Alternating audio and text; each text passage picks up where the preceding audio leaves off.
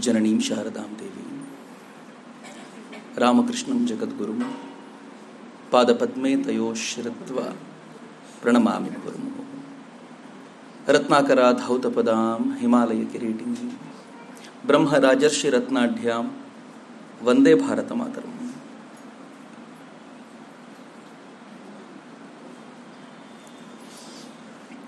ಎಲ್ಲರಿಗೂ ಅಭಿನಂದನೆಗಳು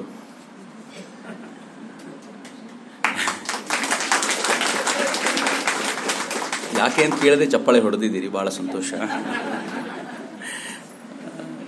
ನಾನು ಯಾಕೆ ಅಭಿನಂದನೆ ಹೇಳಿದೆ ಅಂತಂದರೆ, ವಿಜ್ಞಾನದ ಚಿಂತನೆಗೆ ನಾಲ್ಕನೇ ದಿನ ಅಂತ. ವೈಜ್ಞಾನಿಕ ಚಿಂತನೆಗೆ ನಾಲ್ಕನೇ ದಿನ. ಇನ್ಫ್ಯಾಕ್ಟ್ ಭಾರತದ ಸುಪ್ರೀಂ ಕೋರ್ಟು ಕೂಡ ವೈಜ್ಞಾನಿಕ ಚಿಂತನೆಯ ದರ್ಶನ ಮಾಡಿಕೊಟ್ಟಿದೆ. ಹೀಗಾಗಿ ನಾನು ಇವತ್ತಿನ ಕೊನೆಯ ಸ್ವಲ್ಪ ಭಾಗ ಈ ಕುರಿತಂತೆ ಮಾತನಾಡಬೇಕು ಅಂತ ಅನ್ಕೊಂಡಿದ್ದೀನಿ. ಖಂಡಿತವಾಗಿಯೂ ಒಂದಷ್ಟು ವಿಚಾರಗಳನ್ನು ನಿಮ್ಮ ಜೊತೆ ಚರ್ಚೆ ಮಾಡ್ತೇನೆ. ಆದರೆ ಹೇಳಬೇಕಾಗಿರೋ ಕೆಲವು ಸಂಗತಿಗಳನ್ನು ಯಾವುದನ್ನು ನಾನು ಕಳೆದ ಮೂರು ದಿನಗಳಿಂದ ಮುಂದುವರೆಸಿದ್ನೋ ಅದನ್ನು ಇವತ್ತಿಗೆ ಸಮಾಪನ ಮಾಡಿಯೇ ಅಲ್ಲಿಗೆ ಹೋಗಬೇಕು ಅಂತ ನಾನು ಅಂದ್ಕೊಂಡಿದ್ದೇನೆ ವಾಸ್ತವವಾಗಿ ಮಿತ್ರರೇ, ವಿಜ್ಞಾನ ಅನ್ನೋದು ಯೂನಿವರ್ಸಲ್ ಆಗಿರುವಂಥದ್ದು. ವಿಜ್ಞಾನ ಯಾವತ್ತೂ ಲೋಕಲ್ ಅಲ್ವೇ ಅಲ್ಲ. ಭಾರತಕ್ಕೆ ವಿಜ್ಞಾನ ಬೇರೆ, ಅಮೆರಿಕಕ್ಕೆ ವಿಜ್ಞಾನ ಬೇರೆ ಇಂಗ್ಲೆಂಡಿಗೆ ವಿಜ್ಞಾನ ಬೇರೆ, ಹಂಗಂತೇನಿಲ್ಲ. ವಿಜ್ಞಾನ ಯೂನಿವರ್ಸಲ್ ಅದು ವಿಜ್ಞಾನ ಅನ್ನೋದು ಯಾವಾಗಲೂ ಹಾಗೆ ಅಂತ. ಅದು ಹೇಗಿರುತ್ತೆ ಅಂತಂದರೆ ವಿಜ್ಞಾನದ ಕಾನ್ಸೆಪ್ಟ್ಸ್ ಏನಿರುತ್ತೆ, ಅದು ಎಲ್ಲ ಕಡೆಯೂ ಹೆಚ್ಚು ಕಡಿಮೆ ಒಂದೇ ಭಾಳ ಬದಲಾಗಲ್ಲ. ಅದು ಈಕ್ವಿಟೋರಿಯಲ್ ಪ್ಲೇಟಲ್ಲಿ ಆಗ್ಬೋದಾಗಿರುವಂಥ ಬದಲಾವಣೆ, ಅದನ್ನು ಬಿಟ್ಟು ಬೇರೆ ಕಡೆ ಆಗ್ಬೋದಾಗಿರುವಂಥ ಬದಲಾವಣೆಗಳನ್ನು ಬಿಟ್ಟರೆ ಅದು ಕೂಡ ಯೂನಿವರ್ಸಲ್ ಆಗಿ ಆಲೋಚನೆ ಮಾಡಬಹುದಾಗಿರುವಂಥದ್ದು ಎಲ್ಲವೂ ಸಾಧಾರಣವಾಗಿ ಒಂದೇ ಥರ ಇರುವಂಥದ್ದು. ನಂಗೆ ಚೆನ್ನಾಗಿ ನೆನಪಿದೆ, ರಾಜೀವ್ ದೀಕ್ಷಿತರು ಒಂದ್ಸಲ ತಮಾಷೆ ಮಾಡ್ತಾ ಹೇಳಿದರು. ಈ ಮಾತನ್ನು ಹೇಳುವಾಗ ಅವ್ರು ಹೇಳೋರು, ನ್ಯೂಟನ್ ಅವರ ದೇಶದಲ್ಲಿ ಮರದ ಕೆಳಗೆ ಕೂತಿದ್ದಕ್ಕೆ ಸೇಬು ತಲೆ ಮೇಲೆ ಬಿತ್ತು. ಭಾರತದಲ್ಲಿ ಕೂತರೂ ಬೀಳ್ತಿತ್ತು ಅಂತ. ಅದೇನು ಅವ್ರದೇ ದೇಶದ ಅವ್ರದೇ ಸೇಬು ಮರಕ್ಕೆ ಹೋಗಿ ಕೆಳಗೆ ಹೋಗಿ ಕೂತ್ಕೊಳ್ಬೇಕು, ಆಗ ಮಾತ್ರ ಬೀಳುತ್ತೆ ಅಂತ ನಿಯಮ ಇಲ್ಲ ಅಂತ. ಎರಡನೇದು, ನ್ಯೂಟನ್ ತಲೆ ಮೇಲೆ ಸೇಬು ಬಿದ್ದಿದ್ರಿಂದಾಗಿ ಗುರುತ್ವಾಕರ್ಷಣ ಶಕ್ತಿ ಭೂಮಿಗೆ ಬಂತ. ಅಥವಾ ಮೊದಲೇ ಇದ್ದಿದ್ದರಿಂದಾಗಿ ಅದು ತಲೆ ಮೇಲೆ ಬಿತ್ತು, ತಲೆ ಮೇಲೆ ಬೀಳುವಾಗ ಪುಣ್ಯಾತ್ಮ ನ್ಯೂಟನ್ ಇದ್ದ. ನ್ಯೂಟನ್ಗಿಂತ ಮುಂಚೆ ಅನೇಕರಲ್ಲಿ ಅಲ್ಲಿ ತಲೆ ಮೇಲೆ ಬೀಳಿಸ್ಕೊಂಡಿದ್ದಿರ್ಬೋದು. ಆದರೆ ಯಾರಿಗೂ ಕೂಡ ಅದು ಯಾಕೆ ಬೀಳುತ್ತೆ ಅಂತ ಯೋಚನೆ ಮಾಡುವಂಥ ಪ್ರಮೇಯ ಇರಲಿಲ್ಲ. ಆದರೆ ನ್ಯೂಟನ್ಗೆ ಅದು ಯೋಚನೆ ಮಾಡಿದ್ರಿಂದಾಗ ಅವನಿಗನ್ನಿಸ್ತು, ಯಾಕೆ ಕೆಳಗೆ ಬಂತು, ಯಾಕೆ ಮೇಲಕ್ಕೆ ಹೋಗಲಿಲ್ಲ? ಹೀಗಾಗಿ ಭೂಮಿಗೊಂದು ಶಕ್ತಿ ಇರಬೇಕು ಅಂತ. ನಮಗೂ ಚೆನ್ನಾಗಿ ಗೊತ್ತಿದೆ, ನ್ಯೂಟನ್ ಹೇಳೋಕ್ಕಿಂತ ಅನೇಕ ಶತಮಾನಗಳ ಮುಂಚೆಯೇ ಭಾರತೀಯರದನ್ನು ಹೇಳಿಯಾಗಿತ್ತು. ಭೂಮಿಗಿರುವಂಥ ಆಕರ್ಷಣ ಶಕ್ತಿಯ ಕುರಿತಂತೆ ಬಹಳ ಸುಂದರವಾಗಿ ಪ್ರೆಸೆಂಟ್ ಮಾಡಿ ಆಗಿತ್ತು ಅದು ಒಂದು ಪಾರ್ಟ್. ಆದರೆ ಆ ಗುರುತ್ವಾಕರ್ಷಣ ಶಕ್ತಿ ಅಂತ ನ್ಯೂಟನ್ ಏನು ಹೇಳಿದ್ನೋ, ಅದು ನ್ಯೂಟನ್ನಿನ ದೇಶದಲ್ಲಿ ಮಾತ್ರ ಇತ್ತೋ ಅಥವಾ ಜಗತ್ನಲ್ಲಿ ಎಲ್ಲ ಇತ್ತೋ ಅಂತ? ಸೈನ್ಸ್ ಯೂನಿವರ್ಸಲ್ ಅಂದ್ರೆ ಅಷ್ಟೇ ಗುರುತ್ವಾಕರ್ಷಣ ಶಕ್ತಿ ಅನ್ನೋದು ಎಲ್ಲೋ ಒಂದು ಸಣ್ಣ ಜಾಗದಲ್ಲಿ ಮಾತ್ರ ಇರುವಂಥದ್ದಲ್ಲ ಅದು ಎಲ್ಲ ಕಡೆ ಇದೆ. ಆದರೆ ಸೃಷ್ಟಿಯ ವೈಚಿತ್ರ್ಯ ಏನು ಅಂತಂದ್ರೆ, ಅದು ನ್ಯೂಟನ್ ಹುಡುಕಿದ ಮೇಲೆ ಬಂದಿದ್ದಂಥದ್ದಲ್ಲ, ಅದು ಆಲ್ರೆಡಿ ಅದಾಗಲೇ ಅಲ್ಲಿ ಇತ್ತು, ಅದನ್ನು ನಾವು ಕಂಡುಹಿಡಿದ್ವಿ ಅಷ್ಟೇ. ಹೀಗಾಗಿ ಕಂಡಿಡಿದವನು ಗ್ರೇಟೋ ಅದ್ರ ಒಳಗೆ ಹುದುಗಿಸಿಟ್ಟವನು ಗ್ರೇಟೋ ಅನ್ನೋ ಪ್ರಶ್ನೆಗೆ ಉತ್ತರ ಇಲ್ಲ ಅಂತ. ಮೊದಲೇ ಅಲ್ಲಿದ್ದಿದ್ದು ಅಂತ. ಸೈನ್ಸ್ ಯಾವತ್ತು ಹೀಗೆ. ಸೃಷ್ಟಿಯ ಅಪರೂಪದ ವಿಚಿತ್ರಗಳೇನಿವೆಯೋ, ಅದನ್ನು ಹೆಕ್ಕಿ ತೆಗೆಯುವಂಥ ಪ್ರಯತ್ನ. ರಾಮನ್ರು ಬಹಳ ಚೆನ್ನಾಗಿ ಹೇಳ್ತಾರಲ್ಲ, ಅದು ಹೇಗೆ ಅಂತಂದ್ರೆ, ನೀವು ಸೃಷ್ಟಿಯನ್ನು ನೋಡಬೇಕು ಅಥವಾ ಪ್ರಕೃತಿಯನ್ನು ನೋಡಬೇಕು, ಅದರೊಳಗೆ ಅಡಗಿರುವಂಥ ಸೃಷ್ಟಿಯ ಸಂಗತಿಗಳನ್ನು ತಿಳ್ಕೊಳ್ಳಕ್ಕೆ ಪ್ರಕೃತಿಗೆ ಸರಿಯಾದ ಪ್ರಶ್ನೆ ಕೇಳಬೇಕು ಅಂತ. ಸರಿಯಾದ ಪ್ರಶ್ನೆ ಕೇಳಬೇಕು ಅಂದ್ರೆ ಪ್ರಕೃತಿಯನ್ನು ಹೆಚ್ಚು ಹೆಚ್ಚು ಅಬ್ಸರ್ವ್ ಮಾಡಬೇಕು ಅಂತ. ನಾವು ಎಷ್ಟು ಪ್ರಕೃತಿಯನ್ನು ನೋಡ್ಲಿಕ್ಕೆ ಶುರು ಮಾಡ್ತೀವೋ ಅಷ್ಟು ಪ್ರಕೃತಿ ತನ್ನ ಒಡಲೊಳಗೆ ಬಚ್ಚಿಟ್ಟುಕೊಂಡಿರುವಂಥ ಸತ್ಯವನ್ನ ನಮ್ಮ ಮುಂದೆ ಅನಾವರಣ ಮಾಡ್ತಾ ಹೋಗುತ್ತೆ. ಆದರೆ ನಮ್ಮ ಪ್ರಾಬ್ಲಮ್ ಏನು ಅಂತಂದ್ರೆ ಅವುಗಳಿಗೆ ಅವಕಾಶವನ್ನೇ ಕೊಡಲ್ಲ ನಾವು. ಮಕ್ಕಳಿಗೆ ಆ ದೃಷ್ಟಿಕೋನವನ್ನು ಬೆಳೆಸುವಂಥ ಪ್ರಯತ್ನವನ್ನೇ ಮಾಡಲ್ಲ. ದುರ್ದೈವಕಾರಿ ಸಂಗತಿ. ನಾನೊಂದ್ಸಲ ಹೈಸ್ಕೂಲ್ ಮಕ್ಕಳಿಗೆ ಈ ಕೇಂದ್ರ ಸರ್ಕಾರದ ಒಂದು ಪ್ರಾಜೆಕ್ಟ್ ಇದೆ. ಹೈಸ್ಕೂಲ್ ಮತ್ತು ಪಿ ಯು ಮುಗಿಸಿರುವಂಥ ಮಕ್ಕಳಿಗೆ ಪ್ಯೂರ್ ಸೈನ್ಸ್ ಕಡೆ ಹೋಗ್ಲಿಕ್ಕೆ ಬೇಕಾಗಿರುವಂಥ ವ್ಯವಸ್ಥೆ ಏನಾದರೂ ಮಾಡಬೇಕು ಅನ್ನೋ ಕಾರಣಕ್ಕೆ ತುಂಬ ಖರ್ಚು ಮಾಡಿ ಈವೆಂಟ್ಸ್ ಮಾಡ್ತಾರೆ ಅವರು. ಅಲ್ಲಿ ಮಾತನಾಡುವಾಗ ನನ್ನ ಮಕ್ಕಳಿಗೆ ಕೇಳ್ಕೊಳ್ತಿದ್ದದ್ದು ಅದೇ. ಆದಷ್ಟು ಪ್ರಕೃತಿಯನ್ನು ನೋಡೋದನ್ನು ಕಲೀರಿ ಅಂತ. ನಮ್ಮಲ್ಲಿ ಅನೇಕರಿಗೆ ನಮ್ಮ ಒಬ್ಬ ಮೇಷ್ಟ್ರು ತಮಾಷೆ ಮಾಡಿ ಹೇಳೋರು. ಎರಡು ಗುಡ್ಡ ಬರೆದು ಮಧ್ಯಲ್ಲೊಂದು ಅಂಡಾಕಾರದ ಚಿತ್ರ ಹಾಕಿದರೆ ಸೂರ್ಯನೇ ಅಲ್ವಾ? ಆದರೆ ಅದು ಏನು ಅಂತ ಕೇಳಿದರೆ ನೈಂಟಿ ನೈನ್ ಪರ್ಸೆಂಟ್ ಜನ ಸ್ಕೂಲ್ನಲ್ಲಿ ಸೂರ್ಯಾಸ್ತ ಅಂತಾರೆ. ಸೂರ್ಯೋದಯ ನೋಡೇ ಇರಲ್ಲ ಅವ್ರ ಪಾಪ ಲೈಫ್ನಲ್ಲಿ ಅವರಿಗೆ ಸೂರ್ಯೋದಯ ಗೊತ್ತೇ ಇರಲ್ಲ ಹೀಗಾಗಬಹುದು ಅನ್ನೋಂಥ ಕಲ್ಪನೆಯೇ ಇರಲ್ಲ. ಅದು ಸೂರ್ಯಾಸ್ತವೇ ಇರಬೇಕು ಅಂತ. ಸೂರ್ಯೋದಯವನ್ನು ನೋಡದೆ ಆ ಉದಯ ಮತ್ತು ಅಸ್ತಗಳ ಆ ಕಲ್ಪನೆಯನ್ನು ತಮ್ಮ ಮೊಡಲೊಳಗೆ ತಾವು ಪ್ರಶ್ನೆಗಳ ರೂಪದಲ್ಲಿ ಕೇಳಿಕೊಳ್ಳದೆ ಹೋದರೆ ಹೊಸತೇನು ಹುಟ್ಟೋದು ಸಾಧ್ಯವೇ ಇಲ್ಲ. ಇದೇ ದೌರ್ಭಾಗ್ಯದ ಸಂಗತಿ. ಆದರೆ ನಾನು ಹೇಳಬೇಕು ಅಂತಿದ್ದೇನು ಅಂದರೆ ಸೈನ್ಸ್ ಅನ್ನೋದು ಯೂನಿವರ್ಸಲ್ ಆಗಿರುತ್ತೆ. ಆದರೆ ಟೆಕ್ನಾಲಜಿ ಅನ್ನೋದು ಲೋಕಲ್ ಆಗಿರುತ್ತೆ. ನಮ್ಮಲ್ಲಿ ನಾವು ಬಹುತೇಕರು ಹಿಂದೆ ಬಿದ್ದಿರೋದು ಟೆಕ್ನಾಲಜಿ ಹಿಂದೆ. ನಮಗೆ ಅತ್ಯಾಧುನಿಕವಾದ ಮೊಬೈಲ್ ಬೇಕು. ಆದರೆ ಈ ಮೊಬೈಲನ್ನು ನಮ್ಮ ಬಳಿಗೆ ತರಬಲ್ಲಂಥ ಸೈನ್ಸ್ ಯಾವುದು ಅನ್ನೋದ್ರ ಬಗ್ಗೆ ಆಲೋಚನೆ ಮಾಡಲಿಕ್ಕೆ ಯಾರಿಗೂ ಪುರುಸೊತ್ತಿಲ್ಲ ಅಂತ. ಇಷ್ಟು ವರ್ಷಗಳ ನಂತರವೂ ಕೂಡ ನಾವು ಯಾಕೆ ಒಂದು ಮೊಬೈಲ್ ಬೇಕಾಗಿರೋದನ್ನು ತಯಾರು ಮಾಡ್ಲಿಕ್ಕೆ ಆಗಲಿಲ್ಲ ಅಂತಂದರೆ, ನಾವು ಇದರ ಹಿಂದೆ ಇರಬಹುದಾಗಿರುವಂಥ ಸೈನ್ಸ್ಗೆ ಇನ್ವೆಸ್ಟ್ ಮಾಡಲೇ ಇಲ್ಲ ಯಾವಾಗ. ರಿಸರ್ಚ್ ಅಂಡ್ ಡೆವಲಪ್ಮೆಂಟ್ ಅಲ್ಲಿ ನಾನು ಈ ಈ ಭಾಷಣದ ಉದ್ದಕ್ಕೂ ಅಥವಾ ಇವತ್ತಿನ ದಿನದ ಉದ್ದಕ್ಕೂ ಇದನ್ನು ಚರ್ಚೆ ಮಾಡಬೇಕು ಅಂತ ಅನ್ಕೊಂಡಿದ್ದೀನಿ ರಿಸರ್ಚ್ ಅಂಡ್ ಡೆವಲಪ್ಮೆಂಟ್ಗೆ ಭಾರತ ಇನ್ವೆಸ್ಟ್ ಮಾಡೋದು ಎಷ್ಟಿದೆ ಗೊತ್ತೇನು? ತನ್ನ ಜಿ ಡಿ ಪಿಯ ಒಟ್ಟಾರು ಗ್ರಾಸ್ ಎಕ್ಸ್ಪೆಂಡಿಚರ್ ಅಂತ ಏನು ಕರಿತೀವಿ? ಅದು ತನ್ನ ಜಿ ಡಿ ಪಿಯ ಒಟ್ಟಾರೆ ಜಿ ಡಿ ಪಿ ತೆಗೆದುಕೊಂಡ್ರೆ ತನ್ನ ಒಟ್ಟಾರೆ ಜಿ ಡಿ ಪಿಯ ಪಾಯಿಂಟ್ ಸಿಕ್ಸ್ನಿಂದ ಪಾಯಿಂಟ್ ಸೆವೆನ್ ಪರ್ಸೆಂಟ್ ಮಾತ್ರ ಭಾರತ ರಿಸರ್ಚ್ ಅಂಡ್ ಡೆವಲಪ್ಮೆಂಟ್ಗೆ ಇನ್ವೆಸ್ಟ್ ಮಾಡುತ್ತೆ. Even one percent of the G D P ನಮ್ಮ ಜಿ ಡಿ ಪಿಯ ಒಟ್ಟಾರೆಯಲ್ಲಿ ಇಷ್ಟು ಭಾಗವನ್ನು ಪುಟ್ಟ ಭಾಗವನ್ನು ಹಾಕಬೇಕಾದಾಗ ನಾನೊಂದಷ್ಟು ಅಂಕಿಅಂಶ ತಂದಿದ್ದೀನಿ ನಿಮಗೆ. ಯಾರ್ಯಾರು ಎಷ್ಟೆಷ್ಟು ಇನ್ವೆಸ್ಟ್ ಮಾಡ್ತಾರೆ ಅಂತ. ಯು ಎಸ್ ಹೆಚ್ಚು ಕಡಿಮೆ ಮೂರು ಪರ್ಸೆಂಟ್ ಇನ್ವೆಸ್ಟ್ ಮಾಡುತ್ತೆ. ನಾವು ಲೆಸ್ ದೆನ್ ಒನ್ ಪರ್ಸೆಂಟಲ್ಲಿ ಇದ್ದೀವಿ ಅದರ ಜಿ ಡಿ ಪಿಯ ನೀವು ನಮ್ಮ ನಮ್ಮ ಜಿ ಡಿ ಪಿ ಲೆಕ್ಕ ಹಾಕ್ಕೊಂಡ್ರೆ ನೀವು ಅದು ಅಂದಾಜು ತುಂಬ ದೊಡ್ಡದಾಗುತ್ತೆ. ಅದರ ಜಿ ಡಿ ಪಿಯ ಮೂರು ಪರ್ಸೆಂಟ್ ಅದು ಇನ್ವೆಸ್ಟ್ ಮಾಡುತ್ತೆ. ಇಸ್ರೇಲು ಅಥವಾ Russia two point one percent invest ಮಾಡುತ್ತೆ. ಇಸ್ರೇಲ್ ನಾಲ್ಕೂವರೆ ಪರ್ಸೆಂಟ್ ಇನ್ವೆಸ್ಟ್ ಮಾಡುತ್ತೆ. ಇಸ್ರೇಲ್ ಎಷ್ಟರ ಮಟ್ಟಿಗೆ ಇನ್ವೆಸ್ಟ್ ಮಾಡುತ್ತೆ ಅಂತಂದ್ರೆ ಅಮೆರಿಕ ಹೋಗಿ ಇಸ್ರೇಲ್ನಿಂದ ಟೆಕ್ನಾಲಜಿನ ಹಾಗಾಗೆ ಬೈ ಮಾಡ್ಕೊಂಡ್ ಬಂದ್ಬಿಡುತ್ತೆ. ಅಷ್ಟರ ಮಟ್ಟಿಗೆ ಇಸ್ರೇಲ್ ಇನ್ವೆಸ್ಟ್ ಮಾಡುತ್ತೆ. ತೀರಾ ಕೊರಿಯಾ, ಯಾವ ಕೊರಿಯಾ, ಇವತ್ತು ಅದು ಎಕ್ಸ್ಪೋರ್ಟ್ನಲ್ಲಿ ಎಲೆಕ್ಟ್ರಾನಿಕ್ ಗುಡ್ಸ್ ಎಕ್ಸ್ಪೋರ್ಟ್ನಲ್ಲಿ ತುಂಬ ವೇಗವಾಗಿ ಬೆಳೀತಾ ಇದೆಯೋ, ಅದು ಕೂಡ ಫೋರ್ ಪಾಯಿಂಟ್ ಟೂ ಪರ್ಸೆಂಟ್ನಷ್ಟು ಇನ್ವೆಸ್ಟ್ ಮಾಡುತ್ತೆ. ನಮಗಿಂತ ಕೆಳಗಿರುವಂಥ ಕೆಲವು ರಾಷ್ಟ್ರಗಳಲ್ಲಿ ಪಾಕಿಸ್ತಾನ ಮತ್ತೊಂದಷ್ಟು ಬಿಟ್ಟರೆ ನಾವು ಅದಕ್ಕಿಂತ ಬಹಳ ದೂರ ಏನಿಲ್ಲ.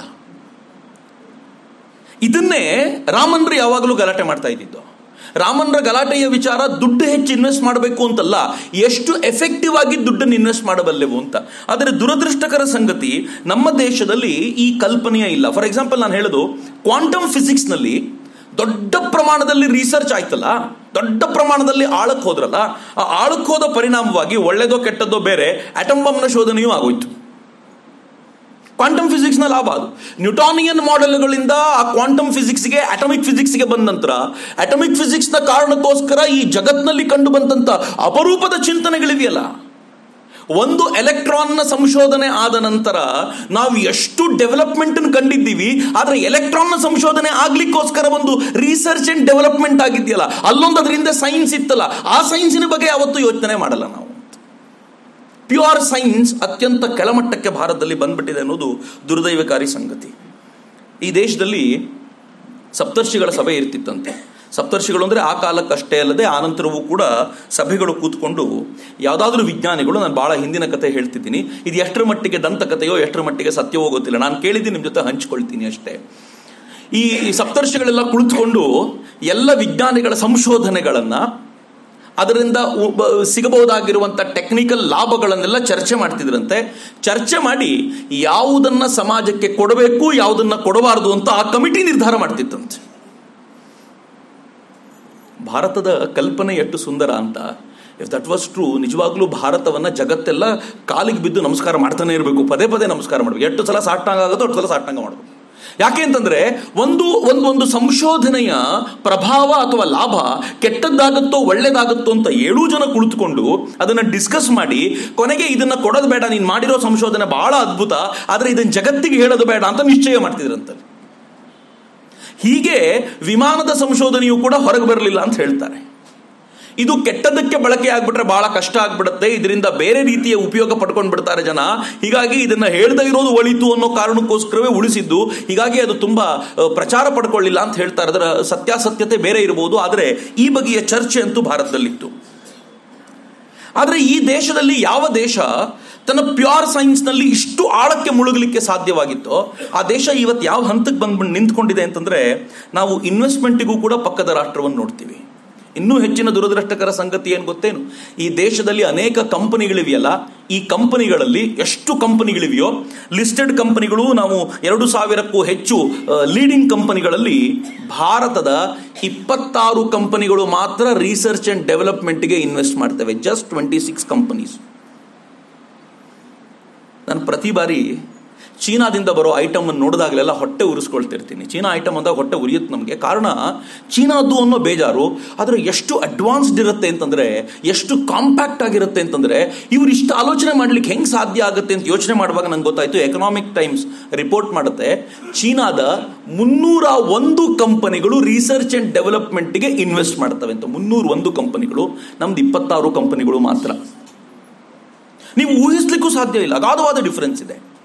ಈ ಇಪ್ಪತ್ತಾರು ಕಂಪನಿಗಳು ನಮ್ದು ಯಾವಿವೆಯೋ ಅವುಗಳಲ್ಲೂ ಅವರು ಆಯ್ಕೆ ಮಾಡ್ಕೊಂಡಿರೋದು ಮೂರೇ ಕ್ಯಾಟಗರಿ ಒಂದು ಫಾರ್ಮಾಸ್ಯೂಟಿಕಲ್ಸು ಇನ್ನೊಂದು ಆಟೋಮೊಬೈಲ್ಸು ಮತ್ತು ಮೂರನೇದು ಸಾಫ್ಟ್ವೇರ್ ಇಂಡಸ್ಟ್ರಿ ಅಷ್ಟೇ. ಇದ್ರ ಬಿಟ್ಟು ಆಚೆಗಿಲ್ಲ. ಫಾರ್ಮಾಸ್ಯೂಟಿಕಲ್ಸ್ ಯಾಕೆ ಅಂತಂದ್ರೆ ಅವರವ್ರ ಕಂಪನಿಗಳು ಅವರವರೇ ರಿಸರ್ಚ್ ಅಂಡ್ ಡೆವಲಪ್ಮೆಂಟ್ಗೆ ಹಾಕ್ತಾರೆ, ಅವರೇ ಹೊಸದೇನೋ ಪ್ರಾಡಕ್ಟ್ ತಗೊಂಡು ಬರ್ತಾರೆ, ಅವರೇ ಮಾರ್ಕೆಟಿಗೆ ಬಿಡ್ತಾರೆ, ಮುಗಿಸ್ತಾರೆ. ಅದನ್ನು ರಿಸರ್ಚ್ ಅಂಡ್ ಡೆವಲಪ್ಮೆಂಟ್ ಅಂತ ಆಲೋಚನೆ ಮಾಡ್ತೀವಿ. ಆಟೋಮೊಬೈಲ್ ಇಂಡಸ್ಟ್ರಿಯಲ್ಲಿ ಇರುವಂತ ಕೆಲವು ಕಂಪನಿಗಳು ಹೊಸದೇನಾದರೂ ತರಬಹುದಾ ಅಂತ ಇಲ್ಲಿ ಪ್ರಯತ್ನ ಮಾಡ್ತಾರೆ. ಇಷ್ಟಾದ ನಂತರವೂ ಕೂಡ ನಾವು ದೇಶೀಯವಾಗಿ ಬಿಲ್ಡ್ ಮಾಡ್ಲಿಕ್ಕೆ ಆಗದೆ ಇರುವಂತ ಸಾಧ್ಯತೆ ಇದ್ದಾಗ ಹೊರಗಡೆ ಅದನ್ನು ಬಿಲ್ಡ್ ಮಾಡ್ಕೊಂಡು ಬರಬೇಕಾದಂತ ಕೆಟ್ಟ ಸ್ಥಿತಿಯಲ್ಲಿ ಇವತ್ತು ನಿಂತ್ಕೊಂಡಿದ್ದೀವಿ. ಇನ್ ಸಾಫ್ಟ್ವೇರ್ ವಿಭಾಗದಲ್ಲಿ ಸ್ವಲ್ಪ ಇನ್ವೆಸ್ಟ್ ಮಾಡ್ತೀವಿ ಅನ್ನೋದು ಬಿಟ್ಟರೆ ಈ ಕಂಪನಿಗಳು ಬೇರೆ ಯಾವುದೇ ಪ್ಯೂರ್ ಸೈನ್ಸ್ ಮಾಡೆಲ್ಗಳಿಗೆ ಯಾವತ್ತೂ ಇನ್ವೆಸ್ಟ್ ಮಾಡಲೇ ಇಲ್ಲ. ನಾನು ಕಂಪನಿಗಳ ಹೆಸರನ್ನು ಹೇಳಲಿಕ್ಕೆ ಹೋಗಲ್ಲ. ಕೆಲವರು ದೊಡ್ಡ ದೊಡ್ಡ ದೊಡ್ಡ ದೊಡ್ಡ ಕಂಪನಿಗಳು ಹೆಸರು ಮಾಡ್ಕೊಂಡಿದ್ದಾರೆ. ಸಿಕ್ಕಾಪಟ್ಟೆ ದುಡ್ಡು ಮಾಡ್ತಾರೆ. ನಮ್ಮದೇ ಕಂಪನಿ ಅಂತ ನಮಗೂ ಖುಷಿಯಾಗುತ್ತೆ ವಿದೇಶದಲ್ಲಿರುವಂಥ ಯಾವುದ್ಯಾವುದೋ ಚೇರಿಗೆ ಲಕ್ಷಾಂತರ ಕೋಟಿ ರೂಪಾಯಿ ಸುರಿ, ಲಕ್ಷಾಂತರ ರೂಪಾಯಿ, ಕೋಟ್ಯಂತರ ರೂಪಾಯಿ ಸುರಿತಾರೆ. ಆದರೆ ಭಾರತದಲ್ಲಿ ನೀವು ರಿಸರ್ಚ್ ಆ್ಯಂಡ್ ಡೆವಲಪ್ಮೆಂಟಿಗೆ ಇನ್ವೆಸ್ಟ್ ಮಾಡಿ ಅಂತಂದಾಗ ಇದು ನಮ್ಮ ಕೆಲಸ ಅಂತ, ಅಲ್ಲ ಅಂತ ಹೇಳಿ ಸುಮ್ಮನೆ ಆಗ್ಬಿಡ್ತಾರೆ. ಯಾಕೆ ಪ್ರೈವೇಟ್ನವ್ರು ರಿಸರ್ಚ್ ಆ್ಯಂಡ್ ಡೆವಲಪ್ಮೆಂಟಿಗೆ ಇನ್ವೆಸ್ಟ್ ಮಾಡಿದ್ರೆ ಒಳ್ಳೇದು ಅಂತಂದರೆ, ಅವರಿಗೆ ಕಡಿಮೆ ದುಡ್ಡಿನಲ್ಲಿ ಹೆಚ್ಚು ಕೆಲಸ ತೆಗೆದುಕೊಳ್ಳೋದು ಗೊತ್ತು. ಆದರೆ ಗೌರ್ಮೆಂಟಿಗೆ ಹೆಚ್ಚು ಖರ್ಚು ಮಾಡಬೇಕು, ಕೆಲಸ ಕಡಿಮೆ ಆಗೋದಷ್ಟೇ ಗೌರ್ಮೆಂಟ್ಗೆ ಇರುವಂಥ ಪಾಲು. ದುರದೃಷ್ಟಕರ ಸಂಗತಿ ಅಂತಂದರೆ point five two point six percent ಏನು ನಾವು ಇನ್ವೆಸ್ಟ್ ಮಾಡ್ತೀವಿ, ಅದರಲ್ಲಿ ಬಹುಪಾಲು ಗೌರ್ಮೆಂಟೇ ಇನ್ವೆಸ್ಟ್ ಮಾಡುತ್ತೆ. ಮತ್ತು ಗೌರ್ಮೆಂಟ್ ಇನ್ವೆಸ್ಟ್ ಮಾಡೋದು ಎಂಥದ್ರಲ್ಲಿ ಅಂತಂದರೆ ಅಟೋಮಿಕ್ ರಿಸರ್ಚ್ನಲ್ಲಿ ಸ್ಪೇಸ್ ರಿಸರ್ಚ್ನಲ್ಲಿ ಒಂದು ಮೂರ್ನಾಲ್ಕು ಕ್ಷೇತ್ರಗಳನ್ನು ಗೌರ್ಮೆಂಟ್ ಆರಿಸ್ಕೊಂಡು ಇನ್ವೆಸ್ಟ್ ಮಾಡುತ್ತೆ. ಅದನ್ನು ಬಿಟ್ಟರೆ ಹೊಸ ರಿಸರ್ಚ್ ಇನ್ವೆಸ್ಟ್ಮೆಂಟ್ಗೆ ಈ ದೇಶದಲ್ಲಿ ಅವಕಾಶವೇ ಇಲ್ಲ. ಕಳೆದ ಎರಡು ಮೂರು ದಶಕಗಳಿಂದ ಮತ್ತೆ ರಾಜೀವ್ ದೀಕ್ಷಿತರನ್ನ ನೆನಪಿಸ್ಕೊಳ್ತೀನಿ ಹೊತ್ತಿನಲ್ಲಿ ರಾಜೀವ್ ದೀಕ್ಷಿತರ್ ನಮ್ಗೆ ಹೇಳೋರು, ಈ ದೇಶದಲ್ಲಿ ಗಂಭೀರವಾಗಿರುವಂಥ ಪ್ರಶ್ನೆ ನಾವೆಲ್ಲರೂ ಯೋಚನೆ ಮಾಡಬೇಕಾಗಿರುವಂಥದ್ದು. ನಾನು ಕಳೆದ ಮೂರು ದಿನದಿಂದ ಸೈನ್ಸ್ ಮೇಲೆ ಮಾತಾಡ್ತಿದ್ದರಿಂದ ಕೊನೆಯ ದಿನದಲ್ಲಿ ಇದನ್ನು ಮಾತಾಡಲೇಬೇಕು ಅಂತ ಒಳಗೆ ಬೆಂಕಿ ಇಟ್ಕೊಂಡು ಕೂತಿದ್ದೆ ಅಷ್ಟೇ. ಈ ದೇಶದಲ್ಲಿ ಎಲ್ಲಿ ನೋಡಿದ್ರೂ ಸಾಫ್ಟ್ವೇರ್ ಪಾರ್ಕ್ಗಳನ್ನು ಕಾಣ್ತೀವಿ. ದೀಕ್ಷಿತರು ನಮ್ಗೆ ಪ್ರಶ್ನೆ ಕೇಳ್ತಿದ್ರು, ಒಂದಾದರೂ ಹಾರ್ಡ್ವೇರ್ ಪಾರ್ಕ್ ತೋರಿಸ್ಬಿಡು ನೋಡೋಣ. ಒಂದು ಚಿಪ್ ಡಿಸೈನ್ ಮಾಡ್ಲಿಕ್ಕೆ ನಮ್ಮ ಹತ್ರ ಸಾಧ್ಯ ಆಗಲಿಲ್ಲ. ಯಾಕೆ ಆಗಲಿಲ್ಲ ಅಂತಂದ್ರೆ ಈ ದೇಶದ ಮೇಲೆ ನಿರಂತರವಾದ ಪ್ರೆಷರ್ ಹಾಕಿ ಈ ದೇಶದಲ್ಲಿ ಶುರುವಾಗಬಹುದಾಗಿದ್ದ ಒಂದೇ ಒಂದು ಹಾರ್ಡ್ವೇರ್ ಪಾರ್ಕ್ ಅನ್ನು ಕೂಡ ಮುಚ್ಚಿಸಲಾಯಿತು ಅಂತ ಅಂತ ಅವ್ರು ಹೇಳ್ತಿದ್ರು. ಆದರೆ ದುರದೃಷ್ಟಕರ ಸಂಗತಿ ಅಂದ್ರೆ ನಮ್ಮ ತಲೆ ಮೇಲೆ ಕುಳಿತಿರುವಂತ ಚೀನಾ ಇಷ್ಟು ವೇಗವಾಗಿ ಕಾಂಪ್ಯಾಕ್ಟ್ ಆಗಿರುವಂತ ವಸ್ತುಗಳನ್ನು ತಯಾರು ಮಾಡೋದ್ರಲ್ಲಿ ಇಷ್ಟು ಮುನ್ನುಗ್ತಾ ಇರುವಾಗ ನಾವು ಅದ್ರ ಹತ್ತಿರಕ್ಕೂ ಬರ್ಲಿಕ್ಕೆ ಸಾಧ್ಯ ಆಗ್ತಾ ಇಲ್ಲಲ್ಲ. ಆ ದಿಕ್ಕಲ್ಲಿ ಡೆವಲಪ್ಮೆಂಟು ರಿಸರ್ಚು ಆಗ್ತಾ ಇಲ್ವಲ್ಲ ಯಾಕೆ ಅನ್ನೋ ಪ್ರಶ್ನೆಗೆ ಖಂಡಿತವಾಗಿಯೂ ನಮ್ಮ ಹತ್ರ ಉತ್ತರ ಇಲ್ಲ ಅಂತ. ಸೊ ನಮ್ಮ ಇಂಡಸ್ಟ್ರಿಗೂ ಆರ್ ಎನ್ ಡಿಗೂ ಒಂಥರ ತಾಳಮೇಳವೇ ಇಲ್ಲ. ಇಂಡಸ್ಟ್ರಿ ಎಲ್ಲೋ ಇದೆ ಆರ್ ಎನ್ ಡಿ ಎಲ್ಲೋ ನಡೀತಾ ಇದೆ. ಆ ಇಂಡಸ್ಟ್ರಿಗೆ ಬೇಕಾಗಿರೋದನ್ನು ಹೊರಗಡೆಯಿಂದೆಲ್ಲಿಂದನೋ ತಂದುಕೊಳ್ತಾರೆ. ಅವ್ರ ಪಾಡಿಗೆ ಅವ್ರ ಕೆಲಸ ಮುಗಿಸ್ಬಿಡ್ತಾರೆ. ಆದರೆ ಯಾವತ್ತೂ ರೀಸರ್ಚು ಮತ್ತು ಇಂಡಸ್ಟ್ರಿ ಜೊತೆ ಸೇರಲಿಲ್ಲ. ಹಿಂಗಾಗಿ ಭಾಳ ಹಿಂದೆನೇ ಆಲೋಚನೆ ಮಾಡಿದಂತ ಸರ್ ಸಿ ವಿ ರಾಮನ್ರು ಏನು ಮಾಡಿದ್ರು ಅಂತಂದರೆ ಅವರು, ನಾನು ಹೇಳೋದು ಮರ್ತಿದ್ದೆ ಮಧ್ಯದಲ್ಲಿ ನಿಮಗೆ, ಅವರಿಗೆ ನೊಬೆಲ್ ಸಿಗೋಕ್ಕಿಂತ ಸ್ವಲ್ಪ ತಿಂಗಳುಗಳು ಅಥವಾ ಒಂದು ವರ್ಷದ ಮುಂಚೆ ನೈಟ್ ಹುಡ್ಡು ಸಿಕ್ಕಿದ್ರಿಂದ ಸರ್ ಅನ್ನೋ ಹೆಸರು ಅವ್ರ ಹಿಂದೆ ಬಂದಿತ್ತು. ಅವ್ರು ಯಾವತ್ತೂ ತಮ್ಮ ಹೆಸರಲ್ಲಿ ಡಾಕ್ಟರ್ ಸೇರಿಸ್ಕೊಳ್ಳೇ ಇಲ್ಲ. ಸರ್ ಮಾತ್ರ ಬಹಳ ಖುಷಿಯಿಂದ ಇಟ್ಕೊಳ್ತಿದ್ರು. ಅವರು ಸರ್ ರಾಮನ್, ಅವರ ಹೆಂಡತಿ ಲೇಡಿ ರಾಮನ್ ಅಂತ ಆನಂತರ ನಂತರ. ಬಹಳ ಹೆಮ್ಮೆ ಆಗ್ತಿತ್ತು ಅವರಿಗೆ. ಸರ್ ರಾಮನ್ ಅಂತ ಕರೆಸ್ಕೊಳ್ಬೇಕಾದ್ರೆ. ಡಾಕ್ಟರ್ ರಾಮನ್ ಅಂತ ಯಾವತ್ತೂ ಕರೆಸ್ಕೊಳ್ಳೇ ಇಲ್ಲ. ಸರ್ ಸಿ ವಿ ರಾಮನ್ ಅಂತ ಕರೆಸ್ಕೊಳ್ಳೋರು. ಸ್ವಾತಂತ್ರ್ಯದ ಕಾಲಘಟ್ಟದಲ್ಲಿ ಎಲ್ಲರೂ ಸರ್ಕಾರ ಕೊಟ್ಟ ಪದವಿಯನ್ನ ವಾಪಸ್ ಕೊಟ್ಟಾಗಲೂ ಅವರು ಸರ್ ಹುದ್ದೇನ್ ಮಾತ್ರ ಕೊಡಲಿಲ್ಲ. ರಾಮನ್ ಕೊಡಲಿಲ್ಲ. ರಾಮನ್ ಅಖಂಡವಾದ ರಾಷ್ಟ್ರಭಕ್ತಿ ಅವರದ್ದು ಆದರೆ ಸರ್ ಹುದ್ದೇನ್ ಕೊಡಲಿಲ್ಲ. ಯಾಕೆ ಕೇಳಿದಾಗ ಅವ್ರು ಹೇಳೋರು, ನನ್ನ ವಿಜ್ಞಾನದ ಕಾರಣಕ್ಕೋಸ್ಕರ ಪಡ್ಕೊಂಡಿದ್ದೀನಿ. ನನಗೆ ಹೆಮ್ಮೆ. ಇದು ಇಟ್ಕೊಂಡಿರ್ತೀನಿ ಇದನ್ನ ಅಂತ. ಕೊನೆವರೆಗೂ ಆ ಸರ್ ಬಹಳ ಪ್ರೀತಿಯಿಂದ ಇಟ್ಕೊಂಡಿದ್ರು. ಈ ಈ ರಾಮನ್ರು ಇಂಡಸ್ಟ್ರಿ ಮತ್ತು ಸೈನ್ಸನ್ನು ಬೆಸಿಬೇಕು ಅಂತ ಎಷ್ಟು ಪ್ರಯತ್ನ ಮಾಡ್ತಿದ್ರು ಅಂತಂದ್ರೆ ಒಂದ್ಸಲ ನೆಹರೂಗೆ ಸಿಕ್ಕಾಗ ರಾಮನ್ ಹೇಳ್ತಾರೆ ಬಹಳ ಜೋರಾದ ದನಿಲ್ ಹೇಳ್ತಾರೆ, ನೋಡು, ಹತ್ತು ಲಕ್ಷ ರೂಪಾಯಿ ಕೊಡು ನನಗೆ. ಒನ್ ಮಿಲಿಯನ್ ಹತ್ತು ಲಕ್ಷ ರೂಪಾಯಿ ಕೊಡಿ ನನ್, ಕೊಡು ನನಗೆ. ಮುಂದಿನ ಐದು ವರ್ಷಗಳಲ್ಲಿ ಭಾರತದ ಇಂಡಸ್ಟ್ರೀಸ್ ಪ್ರಾಬ್ಲಮ್ ಸಾಲ್ವ್ ಮಾಡ್ತೀನಿ.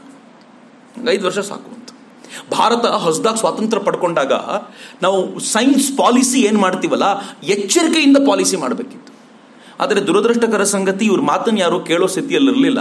ಅಥವಾ ಇವ್ರ ವಯಸ್ಸಾಯಿತು ಅಂತ ಮೇಘನಾಥ್ ಸಹ ಹೇಳಿದ್ರಲ್ಲ, ತಮ್ಮ ಮಧ್ಯಾಹ್ನದ ಹೊತ್ತಲ್ಲಿದ್ದಾರೆ ಇನ್ನು ಸ್ವಲ್ಪ ದಿನದಲ್ಲೇ ಸಾಯಂಕಾಲಕ್ಕೆ ಹೋಗ್ತಾರೆ ಅನ್ನೋ ದೃಷ್ಟಿ ಇರಬಹುದು. ಹೀಗಾಗಿ ವಯಸ್ಸಾಗಿದೆ ಅನ್ನೋ ದೃಷ್ಟಿಯಿಂದ ಇವ್ರನ್ನ ಯಾರು ಕೇರ್ ಮಾಡ್ತಿರ್ಲೋ ಗೊತ್ತಿಲ್ಲ. ನನಗೆ ಅರ್ಥ ಮಾಡ್ಕೊಳ್ಳೋದು ಬಹಳ ಕಷ್ಟ ಆಗುತ್ತೆ. ಯಾಕಂದ್ರೆ ಈ ಪರಿಯ ಒಬ್ಬ ವ್ಯಕ್ತಿಯ ಮಾತುಗಳನ್ನು ಕೇಳದೆ, ಯಾವ ದಿಕ್ಕಲ್ಲಿ ಭಾರತದ ಸೈನ್ಸ್ ಪಾಲಿಸಿ ಹೋಯ್ತು ಅಂತ. ರಾಮನ್ರು ಬೆಂಗಳೂರಿನ ಐ ಐ ಎಸ್ ಸಿಲಿ ಇರಬೇಕಾದಾಗಲೇ ಅವರು chairman of railway board committee on chemical preservation of timber chairman ಆಗಿದ್ರು ಅದರದ್ದು. ಕೆಮಿಕಲ್ ಪ್ರಿಸರ್ವೇಷನ್ ಮಾಡಬೇಕು ಅಂದ್ರೆ ಟಿಂಬರ್ನ ಏನ್ ಮಾಡಬೇಕು ಅನ್ನುವಂಥ ಒಂದು ಗ್ರೂಪ್ ಏನಿತ್ತು, ಅದರ ಚೇರ್ಮನ್ ಆಗಿದ್ರು. ಇಂಡಸ್ಟ್ರೀಸ್ಗೆ ಹೆಲ್ಪ್ ಆಗುವಂತ ಸಂಗತಿಗಳಲ್ಲಿ. ಅವರು ಗವರ್ಮೆಂಟ್ ಆಫ್ ಹೈದರಾಬಾದ್ಗೆ ಅಡ್ವೈಸರ್ ಆಗಿದ್ರು. ಯಾವುದಕ್ಕೆ ಅಂತಂದ್ರೆ establishments of research ಲ್ಯಾಬ್ಸ್ಗೋಸ್ಕರ he was adviser for for government of Mysore also ಆದರೆ ಯಾವುದಕ್ಕೆ ಅಂತಂದ್ರೆ ಎಸ್ಟಾಬ್ಲಿಷ್ಮೆಂಟ್ ಆಫ್ ನ್ಯೂ ಇಂಡಸ್ಟ್ರೀಸ್. ಒಬ್ಬ ಸೈಂಟಿಸ್ಟು ಆತ ಅಲ್ಲಿ ಕೂತ್ಕೊಂಡು ಬರೀ ಡೈರೆಕ್ಟರ್ ಆಗಷ್ಟೇ ಕೆಲಸ ಮಾಡ್ತಿರ್ಲಿಲ್ಲ. ತಾನು ಏನು ಸಂಶೋಧನೆ ಮಾಡ್ತೀವೋ ಅದನ್ನು ಇಂಡಸ್ಟ್ರಿಯಾಗಿ ಪರಿವರ್ತಿಸಲಿಕ್ಕೆ ಬೇಕಾಗಿರುವಂಥ ವ್ಯವಸ್ಥೆ ಮಾಡ್ಲಿಕ್ಕಾಗತ್ತಾ ಅಂತ. ಕೊನೆಗೆ ಸರ್ಕಾರದಿಂದ ಸೂಕ್ತವಾದ ವ್ಯವಸ್ಥೆ ಸಿಗದೆ ಹೋದಾಗ ಅವರು ತಾವು ಕೂಡಿಟ್ಟ ದುಡ್ಡನ್ನ ತಮ್ಮ ಮಿತ್ರನಿಗೋ ತಮ್ಮ ಶಿಷ್ಯನಿಗೋ ಒಬ್ಬನಿಗೆ ಕೊಟ್ಟು ಅವನ ಮೂಲಕ ಕೆಮಿಕಲ್ ಇಂಡಸ್ಟ್ರಿ ಶುರು ಮಾಡಿಸಿದ್ರು. ಅವ್ರು ರಾಮನ್ ಇನ್ಸ್ಟಿಟ್ಯೂಟ್ ಆಮೇಲೆ ತುಂಬ ಚೆನ್ನಾಗಿ ಏನು ನಡೀತಿತ್ತಲ್ಲ, ಆ ರಾಮನ್ ಇನ್ಸ್ಟಿಟ್ಯೂಟ್ಗೆ ತಿಂಗಳು ತಿಂಗಳಿಗೋ ವರ್ಷಕ್ಕೋ ಒಂದ್ಸಲ ಹಣ ಬರ್ತಿದ್ದು ಆ ಇನ್ಸ್ಟಿಟ್ಯೂಟ್ಗೆ ಏನು ಹಣ ಹೂಡಿದ್ರು ಅಲ್ಲಿಂದಾನೆ. ಹಾಗಂತ ಈ ವಾಸ್ ನಾಟ್ ಗುಡ್ ಇನ್ವೆಸ್ಟರ್ ಅವ್ರ ಪಾಪ ನೊಬೆಲ್ ಪ್ರಶಸ್ತಿ ಪ್ರೈಸ್ ಅಂತ ತೆಗೆದುಕೊಂಡ ದುಡ್ಡೇನಿತ್ತೋ ಅದನ್ನು ಯಾವುದಾದ್ರೂ ಒಬ್ಬ ಫೈನಾನ್ಷಿಯರಿಗೆ ಕೊಟ್ಟರೆ ಅವ್ನು ತಿಂಗಳು ತಿಂಗಳು ಸ್ವಲ್ಪ ದುಡ್ಡು ಕೊಡ್ತಾನೆ ಅಂತ ಫೈನಾನ್ಷಿಯರಿಗೆ ಕೊಟ್ಟಿದ್ರು, ಅವ್ನು ತಿಂದು ಓಡೋಗ್ಬಿಟ್ಟ. ರಾಮನ್ರು ಹೇಳೋರು, ನೊಬೆಲ್ ಪ್ರಶಸ್ತಿಯ ದುಡ್ಡನ್ನೂ ತಿಂದ್ಬಿಟ್ಟ ನೋಡೋನು ಅಂತ. ಅಂದ್ರೆ ಅಷ್ಟರ ಮಟ್ಟಿಗೆ ರಾಮನ್ ಒಂಥರ ವಿಚಿತ್ರವಾದ ವ್ಯಕ್ತಿತ್ವ. ಅವ್ರನ್ನ ಅರ್ಥ ಮಾಡ್ಕೊಳ್ಳೋದು ಆ ದಿಕ್ಕಲ್ಲಿ ಬಹಳ ಕಷ್ಟ. ಆದ್ರೆ ಈ ಕೆಲಸವನ್ನು ರಾಮನ್ ಮಾಡಿದ್ರು. ರಾಮನ್ರು ಈಗ ಐ ಎ ಎಸ್ ಇಂದ ಹೊರಗೆ ಬರುವಂತಹ ಹಗ್ಗ ಜಗ್ಗಾಟ ಅಥವಾ ಡೈರೆಕ್ಟರ್ಶಿಪ್ ಇಂದ ಹೊರಗೆ ಬರುವಂಥ ಹಗ್ಗ ಜಗ್ಗಾಟ ಸ್ವಲ್ಪ ನನಗೂ ಜೀರ್ಣ ಮಾಡ್ಕೊಳ್ಳೋ ಕಷ್ಟ ಆಗುವಂಥ ಒಂದು ಸಂಗತಿ ಹೇಳ್ತೀನಿ, ಗೊತ್ತಿಲ್ಲ? ಇದರ ಆಳ ಇಳಿಬೇಕು ಅವಕಾಶ ಸಿಕ್ಕರೆ ಖಂಡಿತವಾಗಿಯೂ ಇದ್ರ ಹಿಂದೆ ಇದ್ದಂಥ ಸಂಗತಿ ಏನು ಅಂತ ತಿಳ್ಕೊಳ್ಳೋ ಪ್ರಯತ್ನ ನಾನು ಮಾಡಬೇಕು. ಶ್ಯಾಮ್ ಪ್ರಸಾದ್ ಮುಖರ್ಜಿಯವರು, ಮೇಘನಾಥ್ ಸಹ ಅವ್ರ ಜೊತೆಗೆ ಸೇರಿ, ಇವ್ರು ಇಲ್ಲಿ ಬಂದಿದ್ದಾರೆ ಅಂತ ಗೊತ್ತಾದಾಗ ಐ ಐ ಎಸ್ ಸಿಯಲ್ಲೂ ಕೂಡ ಮೆಂಬರ್ ಆಗಿ ಇವ್ರ ವಿರುದ್ಧ ಸಿಕ್ಕಾಪಟ್ಟೆ ಪಿತೂರಿಗಳನ್ನು ಮಾಡಿದ್ದಲ್ಲದೆ ಒಂದು ಲೆಟರ್ ಬರೀತಾರೆ. ಆ ಲೆಟರ್ರೇ ಅವರೇ ಈ ಪಿತೂರಿಗೆ ಮುಖ್ಯ ರೀಸನ್ ಅನ್ನೋ ಅಷ್ಟು ಸಾಕ್ಷಿಗಳನ್ನು ಕೊಡುತ್ತೆ. ಆ ಲೆಟರಲ್ಲಿ ಏನು ಬರೀತಾರೆ ಶ್ಯಾಮ್ ಪ್ರಸಾದ್ ಮುಖರ್ಜಿ, ಮೇಘನಾಥ್ ಸಹಾಗ್ ಹಾಗಂದ್ರೆ, ರಾಮನ್ರ ವಿರುದ್ಧ ಒಂದು ಕಮಿಟಿ ರಚನೆ ಆಗಿದೆ. ಆ ಕಮಿಟಿ ರಾಮನ್ರ ವಿರುದ್ಧ ಒಳ್ಳೆ ರಿಪೋರ್ಟ್ ಅನ್ನು ಕೊಟ್ಟಿದೆ. ಒಳ್ಳೆ ರಿಪೋರ್ಟ್ ಅಂದ್ರೆ? ರಾಮನರನ್ನು ಓಡಿಸ್ಲಿಕ್ಕೆ ಬೇಕಾಗಿರುವಂತ ರಿಪೋರ್ಟ್ ಕೊಟ್ಟಿದೆ ಅಂತ. ಆ ಥರದೊಂದು ರಿಪೋರ್ಟ್ ಕೊಟ್ಟಿದೆ. ಈ ರಿಪೋರ್ಟ್ನ ನಾವು ಮುಂದಿಟ್ಕೊಂಡು ರಾಮನ್ರ ಇಂಪೀಚ್ಮೆಂಟ್ ಟ್ರೈ ಮಾಡಬೇಕು ಅಂತ. ರಾಮನರನ್ನ ಅಲ್ಲಿಂದ ಓಡಿಸ್ಲಿಕ್ಕೆ ಬೇಕಾಗಿರುವಂತ ವ್ಯವಸ್ಥೆ ಮಾಡ್ಕೋಬೇಕು ಅಂತ. ಅವ್ರು ಅದ್ರಲ್ಲಿ ಮುಂದುವರೆದು ಏನು ಹೇಳ್ತಾರೆ ಅಂತಂದ್ರೆ, ನಾನು ಇಂಗ್ಲೆಂಡಿಗೆ ಹೋಗ್ಬೇಕಿತ್ತು. ಆ ಲೆಟ್ರಲ್ಲಿ ಹೇಳ್ತಾರೆ ಅವರು. ಇಂಗ್ಲೆಂಡಿಗೆ ಹೋಗ್ಬೇಕಿತ್ತು ತುರ್ತಾಗಿ. ಆದರೆ ಆದರೆ ಒಂದೂವರೆ ವರ್ಷದ ಪ್ರಯತ್ನ ನೀರಲ್ಲಿ ಹೋಮ ಆಗ್ಬಿಡಬಾರ್ದು ಅಂತ ಹೋಗಬೇಕಾಗಿರೋ ಟಿಕೆಟ್ಸ್ ಎಲ್ಲ ಕ್ಯಾನ್ಸಲ್ ಮಾಡಿ ನಾನು ಮೀಟಿಂಗಿಗೆ ಹೋಗ್ತಾ ಇದ್ದೀನಿ. ಹೇಗಾದರೂ ಮಾಡಿ ಈ ಸಲ ಅವ್ರನ್ನ ಕೆಳಗಿಳಿಸ್ಬಿಡ್ಬೇಕು ಅಂತ ಮೇಘನಾಥ್ ಸಹ ಪತ್ರ ಬರೀತಾರೆ ಅಂದರೆ ದೇವರ್ ಹೆಲ್ ಬೆಂಟ್ ಆನ್ ರಾಮನ್ ಹೇಗಾದರೂ ಮಾಡಿ ರಾಮನ್ನ ಅಲ್ಲಿಂದ ತೆಗಿಬೇಕು ಅನ್ನುವಂಥ ಪ್ರಯತ್ನ ಇತ್ತು. ಯಾವಾಗ ರಾಮನ್ರನ್ನ ತೆಗೆಯೋದಕ್ಕೆ ಇಷ್ಟೆಲ್ಲ ಪಿತೂರಿ ನಡೀತಿದೆ ಅಂತ ಗೊತ್ತಾಯ್ತೋ? ಇಂಡಿಯನ್ ಇನ್ಸ್ಟಿಟ್ಯೂಟ್ ಆಫ್ ಸೈನ್ಸ್ನಲ್ಲಿದ್ದಂಥ ಟೀಚರ್ಸು ವಿದ್ಯಾರ್ಥಿಗಳು ದೊಡ್ಡ ಸಂಖ್ಯೆಯಲ್ಲಿ ಒಂದು ಲೆಟರ್ ಬರೆದು ಸೈನ್ ಮಾಡಿದ್ರು ಅದಕ್ಕೆ, ದೊಡ್ಡ ಸಂಖ್ಯೆಯಲ್ಲಿ. ಪ್ರಾಬಲಿ ನನಗನ್ಸುತ್ತೆ more than seventy percent of the students and teachers ಅವ್ರು ರಾಮನ್ ಪರವಾಗಿ ಪತ್ರ ಬರೆದು ಅದನ್ನ ಕಮಿಟಿಗೆ ಕೊಟ್ಟರು ರಾಮನ್ರನ್ನ ಯಾವ ಕಾರಣಕ್ಕೂ ತೆಗಿಬಾರ್ದು, ಅವ್ರು ಬಂದ ನಂತರ ಬಹಳ ಇಂಪ್ರೂವ್ ಆಗಿದೆ ಅಂತ ಕೊಟ್ಟರು ಆದರೆ ಅರಣ್ಯ ರೋದನವಾಯಿತು ಅಷ್ಟೇ. ರಾಮನ್ರನ್ನ ತೆಗಿಲೇಬೇಕು ಅಂತ ನಿರ್ಧಾರ ಆದಾಗ ರಾಮನ್ ರಿಕ್ವೆಸ್ಟ್ ಮಾಡಿಕೊಂಡ್ರು, ನಾನು ಪ್ರೊಫೆಸರಾಗಿ ಕಂಟಿನ್ಯೂ ಆಗ್ಬೋದಾ? ನಾನು ಕೊಡುವಂಥ ಯಾವ ವ್ಯವಸ್ಥೆನೂ ಕಡಿಮೆ ಮಾಡಬೇಡಿ. ಯಾವ ವ್ಯವಸ್ಥೆ ಅಂತಂದರೆ ಇನ್ನೇನು ವ್ಯವಸ್ಥೆ? ಲ್ಯಾಬ್ ಯೂಸ್ ಮಾಡ್ಕೊಳ್ಳಿಕ್ಕೆ ಬೇಕಂದಾಗ ಬಿಟ್ಬಿಡಿ ಸಾಕು ನನಗೆ. ನಾನು ಲ್ಯಾಬ್ ಯೂಸ್ ಮಾಡ್ಕೊಳ್ತೀನಿ. ನನ್ನ ಹುಡುಗರು ಯಾರಿದ್ದಾರೋ, ನನ್ನ ಶಿಷ್ಯರು ಯಾರಿದ್ದಾರೋ ನನ್ನ ಜೊತೆ ಯಾರ ಜೊತೆಯಲ್ಲಿ ನಿಂತ್ಕೊಂಡು ಕೆಲಸ ಮಾಡ್ತಿರ್ತಾರೋ, ಅವ್ರು ನನ್ನ ಜೊತೆ ಇರುವಂಥ ವ್ಯವಸ್ಥೆ ಮಾಡಿಕೊಡಿ ಉಳಿದಿದ್ದು ನಾನೇನು ಬೇಕೋ ಅದು ಮಾಡ್ತೀನಿ. ನಾನು ಸೈಲೆಂಟಾಗಿ ಕೆಲಸ ಮಾಡ್ತಿರ್ತೀನಿ ಅಂತ ಹೇಳಿ ಅವರು ಥರ್ಟಿ ಸೆವೆನ್ನಲ್ಲಿ ಅವರು ಪೂರ್ತಿ ಪ್ರಮಾಣದಲ್ಲಿ ಡೈರೆಕ್ಟರ್ಶಿಪ್ಪಿಂದ ಕೆಳಗಿಳಿದು ಅವರು ಪ್ರೊಫೆಸರಾಗಿ ಕಂಟಿನ್ಯೂ ಆದರು. ಆದರೆ ಅಚ್ಚರಿಯ ಸಂಗತಿ ಏನು ಅಂದರೆ, ಅವ್ರ ವಿರುದ್ಧ ಈ ಥರದ ಪಿತೂರಿ ನಡೀತಿದೆ ಅಂತ ತುಂಬ ಚೆನ್ನಾಗಿ ಅರಿವಾಗಿದ್ದು ಕೃಷ್ಣರಾಜ್ ಒಡೆಯರ್, ನಾಲ್ಕನೇ ಕೃಷ್ಣರಾಜ್ ಒಡೆಯರಿಗೆ ಮಾತ್ರ. ಹೇಗಾದರೂ ಮಾಡಿ ರಾಮನರನ್ನ ಆಗಾಗ ಸಮಾಧಾನ ಮಾಡಬೇಕಲ್ಲ, ಏನು ಮಾಡಲಿಕ್ಕಾಗತ್ತೆ? ಅವ್ರು ಐವತ್ತು ಸಾವಿರ ರೂಪಾಯಿ ಕೊಡ್ತಾರೆ ಪ್ರತಿ ವರ್ಷ ನಿಜ, ಆದರೆ ಅದರ ಅದರ ಅದರ ಆಡಳಿತ ವ್ಯವಸ್ಥೆಯಲ್ಲಿ ಹಸ್ತಕ್ಷೇಪ ಮಾಡಲ್ಲ ಅಂತ ತಮಗೆ ತಾವು ಚೌಕಟ್ಟು ಹಾಕೊಂಡಿದ್ದಾರೆ ಒಂದು ರಾಜಕೀಯ ವ್ಯವಸ್ಥೆ ನಡಿಬೇಕಾಗಿರೋ ರೀತಿ ಅಂಥದ್ದು ಎಲ್ಲರೂ ಕೈ ಹಾಕುವಂಥದ್ದಲ್ಲ ಅದರಲ್ಲಿ. ನಾನು ಕೈ ಹಾಕಲ್ಲ ಅಂತ ನಿಶ್ಚಯ ಮಾಡಿದ್ದಾರೆ. ಹೀಗಾಗಿ ಏನು ಮಾಡಬೇಕು? ಹೀಗಾಗಿ ಅವರು ಸಾವಿರದ ಒಂಬೈನೂರ ಮೂವತ್ತೈದರಲ್ಲಿ, ಇವರು ಮೂವತ್ತೇಳರಲ್ಲಿ ಆಚೆ ಬಂದಿದ್ದು. ಮೂವತ್ತೈದರಲ್ಲಿ ರಾಮನ್ರನ್ನ ಅತ್ಯಂತ ಗೌರವಪೂರ್ಣವಾಗಿ ಕರೆಸ್ಕೊಂಡು ಏನು ಬಿರುದು ಕೊಡ್ತಾರೆ ಗೊತ್ತಾ? ರಾಜ್ಯಸಭಾ ಭೂಷಣ ಅನ್ನುವಂಥ ಪ್ರಶಸ್ತಿಯನ್ನು ರಾಮನ್ರಿಗೆ ಕೊಡ್ತಾರೆ. ರಾಜ್ಯಸಭಾ ಭೂಷಣ ಅಂತ ಪ್ರಶಸ್ತಿಯನ್ನು ಕೊಟ್ಟು ಒಂದು ಶಾಲನ್ನು ವಿಶೇಷವಾಗಿ ಹಾಕಿ ಅವ್ರಿಗೊಂದು ಅರವತ್ತೊಂಬತ್ತು ವಜ್ರಗಳಿಂದ ಕೂಡಿದ ಗಂಡ ಬೇರುಂಡದ ಒಂದು ಪದಕವನ್ನು ಅವರು ಗುತ್ತಿಗೆಗೆ ಹಾಕ್ತಾರೆ. ಏನು ಹೆಮ್ಮೆ ಇರ್ಬೋದು. ರಾಮನರಿಗೆ ಎಂಥ ಹೆಮ್ಮೆ ಆಗಿರ್ಬೋದು. ರಾಮನರು ತಮ್ಮ ಬದುಕಿನಲ್ಲಿ ಬಹಳ ಸಲ ಹೇಳ್ಕೊಳ್ತಾರೆ. ಏನು ಹೇಳ್ತಾರೆ ಅಂತಂದರೆ, ಅವರು ತಮಗೆ ಬಂದಿರೋ ನೊಬೆಲ್ ಪ್ರಶಸ್ತಿಯನ್ನು ಕೂಡ ಯಾರಿಗೂ ತೋರಿಸ್ತಿರ್ಲಿಲ್ಲ. ಅದು ಎಲ್ಲಿ ಒಂದ್ಸಲ ತಗೊಂಬಂದ್ಮೇಲೆ ಎಲ್ಲಿ ಹಾಕಿದ್ರು ಅಂತ ಅವ್ರಿಗೆ ಗೊತ್ತಿದ್ದು ಅನುಮಾನ. ಆದರೆ ರಾಜರು ಕೊಟ್ಟಿದ್ದ ಗಂಡ ಬೇರುಂಡವನ್ನಾಗಲಿ ರಾಜರು ಕೊಟ್ಟಿದ್ದ ಶಾಲನ್ನಾಗಲಿ ಎಲ್ರಿಗೂ ತೋರಿಸ್ತಿದ್ರು. ನನಗೆ ಮೈಸೂರಿನ ಮಹಾರಾಜರು ಕೊಟ್ಟಿದ್ದು ಗೊತ್ತಾಯಿತು ಅಂತ ಅಷ್ಟು ಗೌರವ ಅವರಿಗೆ ಮಹಾರಾಜರ ಮೇಲೆ. ನೊಬೆಲ್ ಪ್ರಶಸ್ತಿಗಿಂತ ಹೆಚ್ಚು ಮಹಾರಾಜರು ಕೊಟ್ಟಂತ ಶಾಲನ್ನ ಗಂಡ ಬೇರುಂಡು ಅಂತ ತೋರಿಸ್ತಿದ್ರು. ಹಾಗಂತ ಗಂಡ ಬೇರುಂಡ ಅಥವಾ ಮಹಾರಾಜರಿಗಿಂತ ಹೆಚ್ಚು ಅವ್ರಿಗೆ ಗೌರವ ಇದ್ದಿದ್ದು ಯಾವುದ್ರ ಮೇಲೆ ಗೊತ್ತಾ? ಅವರು ಪ್ರೀತಿಸ್ತಾ ಇದ್ದ ಸೈನ್ಸ್ ಮೇಲೆ ಮಾತ್ರ. ಯಾಕೆ ಅಂತ ನಾನು ಹೇಳ್ತೀನಿ. ಅವ್ರಿಗೆ ಇದ್ದಕ್ಕಿದ್ದಂತೆ ಈ ಪ್ರೊಫೆಸರ್ ಆಗೋ ಹೊತ್ತಲ್ಲಿ ಈ ಲೈಟ್ ಸ್ಕ್ಯಾಟ್ರಿಂಗು ಈ ಸಾಲಿಡ್ ಲ್ಯಾಟಿಸಸ್ ಮೇಲೆ ಏನಾಗುತ್ತೆ ಅಂತ ಪ್ರಯತ್ನ ಮಾಡಬೇಕು ಅಂತ ಅವ್ರು ಏನು ಮಾಡಿದರು? ವಜ್ರಗಳ ಅಧ್ಯಯನ ಶುರು ಮಾಡಿದರು. ವಜ್ರಗಳು ಯಾರು ಕೊಡ್ತಾರೆ? ಮಹಾರಾಜರು ಕೊಟ್ಟಿದ್ದ ಗಂಡ ಬೇರುಂಡದಲ್ಲಿ ವಜ್ರ ಇತ್ತಲ್ಲ, ಅದನ್ನೇ ತೆಗೆದು ಅಧ್ಯಯನ ಶುರು ಮಾಡಿದರು. ಅಂದರೆ ಗಂಡ ಬೇರುಂಡ ಭಾಳ ಚೆನ್ನಾಗಿದೆ, ನನಗೆ ಭಾಳ ಹೆಮ್ಮೆ, ಆದರೆ ನನಗೆ ಅದಕ್ಕಿಂತ ಹೆಚ್ಚು ಅಗತ್ಯ ಇರೋದು ಈ ಗಂಡ ಬೇರುಂಡದ್ದು ಈ ವಜ್ರದ್ದು, ಅದು ಕುತ್ತಿಗೆ ಹಾಕೊಳ್ಳಿಕ್ಕಲ್ಲ, ಅದು ನನ್ನ ಲ್ಯಾಬೊರೇಟರಿಗೆ ಬೇಕು ಅಂತ. ಅವ್ರು ವಿಚಿತ್ರವಾದ ವ್ಯಕ್ತಿತ್ವ ಅವರದ್ದು. ಅವ್ರ ರಿಲೇಟಿವ್ ಒಬ್ಬ ಬರ್ತಾನೆ. ಅವನು ಸೈನ್ಸಲ್ಲಿ ತುಂಬ ಆಸಕ್ತಿ ಇದ್ದವನು. ಅವನ ಮಾಮ ಒಂದು ಉಂಗುರ ಹಾಕಿರ್ತಾರೆ. ಆ ಉಂಗುರದಲ್ಲಿ ಒಂದು ವಜ್ರ ಇರುತ್ತೆ. ಅವ್ರು ಹೇಳ್ತಾರೆ, ಏಯ್, ಈ ವಜ್ರನ ಕೈಗೆ ಹಾಕೊಂಡು ತಿರುಗಾಡ್ತಿದ್ದೆ ಏನಾದರೂ ಉಪಯೋಗ ಮಾಡೋದ್ರದ್ದು ಅಂತ. ಉಪಯೋಗ ಮಾಡು ಅಂದ ತಕ್ಷಣ ಅವನಿಗೆ ಫ್ಲ್ಯಾಶ್ ಆಗುತ್ತೆ. ಅವನು ಹೋಗಿ ಆ ವಜ್ರದ ಮೇಲೆ ಅಧ್ಯಯನ ಮಾಡಿ, ಅದನ್ನು ತೆಗೆದು ಅದನ್ನು ಅಧ್ಯಯನ ಮಾಡಿ ಇವರಿಗೆ ರಿಪೋರ್ಟ್ ಕೊಡ್ತಾನೆ. ಅವ್ರು ಹೇಳ್ತಾರೆ, ಈಗ ಅದರ ಸದ್ ಬಳಕೆ ಆಯಿತು ನೋಡು ಅಂತ. ರಾಮನ್ರಿಗೆ ವಜ್ರದ ಹುಚ್ಚು ಎಷ್ಟಿತ್ತು ಅಂತಂದ್ರೆ, ಅವರಿಗೆ ಸಾವಿರದ ಒಂಬೈನೂರ ನಲವತ್ತರ ವೇಳೆಗೆ ಅವರ ಕಲೆಕ್ಷನಲ್ಲಿ ಮುನ್ನೂರ ಹತ್ತು ವಜ್ರ ಇತ್ತಂತೆ. ಹತ್ತೇ ವರ್ಷದಲ್ಲಿ ಸಾವಿರದ ಒಂಬೈನೂರ ಐವತ್ತರ ವೇಳೆಗೆ ಆರುನೂರು ವಜ್ರಗಳ ಕಲೆಕ್ಷನ್ ಇತ್ತಂತೆ ಅವರ ಹತ್ರ. ವಜ್ರಗಳ ಅಧ್ಯಯನದ ಮೇಲೆ ಅಷ್ಟು ಹುಚ್ಚಿತ್ತು ಅವರಿಗೆ.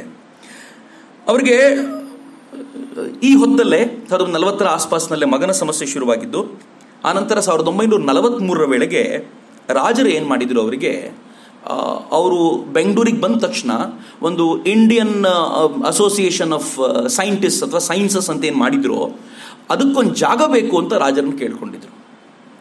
ಮಹಾರಾಜರು ಮುಲಾಜಿಲ್ದೆ ರಾಮನ್ರಿಗೆ ಅಂತ ಹನ್ನೊಂದು ಎಕರೆ ಜಾಗವನ್ನು ಕೊಟ್ಬಿಟ್ರು. ಅಷ್ಟೇ ಅಲ್ಲ, ಇನ್ನೊಂದು ನಾಲ್ಕು ಎಕರೆನ ಪಕ್ಕದಲ್ಲಿ ಮತ್ತೊಂದು ಕಡೆ ಆ್ಯಡ್ ಮಾಡಿ ಹದಿನೈದು ಎಕರೆ ಜಾಗ ಇಟ್ಕೊಳ್ಳಿ, ನಿಮಗೆ ಅವಶ್ಯಕತೆ ಬಂದಾಗ ಇದಕ್ಕೆ ಇನ್ಸ್ಟಿಟ್ಯೂಷನ್ಗೆ ಬೇಕಂತ ಇದನ್ನು ಬಳಸ್ಕೊಳ್ಳಿ ಅಂತ ಅವರಿಗೆ ಅಂತ ಕೊಟ್ಟರು ಯಾವಾಗ ಸಾವಿರದ ಒಂಬೈನೂರ ನಲವತ್ತೆಂಟರಲ್ಲಿ ಪ್ರೊಫೆಸರ್ಶಿಪ್ಪಿಂದ ತಾನು ರಿಟೈರ್ ಆಗ್ತೀನಿ ಅಂತ ಗೊತ್ತಾಯ್ತೋ ರಿಟೈರ್ ಆಗುವಂಥ ಹೊತ್ತಿನಲ್ಲಿ ರಾಮನ್ ಏನು ಮಾಡಿದ್ರು, ಅಲ್ಲಿ ತಮ್ಮದ್ದೇ ಆದ ಒಂದು ಇನ್ಸ್ಟಿಟ್ಯೂಷನ್ ಬೆಳೆಸಬೇಕು ಅಂತ ಹದಿನೈದು ಎಕರೆ ಜಮೀನಲ್ಲಿ ಕೆಲಸ ಶುರು ಮಾಡಿದ್ರು. ನಲವತ್ಮೂರಲ್ಲಿ ಕೆಲಸ ಶುರುವಾಯಿತು. ಇವು ರಿಟೈರ್ ಆಗಿದ್ದು ನಲವತ್ತೆಂಟರಲ್ಲಿ ನಲವತ್ತೆಂಟರಲ್ಲಿ ರಿಟೈರ್ ಆಗೋ ವೇಳೆಗೆ ಒಂದು ಹಂತಕ್ಕೆ ಅದು ಟೋಟಲ್ ಬಂದಿತ್ತು. ಪೂರ್ತಿ ಏನು ಬಂದಿರಲಿಲ್ಲ, ಒಂದು ಹಂತಕ್ಕೆ ಬಂದಿತ್ತು. ಅವ್ರಿಗೆ ಐ ಎ ಎಸ್ ಸಿ ಮೇಲೆ ಅದು ಎಷ್ಟು ಎವರ್ಷನ್ ಇತ್ತು ಅಷ್ಟೊತ್ತಿಗೆ ಅಂತಂದರೆ ಎಷ್ಟು ಕೋಪ ಇತ್ತು, ಆಕ್ರೋಶ ಇತ್ತು ಅಂತಂದರೆ ಆ ಆ ಆ ರಾಮನ್ ಇನ್ಸ್ಟಿಟ್ಯೂಟ್ ಏನಿದೆಯಲ್ಲ, ಅದು ಐ ಎ ಸಿಗೆ ಹೊಂದ್ಕೊಂಡೇ ಇರುವಂಥ ಜಾಗ ಅದು. ಅವರು ತಮಗೇನು ಆಫೀಸ್ ಕಟ್ಕೋಬೇಕು ಅಂತ ನಿಶ್ಚಯ ಮಾಡಿದ್ರು, ಅಲ್ಲಿಂದ I I S C tower ಕಾಣಬಾರದು ಅಂತ ಅಲ್ಲಿ ನೀಲಗಿರಿ ಮರಗಳನ್ನು ಹಾಕಿ ಎತ್ತರಕ್ಕೆ ಬೆಳೆದು ನಿಂತ್ಕೋಬೇಕು ಇದು ಅಂತ ಬಿಟ್ಟಿದ್ರು.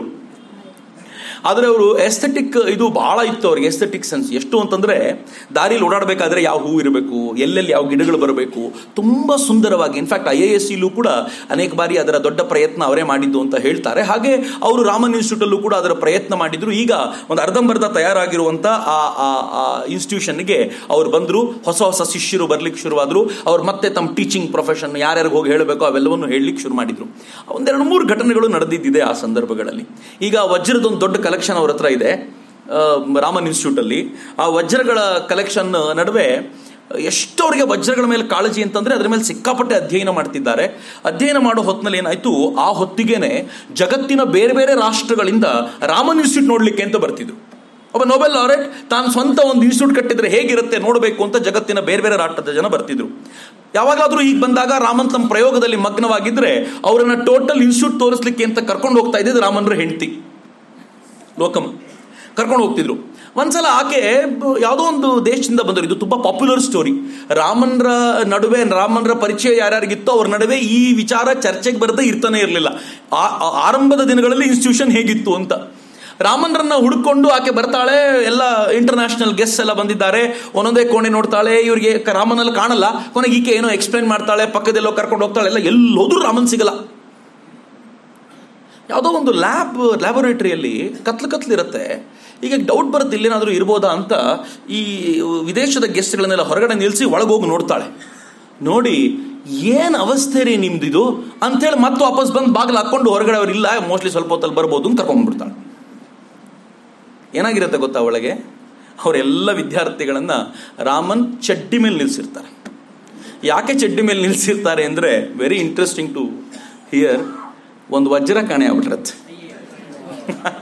ಈ ವಜ್ರ ಏನಾದರೂ ಬಟ್ಟೆ ಗಿಟ್ಟೆಯಲ್ಲಿ ಸೇರ್ಕೊಂಡ್ಬಿಟ್ಟಿದೆಯಾ ಹುಡುಕಿ ಅಂತ ನಿಲ್ಸಿರ್ತಾರಂಗೆ ಎಷ್ಟು ಪಾಪ್ಯುಲರ್ ಸ್ಟೋರಿ ಇದು ಅಂತಂದ್ರೆ ರಾಮನ್ರ ಬಗ್ಗೆ ಹೇಳುವಾಗ ಇದನ್ನು ಹೇಳಿದ್ರೆ ಯಾರು ನಿಲ್ಸೋದೇ ಇಲ್ಲ. ಅವಳು ಹೇಳ್ತಾಳೆ, ಏನ್ರಿ ಇದು ನಿಮ್ಮ ಅವಸ್ಥೆ? ಅಂತ ಹೆಂಡತಿ ಬರ್ತಾಳೆ, ಕೊನೆಗೆ ರಾಮನ್ರು ಬರ್ತಾರೆ. ಅದು ವಜ್ರ ಸಿಕ್ತೋ ಇಲ್ವೋ ಅಂತ ಯಾರು ಹೇಳಲ್ಲ. ಬಟ್ ಅವ್ರು ಅಷ್ಟಂತೂ ಇತ್ತು ಅವರಿಗೆ. ಆ ಪರಿಯ ವಿಚಿತ್ರವಾದ ಪರಿಸ್ಥಿತಿ ಅವ್ರದ್ದು. ಆ ಥರ ಆ ವಜ್ರಗಳ ಮೇಲೆ, ಅದರ ಅಧ್ಯಯನದ ಮೇಲೆ ಅಷ್ಟು ಕಾಳಜಿ ಇದ್ದವರು. ರಾಮನ್ರ ಹೆಂಡತಿ ಹೇಳ್ಕೊಳ್ಳೋಂಥ ಒಂದು ಘಟನೆ ಇದೆ ಭಾಳ ಚೆನ್ನಾಗಿದೆ. ಒಂದಿನ ರಾಮನ್ರು ಇದ್ದಕ್ಕಿದ್ದಂತೆ ಫೋನ್ ಮಾಡಿದ್ರಂತೆ. ಮನೆಗೆ ಅಥವಾ ಹೇಳಿ ಕಳಿಸಿದ್ರು ಅನ್ಸುತ್ತೆ. ಬಂದ್ಬಿಟ್ಟು ಅರ್ಜೆಂಟ್ ಎರಡು ಪಿಲ್ಲೋ ಬೇಕಂತೆ ರಾಮನ್ರಿಗೆ ಅಂತ. ಹೆಂಡತಿ ಪಿಲ್ಲೋ ಕೊಟ್ಟು ಗಾಬರಿ ಆಗ್ಬಿಟ್ಲು. ವಯಸ್ಸಾಗಿದೆ, ಏನಾಯ್ತೋ ಏನೋ ಬಿದ್ದಿದ್ದು ಹೋದ್ರೇನೋ, ಸೊಂಟ ಗಿಂಟ ಮುರ್ಕೊಂಡ್ರೇನೋ ಅಂತ ಅವಳು ಗಾಬರಿಯಾಗಿ ಏನು ಮಾಡ್ತಾಳೆ ಪಿಲ್ಲೋ ಕೊಟ್ಟು ಫಸ್ಟ್ ಕಳಿಸ್ತಾಳೆ. ಆಮೇಲೆ ನಿಧಾನವಾಗಿ ತಾನು ಬಂದು ನೋಡ್ತಾಳೆ, ನಿಧಾನವಾಗಿ ನೋಡ್ತಾಳೆ, ಏನಾಗಿದೆ ಅಂತ ನೋಡಿದರೆ ರಾಮನ್ರು ಎಲ್ಲೋ ಸೀರಿಯಸ್ ಆಗಿ ಕೆಲಸ ಮಾಡ್ತಿರ್ತಾರೆ. ಅವಳು ಪಿಲ್ಲೋ ಎಲ್ಲೋಯ್ತು ಅಂತ ಹುಡುಕಿದ್ರೆ ಈ ಫೋನ್ ಇರುತ್ತಲ್ಲ, ಆ ಫೋನ್ ಮೇಲೆ ಎರಡು ಪಿಲ್ಲೋ ಇಟ್ಟು ಅದ್ರ ಮೇಲೆ ಡೈರೆಕ್ಟ್ರಿ ಇಟ್ಟಿರ್ತಾರೆ ಯಾಕೆ ಅಂತ ರಾಮಂದ್ರನ ಕೇಳಿದ್ರೆ, ಅದು ಆಗಾಗ ಸದ್ದು ಮಾಡುತ್ತೆ. ಅದು ಸದ್ದು ಮಾಡಿದಾಗ ರಿಸೀವ್ ಮಾಡಲಿಲ್ಲ ಅಂತಂದ್ರೆ ನನಗೆ ನನಗೆ ನನ್ನ ನೈತಿಕ ಪ್ರಜ್ಞೆ ಬಿಡಲ್ಲ. ಅದಕ್ಕೆ ಅದನ್ನು ಫೋನ್ ರಿಸೀವ್ ಮಾಡಲೇಬೇಕು. ಅದಕ್ಕೆ ಸದ್ದೇ ಬರದೇ ಇರೋ ಥರ ಮಾಡೋಕ್ಕೆ ಎರಡು ಪಿಲ್ಲೋ ಇಟ್ಟು ಒಂದು ಒಂದು ಡೈರೆಕ್ಟ್ರಿ ಅದ್ರ ಮೇಲೆ ಇಟ್ಬಿಟ್ಟಿದ್ದೀನಿ ಅಂತ. ಇದು ರಾಮನರ ಕಥನಗಳು. ಅವ್ರ ಇನ್ಸ್ಟಿಟ್ಯೂಷನ್ಗಳು ಈ ಥರದ ಅನೇಕ ಕಥನಗಳಿವೆ. ಎಂಥ ಕಥನಗಳು ಅಂತಂದ್ರೆ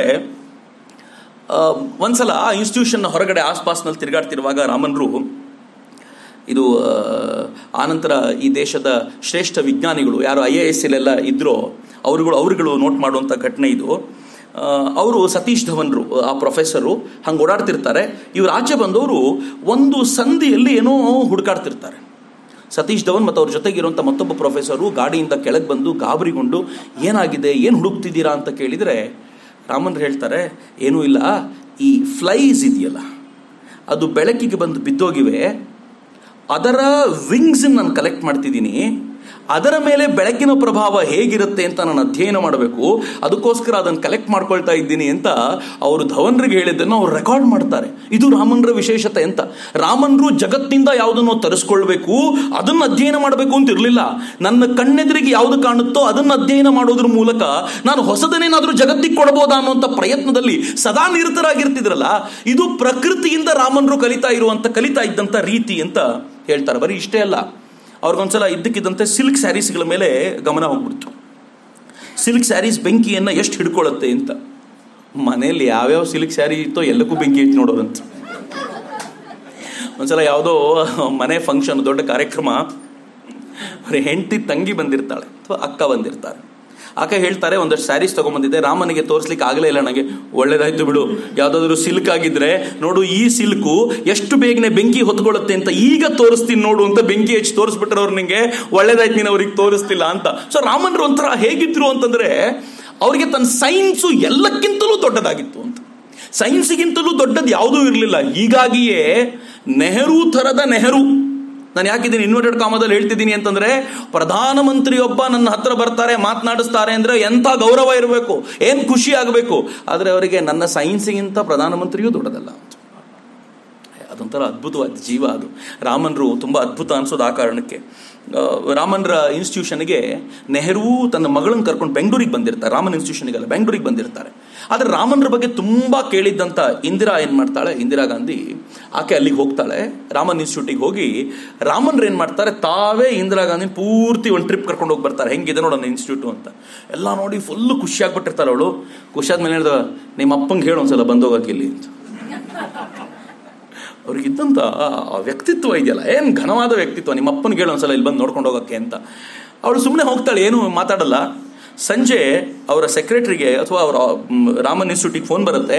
ಪ್ರಧಾನಮಂತ್ರಿಗಳು ಇನ್ಸ್ಟಿಟ್ಯೂಟ್ ನೋಡ್ಬೇಕಂತೆ, ಬರ್ತಾರಂತೆ ಅಂತ. ಪ್ರಧಾನಮಂತ್ರಿಗಳು ಬಂದಾಗ ರಾಮರು ಒಂದು ಸಣ್ಣ ಪ್ರಯೋಗ ಮಾಡಿರ್ತಾರೆ. ಆ ಪ್ರಯೋಗ ಏನು ಅಂತಂದ್ರೆ, ಚಿನ್ನ ಮತ್ತು ಕಾಪರ್ನ ತಾಮ್ರವನ್ನ ಕೈಯಲ್ಲಿ ಹಿಡ್ಕೊಂಡು, ಅದ್ರ ಮೇಲೆ ಯಾವುದೋ ಒಂದು ಯು ವಿ ಲೈಟ್ ಯಾವುದೋ ಒಂದು ಲೈಟ್ ಬಿಟ್ಟಾಗ ಎಲ್ಲವೂ ಹೊಳೆಯಕ್ಕೆ ಶುರುವಾಗ್ಬಿಡುತ್ತೆ. ಯಾವ ಚಿನ್ನ ಅಂತ ಗೊತ್ತಾಗಲ್ಲ. ಅದನ್ನ ಕೈಯಲ್ಲಿ, ಇವ್ರ ಕೈಯಲ್ಲಿ ಕೊಟ್ಟು ಅದನ್ನ ಪ್ರಯೋಗ ಮಾಡಿದ ಮೇಲೆ ಎಲ್ಲಿ ಚಿನ್ನ ಆರಿಸಿ ಈಗ ಯಾವುದು ಚಿನ್ನ ಅಂತ ಹೇಳಿ ಅಂತಂದಾಗ ಅವರೊಂದು ಆರಿಸಿ ಕೊಡ್ತಾರೆ, ಇದಾ ನೋಡಿ ಅಂತ. ರಾಮನ್ ಹೇಳ್ತಾರೆ, ಕಾಪರ್ನ ಹುಡುಕ್ಬಿಟ್ಟು ಚಿನ್ನ ಅಂದ್ರೆ ನೋಡಿ ಅಂತ ತೋರಿಸ್ತಾರೆ. ನಾನು ಯಾಕೆ ಇದನ್ನು ಸ್ಪೆಷಲಿ ಹೇಳಿದೆ ಅಂತಂದ್ರೆ, ರಾಮನ್ ಮುಂದೆ ಹೇಳ್ತಾರೆ, ನೆಹರು ತನಗೆ ಅಡ್ವೈಸರ್ ಆಗಿ ಸೈನ್ಸ್ನ ಅಡ್ವೈಸರ್ ಆಗಿ ಚಿನ್ನ ಅನ್ಕೊಂಡು ಮತ್ತೆ ಕಾಪರ್ನೇ ಹುಡುಕೊಂಡ್ಬಿಟ್ಟ ಅಂತ. ಚಿನ್ನವನ್ನು ಹುಡುಕ್ಲಿಕ್ಕೆ ಆಗಲಿಲ್ಲ ಅಂತಂದ್ರೆ ಅವ್ರಿಗೆ ಎಷ್ಟು ಆಲೋಚನೆ ಇತ್ತು ಅಂದ್ರೆ ಯಾವಾಗಲೂ ಹೇಳ್ತಿದ್ರು ಈ ಅಗೇನ್ ಸೆಲೆಕ್ಟೆಡ್ ಅ ಕಾಪರ್ ಅಂದ್ರೆ ಆ ಆ ಪರಿಯಲ್ಲಿ ಅವರು ಯೋಚನೆ ಮಾಡ್ತಿದ್ದಂಥ ರೀತಿ. ಅವ್ರ ಬಗ್ಗೆ ಎಷ್ಟು ಗೌರವ ಇತ್ತು ನೆಹರು, ನೆಹರುಗೆ ಅಂತಂದರೆ ಇನ್ಸ್ಪೈಟ್ ಆಫ್ ಆಲ್ ದಿಸ್ ಎಷ್ಟು ಗೌರವ ಇತ್ತು ಅಂತಂದ್ರೆ ಒಂದ್ಸಲ ಅವ್ರಿಗೆ ಹೇಳ್ತಾರೆ ನೀವು ಭಾರತದ ಉಪರಾಷ್ಟ್ರಪತಿ ಆಗ್ಬೋದಾ? ವೈಸ್ ಪ್ರೆಸಿಡೆಂಟ್ಶಿಪ್ ಅಕ್ಸೆಪ್ಟ್ ಮಾಡ್ತೀರಾ? ಏನು ಹೇಳ್ತಾರೆ ಗೊತ್ತಾ? What would I do with that ship ನಂಗೆ ಆ ಶಿಪ್ ಏನು ಬೇಕಾಗಿಲ್ಲ. ನನಗೆ ಈ ಸೈನ್ಸೇ ಸರ್ವಸ್ವ. ನಾನು ಇಲ್ಲೇ ಇರ್ತೀನಿ. ನಾನು ಅಥವಾ ಆಡಳಿತದಲ್ಲಿ ಬಂದು ನನಗೇನು ಕೆಲಸ ಇಲ್ಲ. ಲ್ಯಾಬೊರೇಟ್ರಿಯಲ್ಲಿ ನನ್ನ ಕೆಲಸ ಇದೆ. ಇಲ್ಲಿ ಇರ್ತೀನಿ ನಾನು ಅಂತ. ಬಹುಶಃ ಅವ್ರ ಜಾಗದಲ್ಲಿ ಇನ್ಯಾರಿದ್ದಿದ್ರು ಡೆಫಿನೆಟ್ಲಿ ವೈಸ್ ಪ್ರೆಸಿಡೆಂಟ್ಶಿಪ್ ಅಕ್ಸೆಪ್ಟ್ ಮಾಡ್ಕೊಳ್ತಿದ್ರು. ಅದಕ್ಕೊಂದು ರೀಸನ್ನು ಕೊಡ್ತಿದ್ರು. ಏನು ಗೊತ್ತಾ?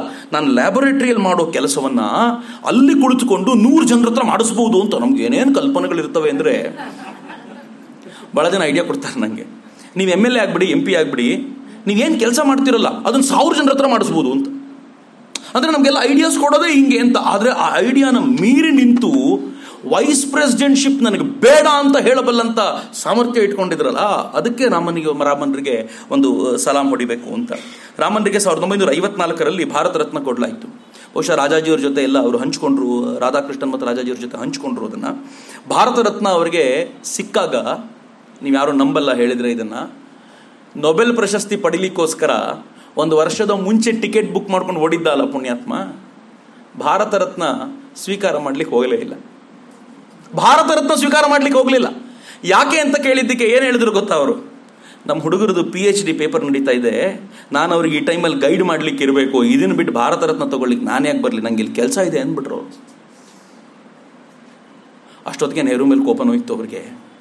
ದೇಶ ಹಾಳು ಮಾಡಿಬಿಟ್ಟ ಅಂತ that was nineteen fifty four nineteen fifty four ಅಂತಂದರೆ ಹೆಚ್ಚು ಕಡಿಮೆ ಏಳು ವರ್ಷ ಆಗೋಗಿತ್ತು. ಸೈನ್ಸ್ ಪಾಲಿಸಿಗಳನ್ನು ಬಹುಶಃ ಶಾಂತಿ ಸ್ವರೂಪ್ ಭಟ್ನಾಗರ್ ಎಲ್ಲ ನೆಹರೂರ್ ಜೊತೆ ಇದ್ರು ಅಂತ ಅನ್ಸುತ್ತೆ. ಸೈನ್ಸ್ ಪಾಲಿಸಿನೆಲ್ಲ ತುಂಬ ಕೆಡಿಸ್ಬಿಟ್ಟಿದ್ರು. ಸೈನ್ಸ್ ಪಾಲಿಸಿ ಹೆಂಗಿತ್ತು ಅಂತಂದರೆ ಭಾರತದ ಬೇರೆ ಬೇರೆ ಭಾಗಗಳಲ್ಲಿ ಪ್ರಮುಖ ನಗರಗಳಲ್ಲೆಲ್ಲ ಸೈನ್ಸ್ ಲ್ಯಾಬೊರೇಟರೀಸ್ ಎಸ್ಟಾಬ್ಲಿಷ್ ಮಾಡಲಾಗಿತ್ತು. ಅದಕ್ಕೆಲ್ಲ ವಿದೇಶದಿಂದ ಇಕ್ವಿಪ್ಮೆಂಟ್ಸನ್ನು ತಂದ್ಕೊಂಡು ಅದನ್ನೆಲ್ಲ ಸೆಟಪ್ ಮಾಡಲಾಗಿತ್ತು. ಹೈ ಕ್ಲಾಸ್ ಸೆಟಪ್ ಆಗಿತ್ತು. ಈ ಹೈ ಕ್ಲಾಸ್ ಸೆಟಪ್ ಆಗಿದ್ರಿಂದ ಪ್ರಾಬ್ಲಮ್ ಏನಿತ್ತು ಗೊತ್ತಾ? ಇವರ ತರದ ಇನ್ಸ್ಟಿಟ್ಯೂಷನ್ಗಳಿಗೆ ಹುಡುಗರು ಬರ್ತಿದ್ರು. ಸ್ವಲ್ಪ ಇಲ್ಲೆಲ್ಲ ಹೇಗೆ ಅಂತಂದ್ರೆ ಎಲ್ಲ ಇಕ್ವಿಪ್ಮೆಂಟ್ಸೇ ಅಲ್ಲಿ ಕೆಲಸ ಮಾಡುವಷ್ಟೇ ಮಾಡುತ್ತೆ. ಆದ್ರೆ ಅಲ್ಲಿನ ತರದ ಸೊಫಿಸ್ಟಿಕೇಟೆಡ್ ಇಲ್ಲ ಯಾಕೆ ಅಂತಂದ್ರೆ ಇದು ಐದ್ನೂರು ರೂಪಾಯಿಲಾಗಿರುವಂಥದ್ದು ಅದು ಐವತ್ತು ಸಾವಿರ ರೂಪಾಯಿ ಕೊಟ್ಟು ತಂದಿರುವಂಥದ್ದು ರಾಮನ್ ಹೇಳೋರು, ನಾನು ಇಡೀ ನೋಬೆಲ್ನ ಇನ್ನೂರು ರೂಪಾಯಿ ಇಕ್ವಿಪ್ಮೆಂಟ್ ಅಲ್ಲಿ ಪಡ್ಕೊಂಡಿದ್ದೀನಿ ಕಣ ಅಂತ. ನಾನು ಇಡೀ ನೊಬೆಲ್ಗೆ ಖರ್ಚು ಮಾಡಿದ ಇನ್ನೂರು ರೂಪಾಯಿ ಇಕ್ವಿಪ್ಮೆಂಟ್ ಮಾತ್ರ, ಇನ್ನೂರು ರೂಪಾಯಿ ಇಕ್ವಿಪ್ಮೆಂಟ್ ಅಲ್ಲಿ ನೊಬೆಲ್ ಬಂತು, ಆದರೆ ಈ ದೇಶ ಇವತ್ತು ಸಾಮಾನ್ಯವಾದ ಇಕ್ವಿಪ್ಮೆಂಟ್ಗೆ ಸಾವಿರಾರು ರೂಪಾಯಿ ಖರ್ಚು ಮಾಡಲಿಕ್ಕೆ ಅಂತ ನಿಂತಿದೆ ಅಂತ ರಾಮನ್ ಹೇಳ್ತಿದ್ರಲ್ಲ, ಈ ನೋ ಅವ್ರನ್ನ ಯಾವಾಗಲೂ ಕಾಡ್ತಾ ಇತ್ತು. ಎರಡನೇದು, ನೆಹರು ಸುತ್ತ ಇರುವಂಥ ಅಡ್ವೈಸರ್ ನೆಹರು ಸರಿ ಇಟ್ಕೊಳ್ಳಿಲ್ಲ ಅಂತ ಅವ್ರಿಗೆ ಯಾವತ್ತೂ ಬಹಳ ಬೇಜಾರಿತ್ತು. ಈ ಕಾರಣಕ್ಕೆ ಅವರು ಡೆಲ್ಲಿಗೆ ಹೋಗಿದ್ದಾಗ ನೆಹರು ಗೊತ್ತಾಯ್ತು ಬಂದಿದ್ದಾರೆ ಸಿ ವಿ ರಾಮನ್ ಡೆಲ್ಲಿಗೆ ಅಂತ, ರಾತ್ರಿ ಊಟಕ್ಕೆ ಬರ್ತೀರಾ ಅಂತ ಕೇಳಿದ್ರು.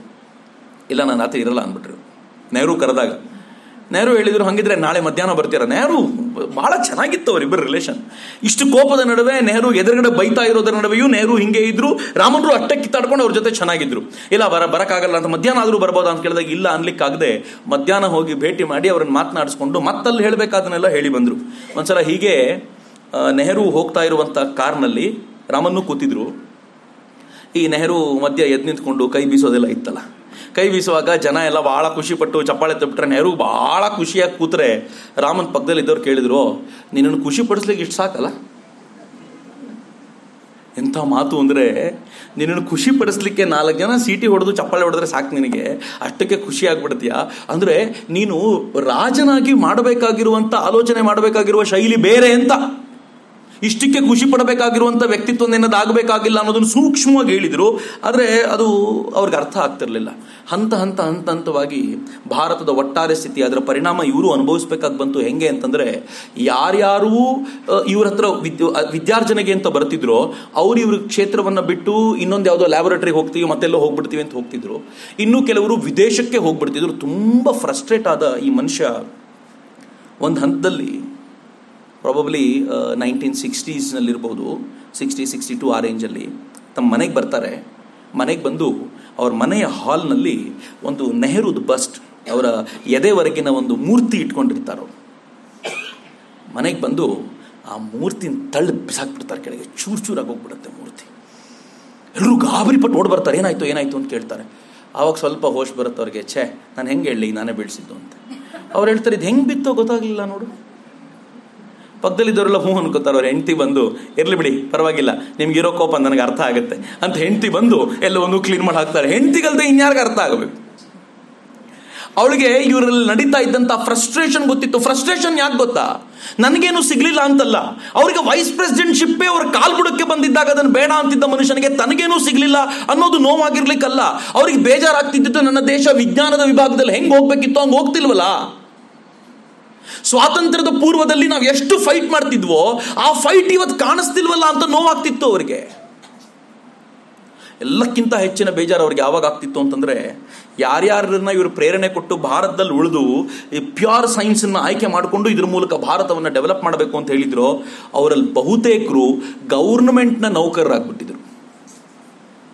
ಗೌರ್ಮೆಂಟ್ನ ಯಾವುದೋ ಯೋಜನೆಗಳಲ್ಲಿ ತಮ್ಮನ್ನು ತಾವು ತೊಡಗಿಸ್ಕೊಂಡ್ಬಿಟ್ಟಿದ್ರು. ಯಾವಾಗಲೂ ಅವ್ರದ್ದೊಂದು ಗಲಾಟೆ ಏನಿರ್ತಿತ್ತು ಅಂತಂದ್ರೆ, ಯಾವಾಗ ಗೌರ್ಮೆಂಟ್ನ ಯೋಜನೆಗಳಲ್ಲಿ ನಾವು ತೊಡ, ತೊಡಗಿಸ್ಕೊಳ್ತೀವೋ, ಆಗ ನಾವು ಫ್ರೀಡಮ್ ನಮಗೆ ಕೆಲಸ ಮಾಡಲಿಕ್ಕೆ ಫ್ರೀಡಮ್ ಇರಲ್ಲ ಅನ್ನೋಂಥ ಕಲ್ಪನೆ ಇತ್ತು. ಇವರೇ ಕಲ್ಪನೆ ಕೊಟ್ಟು, ಕನಸು ಕೊಟ್ಟಂತ ಈ ಈ ವಿಕ್ರಮ್ ಸಾರಾಭಾಯ್ ಇರ್ಬೋದು, ಹೋಮಿ ಭಾಬಾ ಇರ್ಬೋದು, ಅವರೆಲ್ಲರೂ ಒಬ್ಬರು ಅಟಮಿಕ್ ಇದಕ್ಕೂ ರಿಸರ್ಚಿಗೆ ಹೋದರು ಇನ್ನೊಬ್ಬರು ಏನು, ಈ ಸ್ಪೇಸ್ ರಿಸರ್ಚಿಗೆ ಅಂತ ಬಂದ್ರು. ಇವರೆಲ್ಲರೂ ಕೂಡ ಗೌರ್ಮೆಂಟ್ನ ಕೈಗೊಂಬೆಗಳಾಗ್ಬಿಟ್ರು ಅನ್ನುವಂಥ ನೋವು ರಾಮನ್ರಿಗೆ ಅಗಾಧವಾಗಿ ಕಾಡ್ತಾ ಇತ್ತು.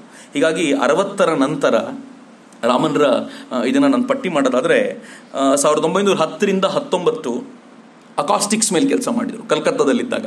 ಅಕಾಸ್ಟಿಕ್ಸ್ ಅಂತಂದರೆ ಈ ಈ ವೈಲಿನ್ ಹೆಂಗೆ ಕೆಲಸ ಮಾಡುತ್ತೆ, ಮೃದಂಗ ಹೆಂಗೆ ಕೆಲಸ ಮಾಡುತ್ತೆ, ಪಿಯಾನೋ ಹೆಂಗೆ ಕೆಲಸ ಮಾಡುತ್ತೆ, ಇದ್ರ ಮೇಲೆ ಕೆಲಸ ಮಾಡಿ ನನಗನ್ಸುತ್ತೆ ಒಂದು ಹದಿನಾರು, ಹದಿನೆಂಟು ಪೇಪರ್ಗಳನ್ನು ಅದ್ರ ಮೇಲೆ ಪ್ರೆಸೆಂಟ್ ಮಾಡಿದ್ರು. ಇಪ್ಪತ್ತರಿಂದ ಇಪ್ಪತ್ತೊಂಬತ್ತು ಆ ದಶಕ ಅವರು ಆಪ್ಟಿಕ್ಸ್ ಲೈಟ್ ಸ್ಕ್ಯಾಟರಿಂಗ್ ಹೆಂಗಾಗುತ್ತೆ? ಅದ್ರ ಮೇಲೆ ವರ್ಕ್ ಮಾಡಿದ್ರು.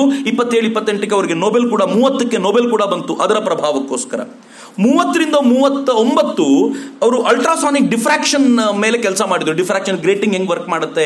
ಯಾವ ಲೈಟ್ ಬಿದ್ದಾಗ ಹೆಂಗೆ ಡಿಫ್ರಾಕ್ಷನ್ ಡಿಫ್ರಾಕ್ಷನ್ ಆಗುತ್ತೆ? ಅದ್ರ ಮೇಲೆ ವರ್ಕ್ ಮಾಡಿದ್ರು. ನಲವತ್ತರಿಂದ ನಲವತ್ತೊಂಬತ್ತು ಡೈಮಂಡು ಮತ್ತು ವೈಬ್ರೇಷನ್ ಇನ್ ಲ್ಯಾಟಿಸಸ್ ಮೇಲೆ ಅವರು ವರ್ಕ್ ಮಾಡಿದ್ರು. ಇದು ನಲವತ್ತರಿಂದ ನಲವತ್ತೊಂಬತ್ತು ನಡೆದಿರುವಂಥದ್ದು. ಐವತ್ತರಿಂದ ಐವತ್ತೊಂಬತ್ತು ಆಪ್ಟಿಕ್ಸ್ ಮೇಲೆ ಮತ್ತೆ ವರ್ಕ್ ಮಾಡ್ಲಿಕ್ಕೆ ಶುರು ಮಾಡಿದ್ರು.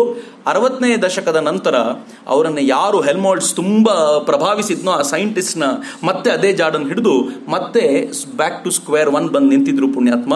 ಅವ್ರು ಮತ್ತೀಗ ಫಿಸಿಯಾಲಜಿ ಆಫ್ ವಿಷನ್ ಮೇಲೆ ವರ್ಕ್ ಮಾಡ್ತಾ ಕಣ್ಣು ಹೇಗೆ ಕೆಲಸ ಮಾಡುತ್ತೆ ಇದು ಇದು ಹೇಗೆ ನೋಡುತ್ತೆ ಅನ್ನೋದರ ದೃಷ್ಟಿ ಮೇಲೆ ತಮ್ಮ ಪೂರ್ತಿ ಸಂಶೋಧನೆನ ಮೀಸಲಾಗಿಟ್ಟರು ಆಗ ತುಂಬ ಜನ ಸ್ಟೂಡೆಂಟ್ಸ್ ಅವ್ರ ಜೊತೆ ಇರ್ತಿರಲಿಲ್ಲ. ಒಟ್ಟಲ್ಲಿ ಅವರ ಸೈಂಟಿಫಿಕ್ ಪಾಲಿಸಿಯ ಕಲ್ಪನೆಗಳು ಮಿತ್ರರೆ ಇವತ್ತಿಗೂ ಕೂಡ ಇದನ್ನು ಹೇಳಬೇಕಾದ್ರೆ ಬೇಜಾರು ಅನ್ಸುತ್ತೆ ನನಗೆ. ಸೈಂಟಿಫಿಕ್ ಜರ್ನಲ್ಸ್ ಇರಬೇಕು ನಮ್ಮದು ಹೆಂಗಿರಬೇಕು ಅಂದರೆ ಇಂಟರ್ನ್ಯಾಷನಲ್ ಸ್ಟ್ಯಾಂಡರ್ಡ್ಸ್ ಇರಬೇಕು. ನಮ್ಮ ಸೈಂಟಿಫಿಕ್ ಜರ್ನಲ್ಗಳಲ್ಲಿ ತಮ್ಮ ಪೇಪರ್ ಪಬ್ಲಿಷ್ ಆಗೋದು ಹೆಮ್ಮೆ ಅಂತ ಜಗತ್ತಿನ ರಾಷ್ಟ್ರಗಳು ಭಾವಿಸುವಂಥ ಜರ್ನಲ್ ತಯಾರು ಮಾಡಬೇಕು ಅಂತಿದ್ರು. ಐ ಡೌಟ್ ಎಪ್ಪತ್ತೆರಡು ವರ್ಷಗಳ ನಂತರ ಇವತ್ತಾದರೂ ಅಂಥದ್ದೊಂದು ಜರ್ನಲ್ ಇದೆ ಅಂತ ನನಗೆ ಈಗಲೂ ನಂಬಿಕೆ ಇಲ್ಲ.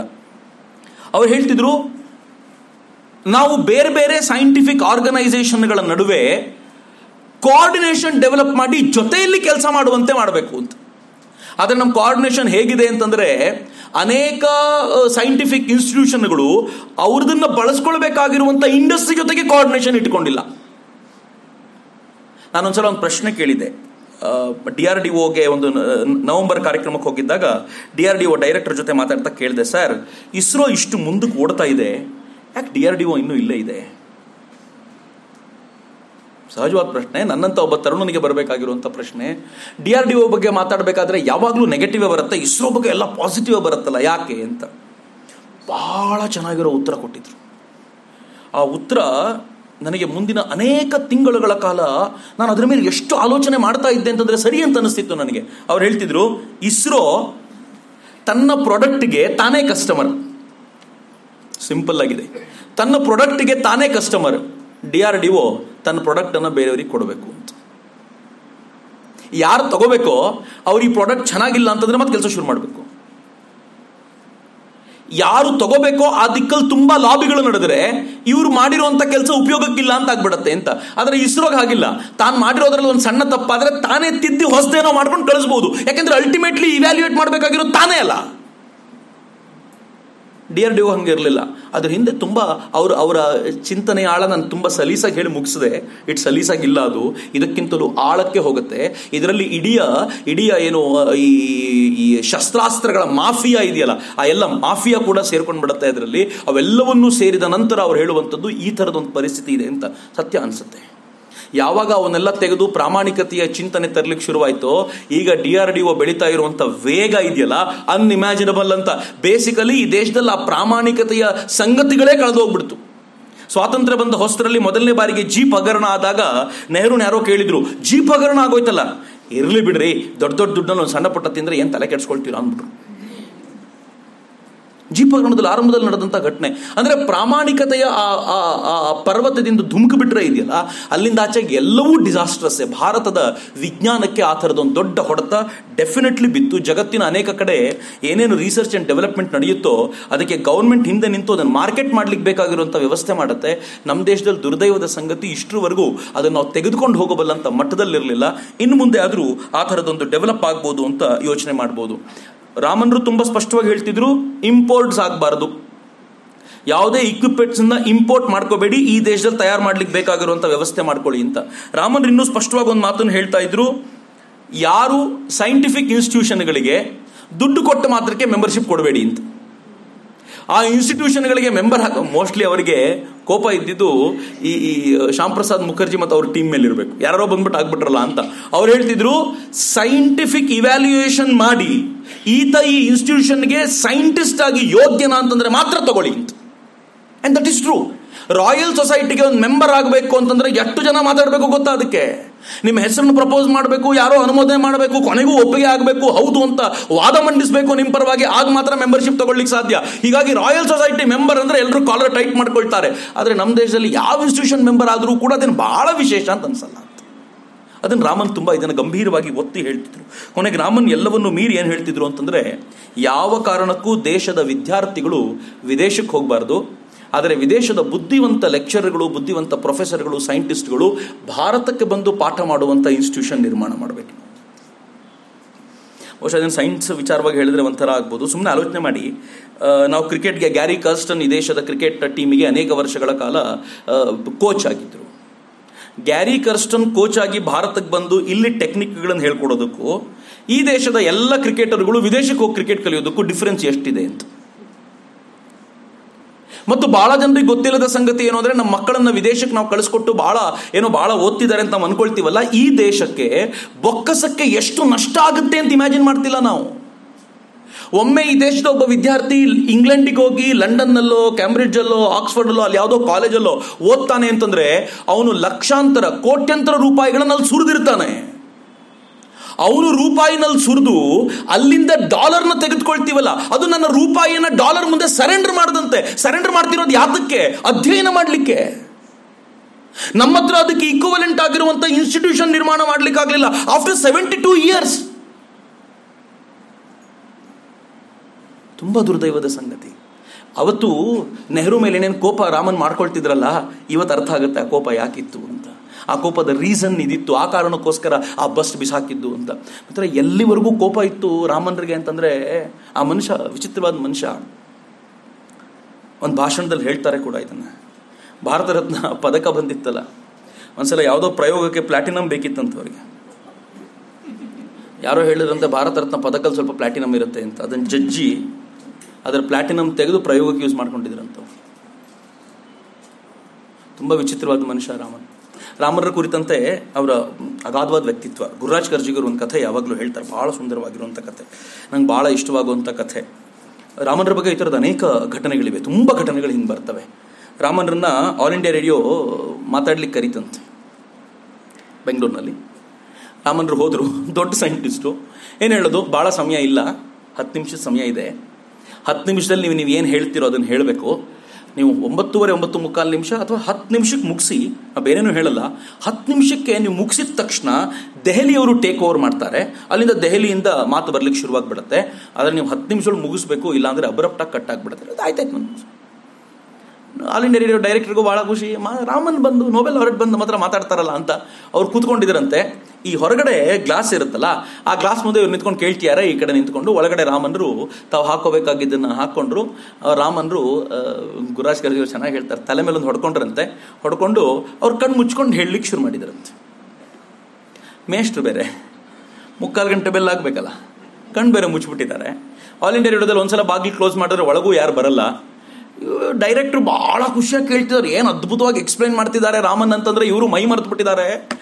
ಎಂಟು ನಿಮಿಷ ಆಯಿತು, ಒಂಬತ್ತು ನಿಮಿಷ ಆಗಿದ ತಕ್ಷಣ ಟೆನ್ಷನ್ ಶುರು ಆಗ್ಬಿಡ್ತು ಇವರಿಗೆ. ಒಂಬತ್ತು ನಿಮಿಷ ಆಗೋಯ್ತಲ್ಲಪ್ಪ? ಈಗ ಹೆಣ್ಣು ಮಾಡಬೇಕಲ್ಲ? ಒಂಬತ್ತೂವರೆ ನಿಮಿಷ, ಒಂಬತ್ತು ಮುಕ್ಕಾಲು ನಿಮಿಷಕ್ಕೆ ಹೆಣ್ಣು ಮಾಡಲಿಲ್ಲ ಅಂತಂದ್ರೆ ಹತ್ತನೇ ನಿಮಿಷಕ್ಕೆ ಅವ್ರು ತೊಗೊಂಡ್ಬಿಡ್ತಾರೆ. ಡೆಲ್ಲಿಯಿಂದ ಯಾವುದೋ ಬಂದ್ಬಿಡುತ್ತೆ. ಏನೋ ಹಾಡೋ, ಏನೋ ಮಾತು ಬಂದ್ಬಿಡುತ್ತೆ. ರಾಮನ್ರ ಮಾತನ್ನು ಅಬ್ರಪ್ಟಾಗಿ ಕಟ್ ಮಾಡಿದ್ದೀವಿ ಅನ್ನುವಂಥ ಒಂದು ಕೆಟ್ಟ ಅಪವಾದ ನಮ್ಗೆ ಬರುತ್ತೆ. ಏನು ಮಾಡಬೇಕು ಅಂತ ಟೆನ್ಷನ್ನು ಒಂಬತ್ತು ನಿಮಿಷ ಆಗ್ತಿದ್ದಂತೆ ಏನು ಚಡಪಡಿಸಿದ್ದಾರೆ, ಕೈ ಮಾಡ್ತಿದ್ದಾರೆ. ರಾಮನ್ರ ಕಣ್ಮಿಸ್ಕೊಂಡು ಕುತ್ಕೊಂಡಿದ್ದಾರೆ. ಒಂಬತ್ತು ನಿಮಿಷ ಐವತ್ತೈದು ಸೆಕೆಂಡಿಗೆ ಅಥವಾ ಹತ್ತನೇ ನಿಮಿಷದ ಆ ಕೊನೆಯ ಸೆಕೆಂಡ್ಗೆ ರಾಮನರು ಸರಿಯಾಗಿ ತಮ್ಮ ಮಾತನ್ನು ಮುಗಿಸಿ ಎಲ್ಲರಿಗೂ ಧನ್ಯವಾದ ಹೇಳಿ ಮುಗಿಸಿದ್ರಂತೆ. ಆ ಕಡೆ ದೆಹಲಿಯ ಮಾತು ಶುರುವಾಯ್ತಂತೆ ಇವರು ಭಾಳ ಖುಷಿಯಾಗಿ ಕುಣಿದಾಡ್ಬಿಟ್ರು. ಹೆಂಗೆ ಸರ್ ಸಾಧ್ಯವಾಯ್ತಿದ್ದು ಅಂತ. ಹಂಗೆ ಹೇಳಿದಾಗ ಅವ್ರು ಹೇಳಿದ್ರಂತೆ. ನೀವು ಹೇಳಿದ್ರಲ್ಲ ಹತ್ತು ನಿಮಿಷ ಅಂತ. ನನ್ನ ತಲೆಗೊಂದು ಹೊಡೆದು ಹತ್ತು ನಿಮಿಷ ಅಂತ ಹೇಳಿದ್ದೆ. ಕರೆಕ್ಟಾಗಿ ಹತ್ತು ನಿಮಿಷಕ್ಕೆ ಮುಗಿಸ್ತು. ಅಪರೂಪದ ಸಾಮರ್ಥ್ಯ ಅದು ಅಂತ. ಆ ಜೀವ, ಆರ್ಡಿನರಿ ಜೀವ ಅಲ್ಲ ಅದು. ತುಂಬ ಅಪರೂಪದ ಸಾಮರ್ಥ್ಯ. ಆದರೆ ದುರ್ದೈವ ಏನು ಅಂದರೆ ಕೊನೆಯ ಘಟ್ಟದಲ್ಲಿ ಬೇಸರ ಮಾಡಿಕೊಂಡೇ ಹೋದರು ಅವರು ಅಂತ ಅವ್ರಿಗೊಂದು ಸಮಾಧಾನ ಇರಲಿಲ್ಲ. ಲೈಫ್ನಲ್ಲಿ ಇಷ್ಟೆಲ್ಲ ಮಾಡಿದ ನಂತರವೂ ಕೂಡ ನನ್ನ ದೇಶಕ್ಕೆ ಇನ್ನೂ ಮಾಡಬೇಕಾಗಿರುವಂಥ ಕೆಲಸ ನನ್ನಿಂದ ಕಂಪ್ಲೀಟ್ ಆಗಲಿಲ್ಲ ಅಂತ. ಅದಕ್ಕೆ ನನಗೆ ಅನಿಸೋದು, ಮೋಸ್ಟ್ಲಿ ವೈಸ್ ಪ್ರೆಸಿಡೆಂಟ್ ಆಗಿಬಿಟ್ಟೆ ಮಾಡಿಬಿಟ್ಟಿದ್ದೀರಿ ಅನ್ನೋದಷ್ಟು ಚೆನ್ನಾಗಿರ್ತೈತೆ ಅನ್ನೋ ಅವರು.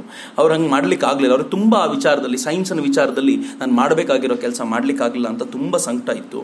ನನಗೆ ಅವ್ರು ಏನು ಮಾಡಿದ್ರು, ತಮ್ಮ ಜೀವಿತಾವಧಿಯ ಕೊನೆಯಲ್ಲಿ ಅವರು ನಡ್ಕೊಂಡು ಹೋಗ್ತಿರ್ಬೇಕಾದ್ರೆ ಒಂದ್ಸಲ ಹಾರ್ಟ್ ಅಟ್ಯಾಕ್ ಆಗಿ, ಹಾರ್ಟ್ ಅಟ್ಯಾಕ್ ಆಯಿತು ಅವರಿಗೆ, ಕುಸಿದು ಬಿದ್ದರು ಹಾಸ್ಪಿಟ್ಲಿಗೆ ಅಡ್ಮಿಟ್ ಮಾಡಿ ಅವರನ್ನು ಚೆಕ್ ಮಾಡಲಾಯಿತು. ಕೊನೆಗೆ ಮತ್ತೆ ವಾಪಸ್ ಇನ್ಸ್ಟಿಟ್ಯೂಟ್ಗೆ ಬಂದರು. ಬಂದ ದಿನ ಇನ್ನೊಂದು ತೀರ್ಕೊಳ್ಳಿಕ್ಕೆ ಇನ್ನೊಂದು ಮೂರ್ನಾಲ್ಕು ದಿನ ಇದೆ ಅಂತ ಗೊತ್ತಾದಾಗ ರಾಮನರು ತಮ್ಮ ಇಡೀ ಇದಕ್ಕೆ ವಿಲ್ ಪೇಪರ್ ಮಾಡಿಸಿ, ವಿಲ್ ಮಾಡಿಸಿ ತನ್ನೊಬ್ಬ ಶಿಷ್ಯನನ್ನು ಆ ರಾಮನ್ ಇನ್ಸ್ಟಿಟ್ಯೂಟ್ ನೋಡ್ಕೊಳ್ಳಿಕ್ಕೆ ನೀನೇ ಜವಾಬ್ದಾರಿ ಹೊರಬೇಕು ಅಂತ ಅವನಿಗೆ ಬರೆದುಕೊಟ್ಟು ಆತನು ಕೇಳ್ದ ನಿಮ್ಮ ಮಗ ಇದ್ದಾನಲ್ಲ, ಎರಡನೇ ಮಗ, ಮೊದಲನೇ ಮಗ ಅಲ್ಲ, ಎರಡನೇ ಮಗ.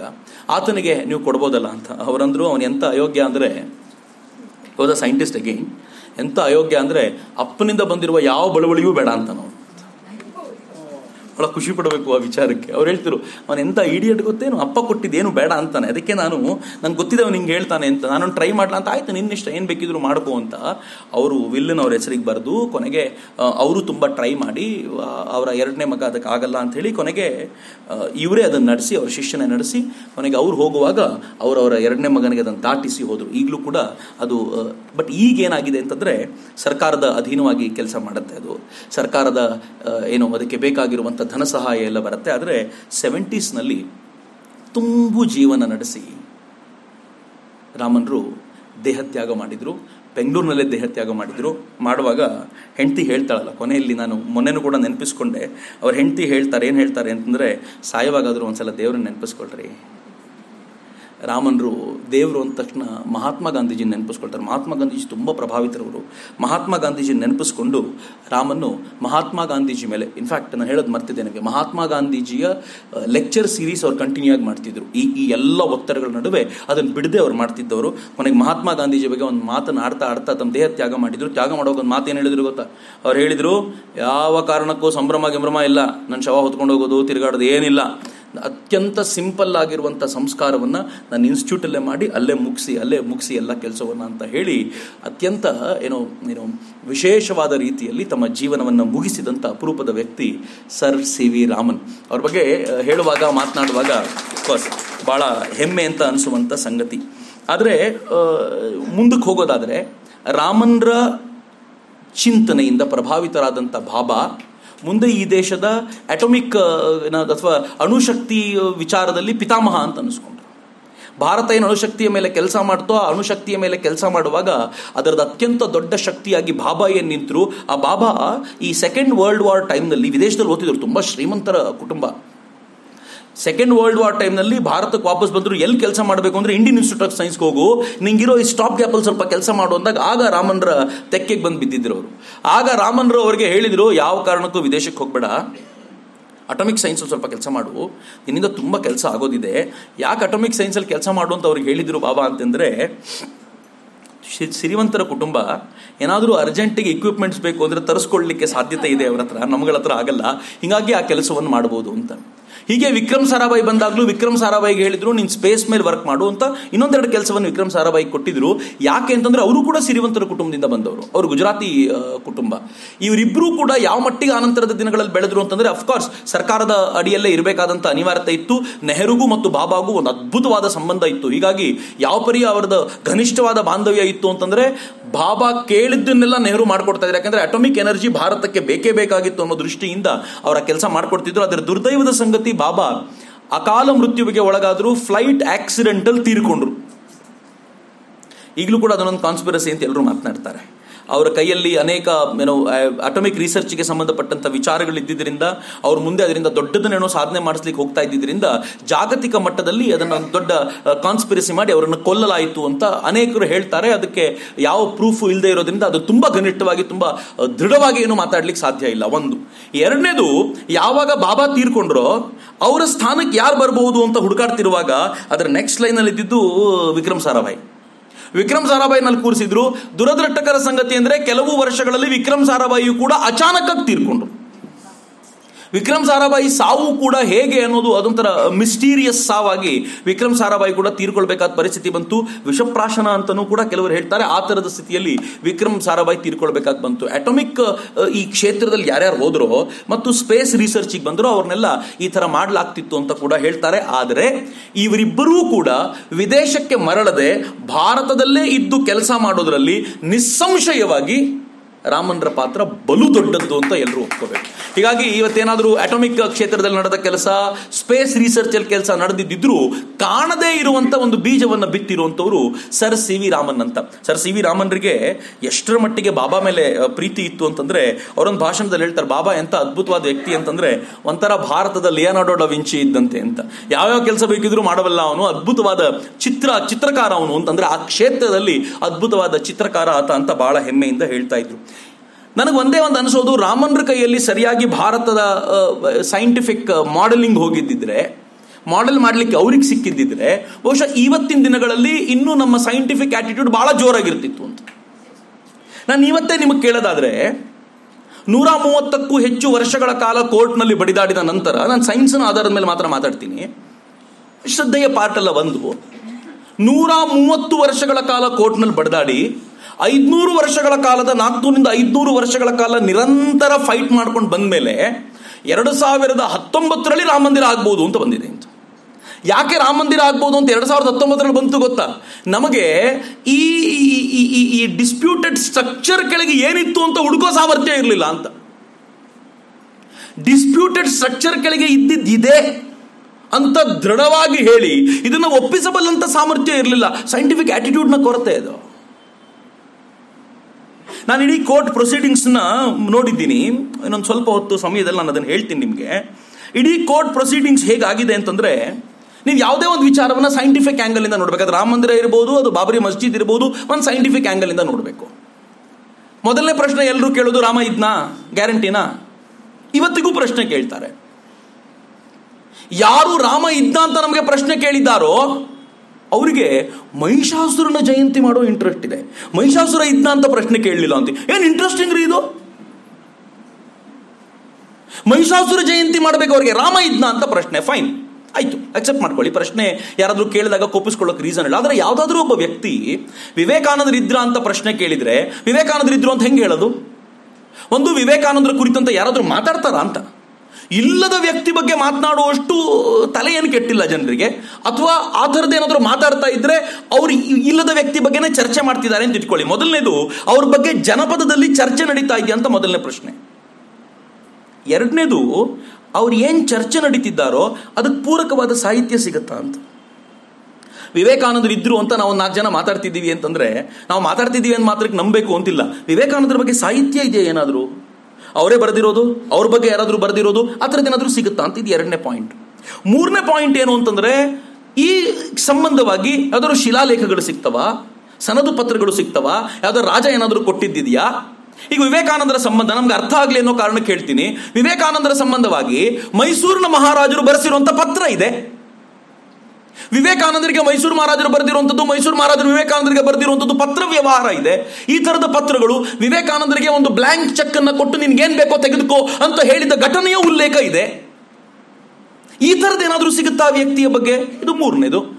ಇನ್ನು ನಾಲ್ಕನೇದು ಸೈಂಟಿಫಿಕ್ ಎವಿಡೆನ್ಸಸ್ ಹೆಂಗಿರುತ್ತೆ ಅಂತಂದ್ರೆ, ಒಂದು ಒಂದು ಭೂಮಿಯನ್ನು ಉತ್ಖನನ ಮಾಡಿದ್ರೆ ಏನಾದರೂ ಸಿಗುತ್ತಾ? ಅಲ್ಲಿ ಸಿಗುವಂತ ಒಂದು ವಸ್ತುವಿನಿಂದ ಹಿಡ್ಕೊಂಡು ಡಿ ಎನ್ ಎ ಟೆಸ್ಟ್ ಮಾಡ್ಲಿಕ್ಕೆ ನಮ್ಮ ಹತ್ರ ಆಗುತ್ತಾ? ಕೊನೆಗೆ ನಾವು ಸ್ಯಾಟಲೈಟ್ ಈಗೊಂದು ಸ್ಯಾಟಲೈಟ್ಸ್ ಬಂದಿರೋದ್ರಿಂದ ಆ ಹೀಟ್ ಮ್ಯಾಪ್ಗಳನ್ನು ತೆಗೆದು ಏನಿತ್ತು ಅಂತ ಹುಡುಕ್ಲಿಕ್ಕೂ ಸಾಧ್ಯ ಆಗುತ್ತೆ. ಈ ಥರದ ಅತ್ಯಾಧುನಿಕವಾದನ್ನ ಏನಾದರೂ ಮಾಡ್ಲಿಕ್ಕೆ ಸಾಧ್ಯ ಆಗತ್ತಾ? ವಿವೇಕಾನಂದರನ್ನ ಹುಡುಕ್ಲಿಕ್ಕೆ ನಮ್ಗೆ ಇಷ್ಟು ಕಷ್ಟ ಆಗಲ್ಲ. ಉತ್ಖನನ ಎಲ್ಲ ಮಾಡಬೇಕಾಗಿಲ್ಲ. ಯಾಕಂದ್ರೆ ಭಾಳ ದೂರ ಆಗಲಿಲ್ಲ ಅವರು. ದೇಹ ತ್ಯಾಗ ಮಾಡಿ ಭಾಳ ಹತ್ತಿರ ಇದ್ದ ಹಿಂಗಾಗಿ ಭಾಳ ಕಷ್ಟ ಅಲ್ಲ. ಆದರೆ ರಾಮ ಎಷ್ಟು ವರ್ಷಗಳ ಹಿಂದೆ ಇದ್ದ ಎನ್ನುವುದೇ ದೊಡ್ಡ ಪ್ರಶ್ನೆ ಇರುವಾಗ ಈ ಈ ಎಲ್ಲ ಪ್ರಯೋಗಗಳನ್ನು ಮಾಡಬೇಕು. ಮೊದಲನೇ ಸಂಗತಿ ನಾನು ಹೇಳ್ತೀನಿ. ಜನಪದದಲ್ಲಿ ರಾಮ ಇದ್ದ.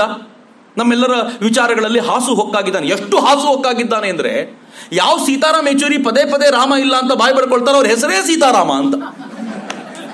ವೆರಿ ಇಂಟ್ರೆಸ್ಟಿಂಗ್ ಹೆಸರುಗಳನ್ನು ಇಲ್ಲದ ವ್ಯಕ್ತಿ ಹಿಡ್ಕೊಂಡು ಹೆಸರು ಇಡ್ತಿದ್ರ ಯಾರಾದರೂ? ಬಹಳ ವಿಚಿತ್ರ. ಸೈಂಟಿಫಿಕ್ ಆಂಗಲ್ ಅಲ್ಲ ಯೋಚನೆ ಮಾಡಿ. ನೀವು ತುಂಬಾ ಭಾವನಾತ್ಮಕವಾಗಿ ಕೊಚ್ಚಿ ಹೋಗಬೇಕಾದಂತ ಅಗತ್ಯ ಇಲ್ಲ.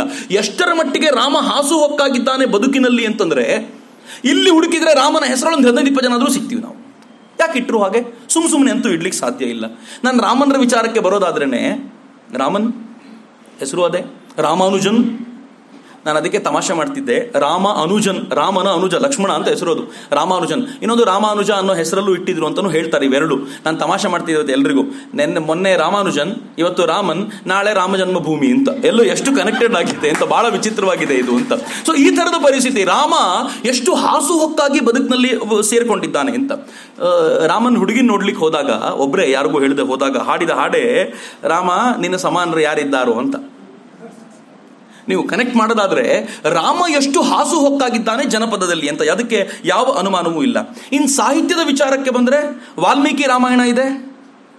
ರಾಮಾಯಣದ ಭಿನ್ನ ಭಿನ್ನ ಸ್ವರೂಪಗಳಿವೆ. ನೀವು ಕಂಬ ರಾಮಾಯಣ ತಗೊಳ್ಳಿ, ತುಳಸಿ ರಾಮಾಯಣ ತೆಗೆದುಕೊಳ್ಳಿ. ರಾಮನ ಕುರಿತಂತೆ ಎಷ್ಟು ಸಾಹಿತ್ಯ ಇದೆ ಅಂತಂದ್ರೆ ಕೊನೆಗೆ ಶ್ರೀರಾಮಾಯಣ ದರ್ಶನಂ ಕರ್ನಾಟಕದ ಕುವೆಂಪು ಅವರು ಬರೆದು ಜ್ಞಾನಪೀಠವನ್ನೂ ತೆಗೆದುಕೊಂಡಿದ್ದು ಅದೇ ರಾಮಾಯಣ ದರ್ಶನಂ ಮೇಲೆ.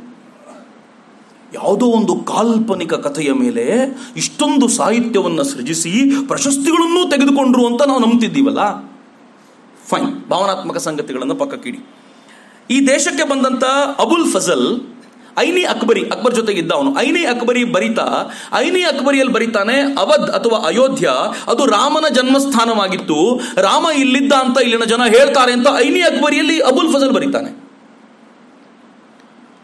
ವಿದೇಶಿ ಆಕ್ರಮಣಕಾರರ ನಡುವೆ ಬಂದಂತ ಅಲ್ ಬರೂನಿ ತಾನು ತನ್ನ ಕೃತಿಯಲ್ಲಿ ಅಯೋಧ್ಯೆಯನ್ನು ನೋಡಿದಾಗ ಅಯೋಧ್ಯೆಯಲ್ಲಿದ್ದಂಥ ಭಾವನೆಗಳನ್ನ ಬರೀತಾನೆ. ಸಾಹಿತ್ಯದ ಆಧಾರ ಇದೆಯಲ್ಲ? ಇದ್ಯಾವ್ದು ಇಪ್ಪತ್ತೈದು ವರ್ಷ, ಐವತ್ತು ವರ್ಷದ ಹಿಂದೆ ಅಲ್ಲ? ಒಂದು ಸಾವಿರ ವರ್ಷಗಳ ಹಿಂದಿನ ಘಟನೆ ನಾನು ಹೇಳ್ತಿದ್ದೀನಿ. ನಾನು ವಾಲ್ಮೀಕಿ ರಾಮಾಯಣದ ಬಗ್ಗೆಯೂ ಮಾತಾಡ್ತಾ ಇಲ್ಲ. ಆಕ್ರಮಣಕಾರಿಗಳಾಗಿ ಬಂದ ದುರಾತ್ಮರು ಬರೆದಿರುವಂಥ ಸಾಹಿತ್ಯವನ್ನು ತೆಗೆದುಕೊಂಡು ಹೇಳ್ತಿದ್ದೀನಿ. ಬರೀ ಇಷ್ಟಕ್ಕೆ ನಿಲ್ಲೋದಿಲ್ಲ. ಬ್ರಿಟಿಷ್ ಇತಿ- ಇತಿಹಾಸಕಾರರು ಬುಕನಂತರದವರು ಭಾರತಕ್ಕೆ ಬಂದಾಗ ಅವರೂ ಕೂಡ ಈ ದೇಶದಲ್ಲಿ ರಾಮನ ಕುರಿತಂತ ಇದ್ದಂತ ಆ ವಿಚಾರಗಳನ್ನು ಅಲ್ಲಿದ್ದಂತ ಜನಜೀವನವನ್ನು ಅಯೋಧ್ಯೆಯಲ್ಲಿದ್ದಂಥ ಜನಜೀವನವನ್ನು ಸ್ಪಷ್ಟವಾಗಿ ಉಲ್ಲೇಖ ಮಾಡ್ತಾರೆ. ಇನ್ನೆಲ್ಲವನ್ನು ಬಿಡೋದಾದರೂ ಕೂಡ ನೀವು ಸ್ವಲ್ಪ ಏನು ಸೈಂಟಿಫಿಕ್ ಆಗಿ ಹೋಗಬೇಕು ಅಂತಂದ್ರೆ ರಾಮ ಹುಟ್ಟಿದಾಗ ಯಾವ ನಕ್ಷತ್ರ ಎಲ್ಲಿತ್ತು, ಯಾವ ಗ್ರಹಗಳು ಎಲ್ಲಿತ್ತು ಅಂತ ಏನು ಹೇಳಿದ್ರು ಒಂದು ಜಾತಕ ಏನಿದೆಯೋ ಆ, ಆ- ವರ್ಣನೆ ಏನು ಮಾಡ್ತಾರೋ ಅದನ್ನು ನೋಡಿದರೆ ಆ ಹುಟ್ಟಿದ ವರ್ಷಕ್ಕೂ, ಆ ಹೇಳಿದ ವಿಚಾರಕ್ಕೂ ಪರ್ಫೆಕ್ಟಾಗಿ ತಾಳೆ ಆಗುತ್ತೆ ಮತ್ತು ಡೇಟಿಂಗ್ ಕೂಡ ಮಾಡ್ಲಿಕ್ಕೆ ಸಾಧ್ಯ ಆಗುತ್ತೆ. ಅದನ್ನು ಆಧಾರವಾಗಿಟ್ಕೊಂಡು ಯಾವುದು ಜಾತಕವನ್ನು ಇಟ್ಕೊಂಡು ರಾಮ ಹುಟ್ಟಿದ ಆ ರಾಮನವಮಿ ಅಂತ ಏನು ಆಚರಣೆ ಮಾಡ್ತೀವೋ ಅದರ ಆಧಾರದ ಮೇಲೆ ಡೇಟಿಂಗ್ ಮಾಡಿದ್ದಾರೆ ಸೈಂಟಿಸ್ಟ್ಗಳು ಅಲ್ಲಿಗೆ ಮುಗಿಲಿಲ್ಲ. ಭೂಗೋಳವನ್ನು ಆಧಾರವಾಗಿ ಇಟ್ಟುಕೊಂಡ್ರೆ ರಾಮ ಅಯೋಧ್ಯೆಯಿಂದ ಅವನು ವನವಾಸಕ್ಕೆ ಅಂತ ಹೊರಟಿರುವ ದಾರಿಗಳನ್ನೆಲ್ಲ ಪೂರ್ತಿ ಪ್ರಮಾಣದಲ್ಲಿ ಜಹ ಜಹ ರಾಮ ಚರಣ ಚಲೆ ಜಾಯಿ ಅನ್ನುವಂಥ ವಿಸ್ತಾರವಾಗಿ ಇಟ್ಕೊಂಡು ರಾಮ ನಡೆದಿರೋ ಹಾದಿಯನ್ನು ವಾಪಸ್ ಕ್ರಮಿಸಿದ್ದಾರೆ. ಹೌ ವಾಸ್ ಇಟ್ ಪಾಸಿಬಲ್ ಏನ್ ಕಾಲ್ಪನಿಕ ಕತೆ ಹೆಂಗಿದೆ ಅಂತಂದ್ರೆ, ಜಾಗಗಳನ್ನು ಕೂಡ ಕಾಲ್ಪನಿಕವಾಗಿ ಹೇಳಿದ್ರು, ಆನಂತರ ನಾವು ಅದನ್ನು ಹಂಗೆ ಜೋಡಿಸ್ಕೊಂಡ್ವಿ ಅಂತಾನ? ನನಗೆ ಅರ್ಥ ಆಗಲಿಲ್ಲ. ಎಲ್ಲ ಬಿಡಿ, ಬಾಟನಿಸ್ಟ್ಗಳು ತೀರಾ ಇತ್ತೀಚೆಗೆ ಪ್ರಾಬಲಿ ಒಂದು ಎರಡು ಮೂರು ವರ್ಷಗಳ ಹಿಂದೆ, ಬಾಟನಿಸ್ಟ್ಗಳು ರಾಮಾಯಣವನ್ನು ತೆಕ್ಕೊಂಡು, ಯಾವ ಘಟನೆ ತೆಕ್ಕೊಂಡ್ರು ಗೊತ್ತಾ ಅವರು? ಈ ಈ ರಾಮ ಸೀತೆಯನ್ನು ಕಳ್ಕೊಳ್ತಾನಲ್ಲ? ಬಹಳ ದುಃಖಕಾರಿ ಸನ್ನಿವೇಶ ಅದು. ಸೀತೆಯನ್ನು ಕಳ್ಕೊಂಡಾಗ ಆ ಪರ್ಣಕುಟೀರದ ಹೊರಗಡೆ ಅಲ್ಲಿರುವಂಥ ಪ್ರತಿಯೊಂದು ಗಿಡವನ್ನು ಕೇಳ್ತಾನೆ. ಆ ಗಿಡವನ್ನು ಕೇಳಬೇಕಾದ್ರೆ ಸುಮ್ಮನೆ ಕೇಳ್ಬಿಡಲ್ಲ. ಪ್ರತಿಯೊಂದು ಗಿಡದ ಆ ಹೆಸರನ್ನು ಹೇಳಿ ಕೇಳ್ತಾನೆ. ನೀನು ಈ ಗಿಡ ಪ್ರತಿನಿತ್ಯ ಇಲ್ಲಿ ಬರ್ತಿದ್ಲವಳು ಎಲ್ಲೋದವಳು ಗೊತ್ತಾ ನಿನಗೆ? ಸ್ವಲ್ಪ ಹೇಳ್ತೀಯ ನನಗೆ ಅಂತ ಕೇಳ್ತಾನೆ. ಪ್ರತಿಯೊಂದು ಗಿಡವನ್ನು ಹೆಸರು ಹೇಳಿ ಕೇಳ್ತಾನೆ. ಯಾರೊಬ್ರು ತುಂಬ ಚೆನ್ನಾಗಿ ಹೇಳ್ತಿದ್ರು ನನಗೆ ಬಾಟನಿಸ್ಟು ಅವ್ರು ಹೇಳಿದರು ಈ ಈ ಈ ವಾಲ್ಮೀಕಿ ಕಾಡಿನ ಮನುಷ್ಯ ಆಗಿದ್ದು ಭಾಳ ಒಳ್ಳೇದಾಯ್ತು ನಮಗೆ. ಹೀಗಾಗಿ ಬಾಟನಿಗೆ ದೊಡ್ಡ ಸಾಹಿತ್ಯವನ್ನು ಕೊಟ್ಟು ಹೋದ್ರು ಅವರು ಅಂತ ಹೇಳ್ತಾರೆ. ಆ ಎಲ್ಲವನ್ನೂ ಟ್ರೇಸ್ ಮಾಡಿದರೆ ಒಬ್ಬ ಬಾಟ್ನಿಸ್ಟ್ ಹೇಳ್ತಾರೆ, ಯಾವ್ಯಾವ ಗಿಡಗಳ ಬಗ್ಗೆ ಅವ್ರು ಕೇಳಿದ್ರೋ, ಅವ್ರು ಹೇಳಿದ ಜಾಗಗಳಲ್ಲಿ ಆ ಗಿಡಗಳ ಅವಶೇಷಗಳೆಲ್ಲ ಕಾಣ್ತವೆ, ಅಲ್ಲಿದ್ದಿದ್ದು ನಿಜ ಅದು ಅಂತ ಬಾಟನಿಸ್ಟ್ಗಳು ಕೊಟ್ರಲ್ಲ? ಆ ಸಾಹಿತ್ಯವನ್ನು ವ್ಯಾಲಿಡೇಟ್ ಮಾಡಿದ್ರಲ್ಲ? ಬರಿಗೆ ಇಲ್ಲಿಗೆ ಮುಗಲಿಲ್ಲ. ರಾಮ ಇದ್ದ ಅಂತ ನೀವು ಹೇಳಿದ ನಂತರ, ಮುಂದಿನ ಪ್ರಶ್ನೆ ಇತ್ತು, ರಾಮ ಮಂದಿರ ಇದ್ದಿದ್ದ ಹೌದಾ ಏನೋ ಪ್ರಶ್ನೆಗಳು ಹೆಂಗಿವೆ ನೋಡಿ. ರಾಮ ಇದ್ದಿದ್ದು ನಿಜ ಅಂತ ಇರ್ಬೋದಪ್ಪ ರಾಮ ಇದ್ದಿರ್ಬೋದು ಅದು ರಾಮ ಹುಟ್ಟಿದ ಅಲ್ಲೇನಾ? ರಾಮ ಅಲ್ಲೇ ಇದ್ದಿದ್ದು ನಿಜವ? ರಾಮಂದು ಅಯೋಧ್ಯೆನೇ ಊರು ಅನ್ಲಿಕ್ಕೆ ಏನು ಖಾತ್ರಿ ಕೊಡ್ತೀರಾ ಅಂತಂದರೆ, ನಾವೀಗಲೂ ಹೇಳ್ತೀವಿ, ಸರಯೂ ತೀರ ವಿಹಾರಿ, ಬೃಂದಾವನ ಸಂಚಾರಿ ಅಂತ. ಸುಮ್ ಸುಮ್ಮನೆ ಹೇಳಿದ್ದ ಅದನ್ನು ಸರಿಯು ತೀರದಲ್ಲಿ ಅವನಿದ್ದ, ಸರಿಯು ಎಲ್ಲಿ ಹರಿಯುತ್ತೋ ಆ ಜಾಗದಿಂದ ಎಲ್ಲಿದ್ದಾನೆ ಅನ್ನೋದನ್ನು ಹೇಳಿದ್ದಲ್ಲದೆ, ರಾಮ ಮಂದಿರ ಎಲ್ಲಿತ್ತು ಅನ್ನೋದಕ್ಕೆ ಸ್ಪಷ್ಟವಾದ ಉಲ್ಲೇಖವು ಹೇಳಲಾಗತ್ತೆ. ಅದು ಹೆಂಗೆ ಅಂತಂದರೆ, ಇದು ಶಿವ ಪಾರ್ವತಿಯರ ಸಂಭಾಷಣೆಯಲ್ಲೂ ಉಲ್ಲೇಖ ಆಗಿದ್ಯಂತೆ. ಶಿವ ಪಾರ್ವತಿಯರು ಸಂಭಾಷಣೆ ಮಾಡುವಾಗ ಸೀತಾ ರಸೋಯಿ ಬಗ್ಗೆ ಪಾರ್ವತಿ ಕೇಳ್ತಾಳೆ, ಏನದು ಸೀತಾ ರಸೋಯಿ ಅಂದ್ರೆ? ಅಂತ. ಅವಾಗ ಶಿವ ಹೇಳ್ತಾನೆ, ಯಾವುದನ್ನ ನೋಡೋದ್ರಿಂದ ಕ್ಷಣ ಮಾತ್ರದಲ್ಲಿ ಎಲ್ಲ ಪಾಪಗಳು ಭಸ್ಮವಾಗುತ್ತೋ ಅದು ಸೀತಾ ರಸೋಯಿ ಅಂತ. ರಸೋಯಿ ಅಂದ್ರೆ ಅಡುಗೆ ಮನೆ ಅಂತ. ಸೀತೆಯ ಅಡುಗೆ ಮನೆ. ಸೀತೆಯ ಅಡುಗೆ ಮನೆ, ಸೀತೆಯ ಬಾವಿ, ಸೀತಾ ಕೂವ ಅಂತ ಎರಡೂ ಇದೆ. ಈ ಈ ಏನು ಡಿಸ್ಪ್ಯೂಟೆಡ್ ಸ್ಟ್ರಕ್ಚರ್ ಒಡೆದು ಹಾಕುವವರೆಗೂ ಅವೆರಡೂ ತುಂಬ ಸ್ಪಷ್ಟವಾಗಿ ಗೋಚರವಾಗುವಂತೆ ಇತ್ತು. ಸೀತಾ ರಸೋಯಿ, ಸೀತೆಯ ಅಡುಗೆ ಮನೆ, ಸೀತಾ ಕುಂವ ಸೀತೆಯ ಬಾವಿ ಎರಡೂ ಇದೆ. ರಾಮಾಯಣದ ಪ್ರಕಾರ ಅವೆರಡರ ನಡುವೆ ಇರುವಂಥ ಜಾಗದಲ್ಲೇ ರಾಮ ಹುಟ್ಟಿದ್ದು ಅಂತ. ಬರೀ ರಾಮ ಅಷ್ಟೇ ಅಲ್ಲ, ಭರತ, ಶತ್ರುಘ್ನರು, ಲಕ್ಷ್ಮಣ ಇವರೆಲ್ಲ ಹುಟ್ಟಿದ ಎಲ್ಲಿ ಅನ್ನೋದಕ್ಕೂ ಪರ್ಫೆಕ್ಟ್ ಆಗಿರುವಂಥ ವಿವರಣೆಯನ್ನು ರಾಮಾಯಣದಲ್ಲಿ ಕೊಡಲಾಗುತ್ತೆ. ಅವೆಲ್ಲವನ್ನು ಲೆಕ್ಕ ಹಾಕ್ಕೊಂಡ್ರೆ ಎಕ್ಸಾಕ್ಟ್ ಜಾಗ ಯಾವುದು ಅಂತ ಗುರುತಿಸ್ಲಿಕ್ಕಾಗತ್ತೆ. ಎಲ್ಲಿ ರಾಮ ಹುಟ್ಟಿದ ಜಾಗ ಅಂತ ಹೇಳಲಾಗುತ್ತೋ ಅದೇ ಜಾಗದಲ್ಲಿ ಮಸೀದಿ ಕಟ್ಟಲಾಗಿತ್ತು ನಮ್ಮ ಆ ಮಸೀದಿಯನ್ನು ತೆಗೆಯದೆ ಇದರ ಕೆಳಗೆ ಏನು ನೋಡ, ಇದೆಯಾ ನೋಡಬೇಕು ಅನ್ಲಿಕ್ಕೆ ಟೆಕ್ನಾಲಜಿಯೇ ಇರಲಿಲ್ಲ. ಅಥವಾ ಟೆಕ್ನಾಲಜಿ ಇತ್ತೇನೋ ಇಂಟ್ರೆಸ್ಟ್ ಇರಲಿಲ್ಲ. ಆದರೆ ಏನಾದರೂ ಆಗಬೇಕಲ್ಲ? ಆರ್ಕಿಯಾಲಜಿಕಲ್ ಸರ್ವೆ ಸುಮ್ಮನೆ ಇರಲಿಲ್ಲ. ಸಾವಿರದ ಎಂಟುನೂರ ಅರವತ್ತೆರಡು ಅರವತ್ತ್ಮೂರಲ್ಲಿ ಕನ್ನಿಂಗ್ ಹ್ಯಾಮ್ ಒಂದು ಸರ್ವೆ ಮಾಡಿದರು. ಆ ಸರ್ವೆ ಮಾಡಿ ಹೇಳಿದರು, ಇಲ್ಲಿ ರಾಮಾಯಣದ ಕುರುಹುಗಳು ಕಾಣುತ್ತವೆ ಅಂತ ಹೇಳಿದರು. ಫುರರ್ ಎಂಬತ್ತೊಂಬತ್ತು, ತೊಂಬತ್ತೊಂದರಲ್ಲಿ ಸರ್ವೆ ಮಾಡಿದ. ಏಯ್ಟೀನ್ ಏಯ್ಟಿ ನೈನ್ ನೈಂಟಿ ಒನ್ನಲ್ಲಿ ಆತನೂ ಹೇಳ್ದ, ಆತ ಹೇಳಿದ ನಿಜ ಕನ್ನಿಂಗ್ ಹ್ಯಾಮ್ ಹೇಳಿದ ನಿಜ, ಇಲ್ಲವೆಲ್ಲವೂ ಕಾಣುತ್ತೆ ಅಂತ. ಆನಂತರ ತುಂಬ ದೀರ್ಘಕಾಲ ಬಿಟ್ವಿ. ಸಾವಿರದ ಒಂಬೈನೂರ ಅರವತ್ತೊಂಬತ್ತು ಎಪ್ಪತ್ತರಲ್ಲಿ A K Narayan archaeological survey of India A S I ಮೂಲಕ ಅವರು ಸರ್ವೆ ಮಾಡಿದ್ರು. ಅವರೂ ಕೂಡ ಅಲ್ಲಿರುವಂತ ಅನೇಕ ಕುರುಹುಗಳನ್ನು ಉಲ್ಲೇಖ ಮಾಡಿದ್ರು. ಆದರೆ ಎಪ್ಪತ್ತೈದು ಎಪ್ಪತ್ತಾರಲ್ಲಿ ಬಿ ಬಿ ಲಾಲ್ ಯಾರು ಎ ಎಸ್ ಐನ ಪ್ರಮುಖವಾದ ಡೈರೆಕ್ಟರ್ ಆಗಿದ್ರೋ ಅವರು ಸರ್ವೆ ಮಾಡಿ ಅಲ್ಲಿರುವಂತ ಪಿಲ್ಲರ್ಗಳನ್ನು ಗುರುತಿಸಿ, ಆ ಪಿಲ್ಲರ್ಗಳನ್ನು ಹೇಳಿದ್ರು ಅವರು, ಯಾವ ಮಸೀದಿ ಅಂತ ಕರಿತೀವೋ ಅದಕ್ಕಿಂತ ಎತ್ತರದ ಪಿಲ್ಲರ್ಗಳಿಲ್ಲಿರೋದ್ರಿಂದ ಇದು ಮಸೀದಿಯದ್ದಂತೂ ಅಲ್ವೇ ಅಲ್ಲ, ಇದು ಬೇರೆಯೇ ಅಂತ ವರದಿ ಕೊಟ್ಟರು archaeological survey of India science based ಅಧ್ಯಯನ ಸುಮ್ಮ ಸುಮ್ಮನೆ ಐ ಆಮ್ ಸಾರಿ ನಾನು ಮುಂದೆ ಹೇಳಲಿಕ್ಕಿದೆ ಅದನ್ನು ನಿಮಗೆ. ಇತಿಹಾಸಕಾರರು ಸುಮ್ಮನೆ ಕಥೆ ಬರದಂತೆ ಬರ್ತಿದ್ದಿದ್ದೀರ ಅಲ್ಲ ಅವರು. ಅವರು ಅಧ್ಯಯನ ಮಾಡಿ ಪ್ರತಿಯೊಂದನ್ನು ಹುಡುಕಿದ್ರು. ನಾನು ಇತಿಹಾಸಕಾರರು ಯಾಕೆ ಅಂತ ಮುಂದೆ ನಿಮ್ಮ ಜೊತೆ ಹಂಚ್ಕೊಳ್ತೀನಿ ಅದನ್ನು. ಸಾವಿರದ ಒಂಬೈನೂರ ಎಪ್ಪತ್ತೈದು, ಎಪ್ಪತ್ತಾರಲ್ಲಿ ಯಾವಾಗ ಬಿ ಬಿ ಲಾಲ್ ಇದನ್ನು ಮಾಡಿದ್ರೋ ಬಿ ಬಿ ಲಾಲ್ ಇದನ್ನು ಮಾಡಿದ ತಕ್ಷಣ ಸರ್ಕಾರ ಏನು ಮಾಡ್ತೋ ಗೊತ್ತಾ? ಇನ್ನು ಮುಂದೆ ಅವ್ರು ಇದನ್ನು ಕಂಟಿನ್ಯೂ ಮಾಡಬಾರ್ದು ಅಂತ ಅವ್ರಿಗೆ ಕೊಡ್ತಾ ಇದ್ದಂಥ ಎಲ್ಲ ಏನು ಪೂರೈಕೆಗಳನ್ನು ಸಹಕಾರವನ್ನು ನಿಲ್ಲಿಸ್ಬಿಡ್ತು. ಸ್ಟಾಪ್ ಆಗ್ಬಿಡ್ತು ಅಲ್ಲಿಗೆ. ಯಾಕೆಂದ್ರೆ ಸರ್ಕಾರಕ್ಕೆ ಒತ್ತಡ ಬಂತು. ಇದನ್ನೇನಾದರೂ ಹಿಂದೂ ಮಂದಿರ ಅಂತ ಆಗ್ಬಿಟ್ರೆ, ಈಗಾಗಲೇ ಸೋಮನಾಥ ಗಲಾಟೆ ಆಗಿತ್ತು. ಇನ್ನು ಇದ್ರದ್ದು ಹಿಂಗೆ ಆಗ್ಬಿಡತ್ತೆ. ಬಹಳ ಕಷ್ಟ ಅಂತ ಅದನ್ನು ಪೂರ್ತಿ ಪ್ರಮಾಣದಲ್ಲಿ ಹಿಂದೆ ತಗೊಂಡ್ಬಿಟ್ರು.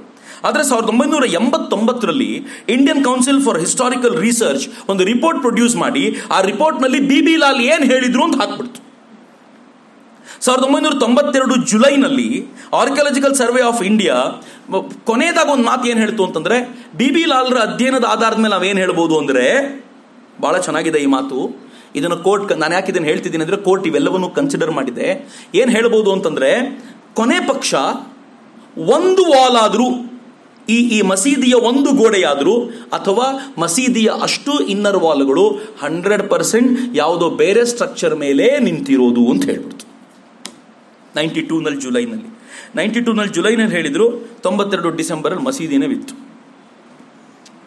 ನಂಗೆ ತುಂಬ ಜನ ಕೇಳ್ತಾರೆ, ಮಸೀದಿ ಉರುಳಿಸಿ ತಪ್ಪಲ್ಲ ಇವತ್ತು ಒಂದು ಒಂದು ಒಂದು ಟಿ ವಿ ಚರ್ಚೆಯಲ್ಲಿ ಒಬ್ಬರು ಕೇಳಿದರು. ಸರ್, ಮಸೀದಿ ಇನ್ಫ್ಯಾಕ್ಟ್ ಇದನ್ನು ಇದು ಇದು ಕೂಡ ಹೇಳಿದೆ, ಯಾವುದು, ಇವತ್ತಿನ ಕೋರ್ಟ್ ಕೂಡ ಹೇಳಿದೆ, ಮಸೀದಿ ಉರುಳಿಸಿದ ತಪ್ಪು ಅಂತ ಫೈನ್ ಐ ಅಕ್ಸೆಪ್ಟ್ ಮಸೀದಿ ಉರುಳಿಸಿದ ಅವತ್ತಿನ ದಿನಗಳಲ್ಲಿ ಕೇಸನ್ನು ಕೈಗೆತ್ಕೊಂಡಿದ್ದು ಭಾಳ ದೊಡ್ಡ ತಪ್ಪು, ಆದರೆ ಮಸೀದಿ ಉರುಳಿಸದೆ ಹೋಗಿದ್ರೆ ಅದರ ಕೆಳಗೆ ಏನಿತ್ತು ಅಂತ ಹುಡುಕ್ಲಿಕ್ಕೆ ಇವ್ರು ಯಾವತ್ತೂ ಹೋಗ್ತಾನೆ ಇರಲಿಲ್ಲ. ಮಸೀದಿ ಉರುಳಿ ನಾನು ನಾನು ಸೈನ್ಸಿನ ದೃಷ್ಟಿಯಿಂದ ಅಷ್ಟೇ ಮಾತಾಡ್ತಿದ್ದೀನಿ.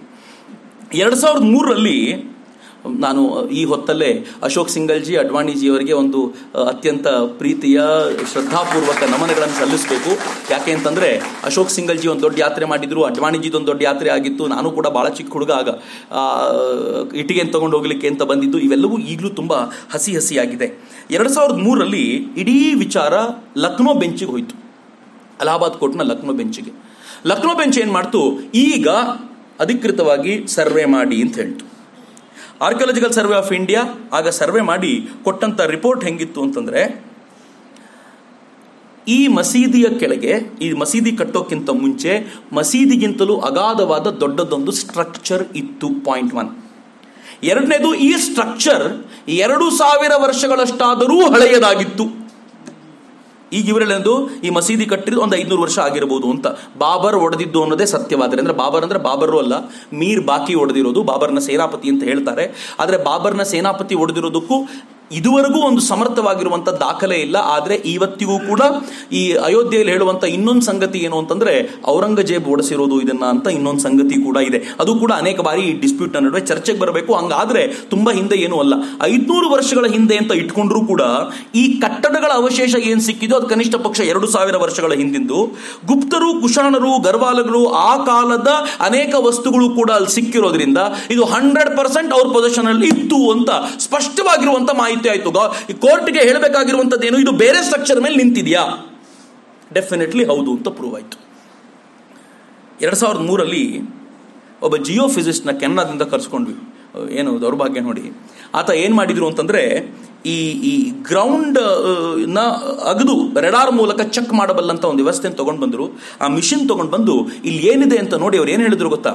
ಪಾಯಿಂಟ್ ಫೈವ್ ಮೀಟರ್ ಇಂದ ಐದೂವರೆ ಮೀಟರ್ನ ವರೆಗಿನ ದೊಡ್ಡ ಕಟ್ಟಡದ ಅವಶೇಷಗಳು ಇಲ್ಲಿ ಕಾಣ್ತವೆ ಅಂತ ಹೇಳಿದ್ರು. ಮತ್ತೆ ಇಂಡಿಯನ್ ಎಲ್ಲ ಕೊಟ್ಟಿದ್ದ ರಿಪೋರ್ಟ್ ಅದರ ಅನುಮಾನ ಇದ್ದರೆ ಒಬ್ಬ ವಿದೇಶಿಗರೇ ಕೊಟ್ಟಂತ ರಿಪೋರ್ಟ್. ಮತ್ತು ಈ ಆರ್ಕಿಯಾಲಜಿಕಲ್ ಸರ್ವೆ ಆಫ್ ಇಂಡಿಯಾದ ರಿಪೋರ್ಟ್ ಕೊಡಬೇಕಾದ್ರೆ, ಆ ರಿಪೋರ್ಟ್ನ ಅನುಮೋದಿಸಿ ಪೂರ್ಣವಾಗಿ ಜೊತೆಯಲ್ಲಿ ನಿಂತ್ಕೊಂಡು ಎರಡು ಸಾವಿರದ ಮೂರು ನಂತರ ಕೆಲಸ ಮಾಡಿದವರು ಕೆ ಕೆ ಮೊಹಮ್ಮದ್ ಅಂತ ಒಬ್ಬ ಸೈಂಟಿಸ್ಟ್ ಮತ್ತು ಉದ್ದಕ್ಕೂ ಇದನ್ನು ನಿಂತ್ಕೊಂಡು ಹೇಳಿದವರು, ಹಂಡ್ರೆಡ್ ಪರ್ಸೆಂಟ್ ಮಸೀದಿ ಕೆಳಗಡೆ ಒಂದು ಮಂದಿರ ಇತ್ತು ಅಂತ ಘಂಟಾಘೋಷವಾಗಿ ಸಾರ್ತಾ ನಿಂತ್ಕೊಂಡಿದ್ದು ಕೆ ಕೆ ಮೊಹಮ್ಮದ್. ಕೊನೆ ದಿನದವರೆಗೂ ಫೈಟ್ ಮಾಡಿದ್ದಾರೆ ಅವರು. ಇದು ಸುಳ್ಳು ನೀವು ಹೇಳ್ತಿರೋದು, ಇದರ ಇದರ ಹಿಂದೆ ಒಂದು ಮಂದಿರ ಇತ್ತು ಅಂತ ಕೊನೆ ದಿನದವರೆಗೂ ಫೈಟ್ ಮಾಡಿದ್ದಾರೆ. ಆದರೆ ದುರದೃಷ್ಟಕರ ಸಂಗತಿ, ದೇಶದಲ್ಲಿ ಸೈನ್ಸ್ ಯಾರಿಗೆ ಬೇಕು ಅಂತ? ಯಾರಿಗೂ ಈ ದೇಶದಲ್ಲಿ ಸೈನ್ಸ್ ಬೇಕಾಗಿಲ್ಲ. ಎಲ್ಲರೂ ಮತ್ತದೇ ಭಾವನೆಗಳಲ್ಲಿ ಕೊಚ್ಚಿ ಹೋಗ್ತಿದ್ರು ಯಾಕೆ ಅಂತಂದ್ರೆ, ಈ ದೇಶದ ನಾಲ್ಕು ಜನ ಇತಿಹಾಸಕಾರರು ಅವರಿಗೆ ಸರ್ಕಾರ ಕೇಳ್ಕೊಂಡಾಗ ಪ್ರಾಬಬ್ಲಿ ಟೂ ತೌಸಂಡ್ ತ್ರೀನಲ್ಲಿ ಇದು ಇಲ್ಲಿ ಮಸೀದಿ ಇದ್ದಿದ್ದ ಅಥವಾ ಮಂದಿರ ಇದ್ದಿದ್ದ ಅಂತ ಸ್ವಲ್ಪ ಹೇಳಿ ಅಂತಂದರೆ ನಾಲ್ಕು ಜನ I think R C Sharma D N Jha Suraj Bhan, ಆಮೇಲೆ ಅತ್ತಾರ್ ಅಲಿ ಈ ನಾಲ್ಕು ಜನ ಒಬ್ಬರು ಮುಸ್ಲಿಂ ಯೂನಿವರ್ಸಿಟಿಯವರು, ಅಲಿಗಢದವರು, ಕುರುಕ್ಷೇತ್ರ ಯೂನಿವರ್ಸಿಟಿಯವರೊಬ್ಬರು ಆಮೇಲೆ ಡೆಲ್ಲಿ ಯೂನಿವರ್ಸಿಟಿಯವರು, ಇವರೆಲ್ಲರೂ ಸೇರಿಕೊಂಡು ನಾಲ್ಕು ಜನ ಸೇರಿ ರಿಪೋರ್ಟ್ ಏನು ಕೊಟ್ಟರು ಅಂತಂದರೆ ಅಲ್ಲಿ ಮಂದಿರ ಇತ್ತು ಅನ್ನೋದು ಶುದ್ಧ ಸುಳ್ಳು ಯಾವ ಕಾರಣಕ್ಕೂ ಮಂದಿರ ಇರಲಿಲ್ಲ ಅಲ್ಲಿ ಅಂತ ಇವರೊಂದು ಪೂರ್ಣ ಪ್ರಮಾಣದಲ್ಲಿ ನಾಲ್ಕು ಜನ ಪ್ರತ್ಯೇಕವಾದ ರಿಪೋರ್ಟ್ ಅನ್ನು ಮಾಡಿ ಅದನ್ನ ಕೋರ್ಟಿನ ಮುಂದೆ ಇಟ್ಟರು ಅದರ ಆಧಾರದ ಮೇಲೆ ಕೋರ್ಟ್ ಏನು ಮಾಡ್ತು ಅಂತಂದ್ರೆ ಅದು ಮತ್ತೆ ಎಲ್ಲ ಆಧಾರಗಳನ್ನು ಮುಂದಿಟ್ಕೊಂಡು ಕೋರ್ಟ್ ಹೇಳ್ತು. ಈ ಟೋಟಲ್ ಎರಡು ಪಾಯಿಂಟ್ ಏಳು ಏಳು ಎಕರೆ ಜಮೀನು ಏನಿದೆ, ಯಾವುದ್ರ ಕುರಿತಂತೆ ಡಿಸ್ಪ್ಯೂಟ್ ಇದೆ, ಈ ಲ್ಯಾಂಡನ್ನು ಮೂವರಿಗೆ ಹಂಚಿಬಿಡಿ ಅಂತ. ಒಂದು ಸುನ್ನಿ ವಕ್ಫ್ ಬೋರ್ಡು ಇನ್ನೊಂದು ರಾಮ್ ಲಲ್ಲಾ ಇಂಟ್ರೆಸ್ಟಿಂಗ್ ಏನು ಗೊತ್ತಾ? ಇಲ್ಲಿ ಒಬ್ಬ ವಾದಿ, ಯಾವುದೋ ವ್ಯಕ್ತಿ ಅಲ್ಲ, ಸ್ವತಃ ರಾಮನೇ ವಾದಿ ಕೋರ್ಟಲ್ಲಿ. ಬಹಳ ವಿಚಿತ್ರ, ಬಹಳ ಜನರಿಗೆ ಗೊತ್ತಿಲ್ಲ ಇದು. ರಾಮನೇ ವಾದಿ, ಅವನ ಜೊತೆಗೆ ಮತ್ತೊಬ್ಬರು ಇದ್ದವರು ನಿರ್ಮೋಹಿ ಅಖಾಡದವ್ರು ಬಂದು ಸೇರ್ಕೊಂಡೇನು ಹೇಳಿದ್ರು? ಇದರ ಟೋಟಲ್ ಹಿಂದಿನಿಂದಲೂ ಪೂಜಾರಿಗಳಾಗಿ ನಾವೇ ನೋಡ್ಕೊಂಡಿದ್ದವರಾಗಿದ್ದರಿಂದ ಈ ಟೋಟಲ್ ಟ್ರಸ್ಟ್ ನಮಗೂ ಸೇರಬೇಕು, ನಮಗೂ ಇದ್ರ ಮೇಲೆ ಅಧಿಕಾರ ಇದೆ ಅಂದ್ಬಿಟ್ರು. ಒಂದು ಹೊಸದ್ ಬಂದು ಸೇರ್ಕೊಂಡ್ಬಿಡ್ತಲ್ಲಿ. ಟ್ವಿಸ್ಟ್ ಅದೊಂದು. ಮನೆ ಕೋರ್ಟ್ ಹೇಳ್ತು ಮೂವರೆಗೂ ಡಿವೈಡ್ ಮಾಡ್ಬಿಡಿ. ಯಾವುದು ಈ ಡೂಮಿನ ಕೆಳಗಡೆ ಇತ್ತೋ ತುಂಬ ಪ್ರಾಮಿನೆಂಟ್ ಜಾಗ, ಅದನ್ನ ರಾಮಲಲ್ಲಾನಿಗೆ ಕೊಡಿ. ಅಂದ್ರೆ ರಾಮನಿಗೆ ಬಿಟ್ಟು ಕೊಡಿ ಅದು ಅಂತ. ಅಂದ್ರೆ ಇನ್ಯಾರು ವಾದಿಗಳಲ್ಲ, ಅವನೇ ವಾದಿ, ಅವನಿಗೆ ಕೊಡಿ ಅದು ಪಾಪ, ಹೋಗ್ಲಿ ಅನ್ನೋ ಥರ.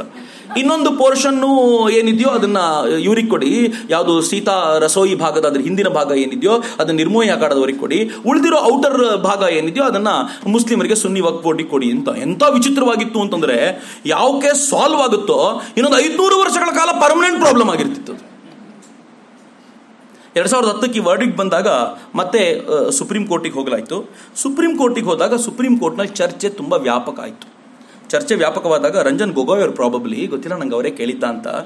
ಈ ನಾಲ್ಕು ಜನ ಇತಿಹಾಸಕಾರರಿದ್ರಲ್ಲ ಅವ್ರನ್ನ ಕೇಳಿದ್ರು ನೀವು ರಿಪೋರ್ಟ್ ಪ್ರೊಡ್ಯೂಸ್ ಮಾಡೋಕ್ಕಿಂತ ಮುಂಚೆ ಆರ್ಕಿಯಾಲಜಿಕಲ್ ಸರ್ವೆ ಆಫ್ ಇಂಡಿಯಾದ ಎವಿಡೆನ್ಸಸ್ ಓದಿದ್ದೀರಾ? ಅಂದ್ರು ಇಲ್ಲ. ಸೈನ್ಸೇ ಬೇಡ. ನಾವೊಂದಷ್ಟು ಪುಸ್ತಕ ನೋಡಿದ್ವಿ, ಅದರಲ್ಲಿ ಏನೂ ಇಲ್ಲ ಅಂತ ಬರೆದಿತ್ತು, ಅದಕ್ಕೆ ಬರೆದ್ಬಿಟ್ವಿ ಅಂತ. ಹೋಗ್ಲಿ, ಅಯೋಧ್ಯೆ ಎಷ್ಟು ಜನ ನೋಡಿದ್ದೀರಾ ಅಂತ. ಅವಾಗ ಪ್ರಾಬಬ್ಲಿ ಡಿ ಎನ್ ಜಾ ಹೇಳಿದ್ರು, ನಾನು ಮತ್ತು ಮತ್ತೊಬ್ಬರು ಮಾತ್ರ ಅಯೋಧ್ಯೆ ನೋಡಿದ್ದೀವಿ, ಇನ್ನಿಬ್ರು ಅಯೋಧ್ಯೆಗೂ ಬರಲಿಲ್ಲ. ಇಲ್ಲಿ ಮಂದಿರ ಇತ್ತೋ, ಮಸೀದಿ ಇತ್ತೋ ಅಂತ ಹೇಳಲಿಕ್ಕೆ ಅಂತ ನೇಮಿಸಿದಂತ ಆ ನಾಲ್ಕು ಜನ ಇತಿಹಾಸಕಾರರಲ್ಲಿ ಇಬ್ರು ಅಯೋಧ್ಯೆನೇ ನೋಡದೆ, ಅವ್ರು ರಿಪೋರ್ಟ್ ಕೊಟ್ಟು ಆಯ್ತು.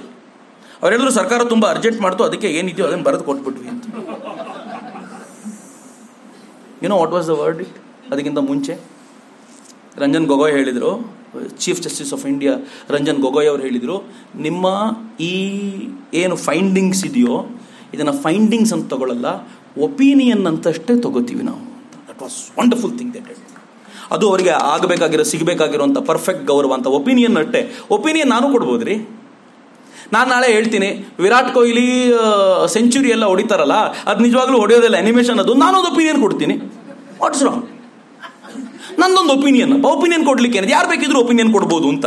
ಯಾವಾಗ ಅದನ್ನು ಒಪಿನಿಯನ್ ಅಂತ ಆಯ್ತೋ, ಅದಕ್ಕೆ ಪೂರ್ತಿ ಮೌಲ್ಯ ಪೂರ್ತಿ ಕುಸಿದು ಹೋಯ್ತು. ಆನಂತರ ಕೋರ್ಟ್ ವಿಚಾರಣೆಯನ್ನು ತೀವ್ರಗತಿಯಲ್ಲಿ ಮಾಡ್ತು. ಅಫ್ಕೋರ್ಸ್ ಸುಬ್ರಹ್ಮಣ್ಯನ್ ಸ್ವಾಮಿ ಅವರನ್ನು ನೆನಪಿಸ್ಕೋಬೇಕು. ಎರಡ್ ಸಾವಿರದ ಹನ್ನೊಂದರ ನಂತರ ಅವರು ಇದನ್ನು ತೀವ್ರಗತಿಯಲ್ಲಿ ಎವ್ರಿಡೇ ವಿಚಾರಣೆ ನಡೀಬೇಕು ಅಂತ ಮಾಡಿಸಿದ್ರ ಪರಿಣಾಮವಾಗಿ ಎಲ್ಲ ದಬ ದಬ ದಬ ದಬ ವಿಚಾರಣೆ ನಡಲಿಕ್ಕೆ ಶುರುವಾಗ್ಬಿಡ್ತು.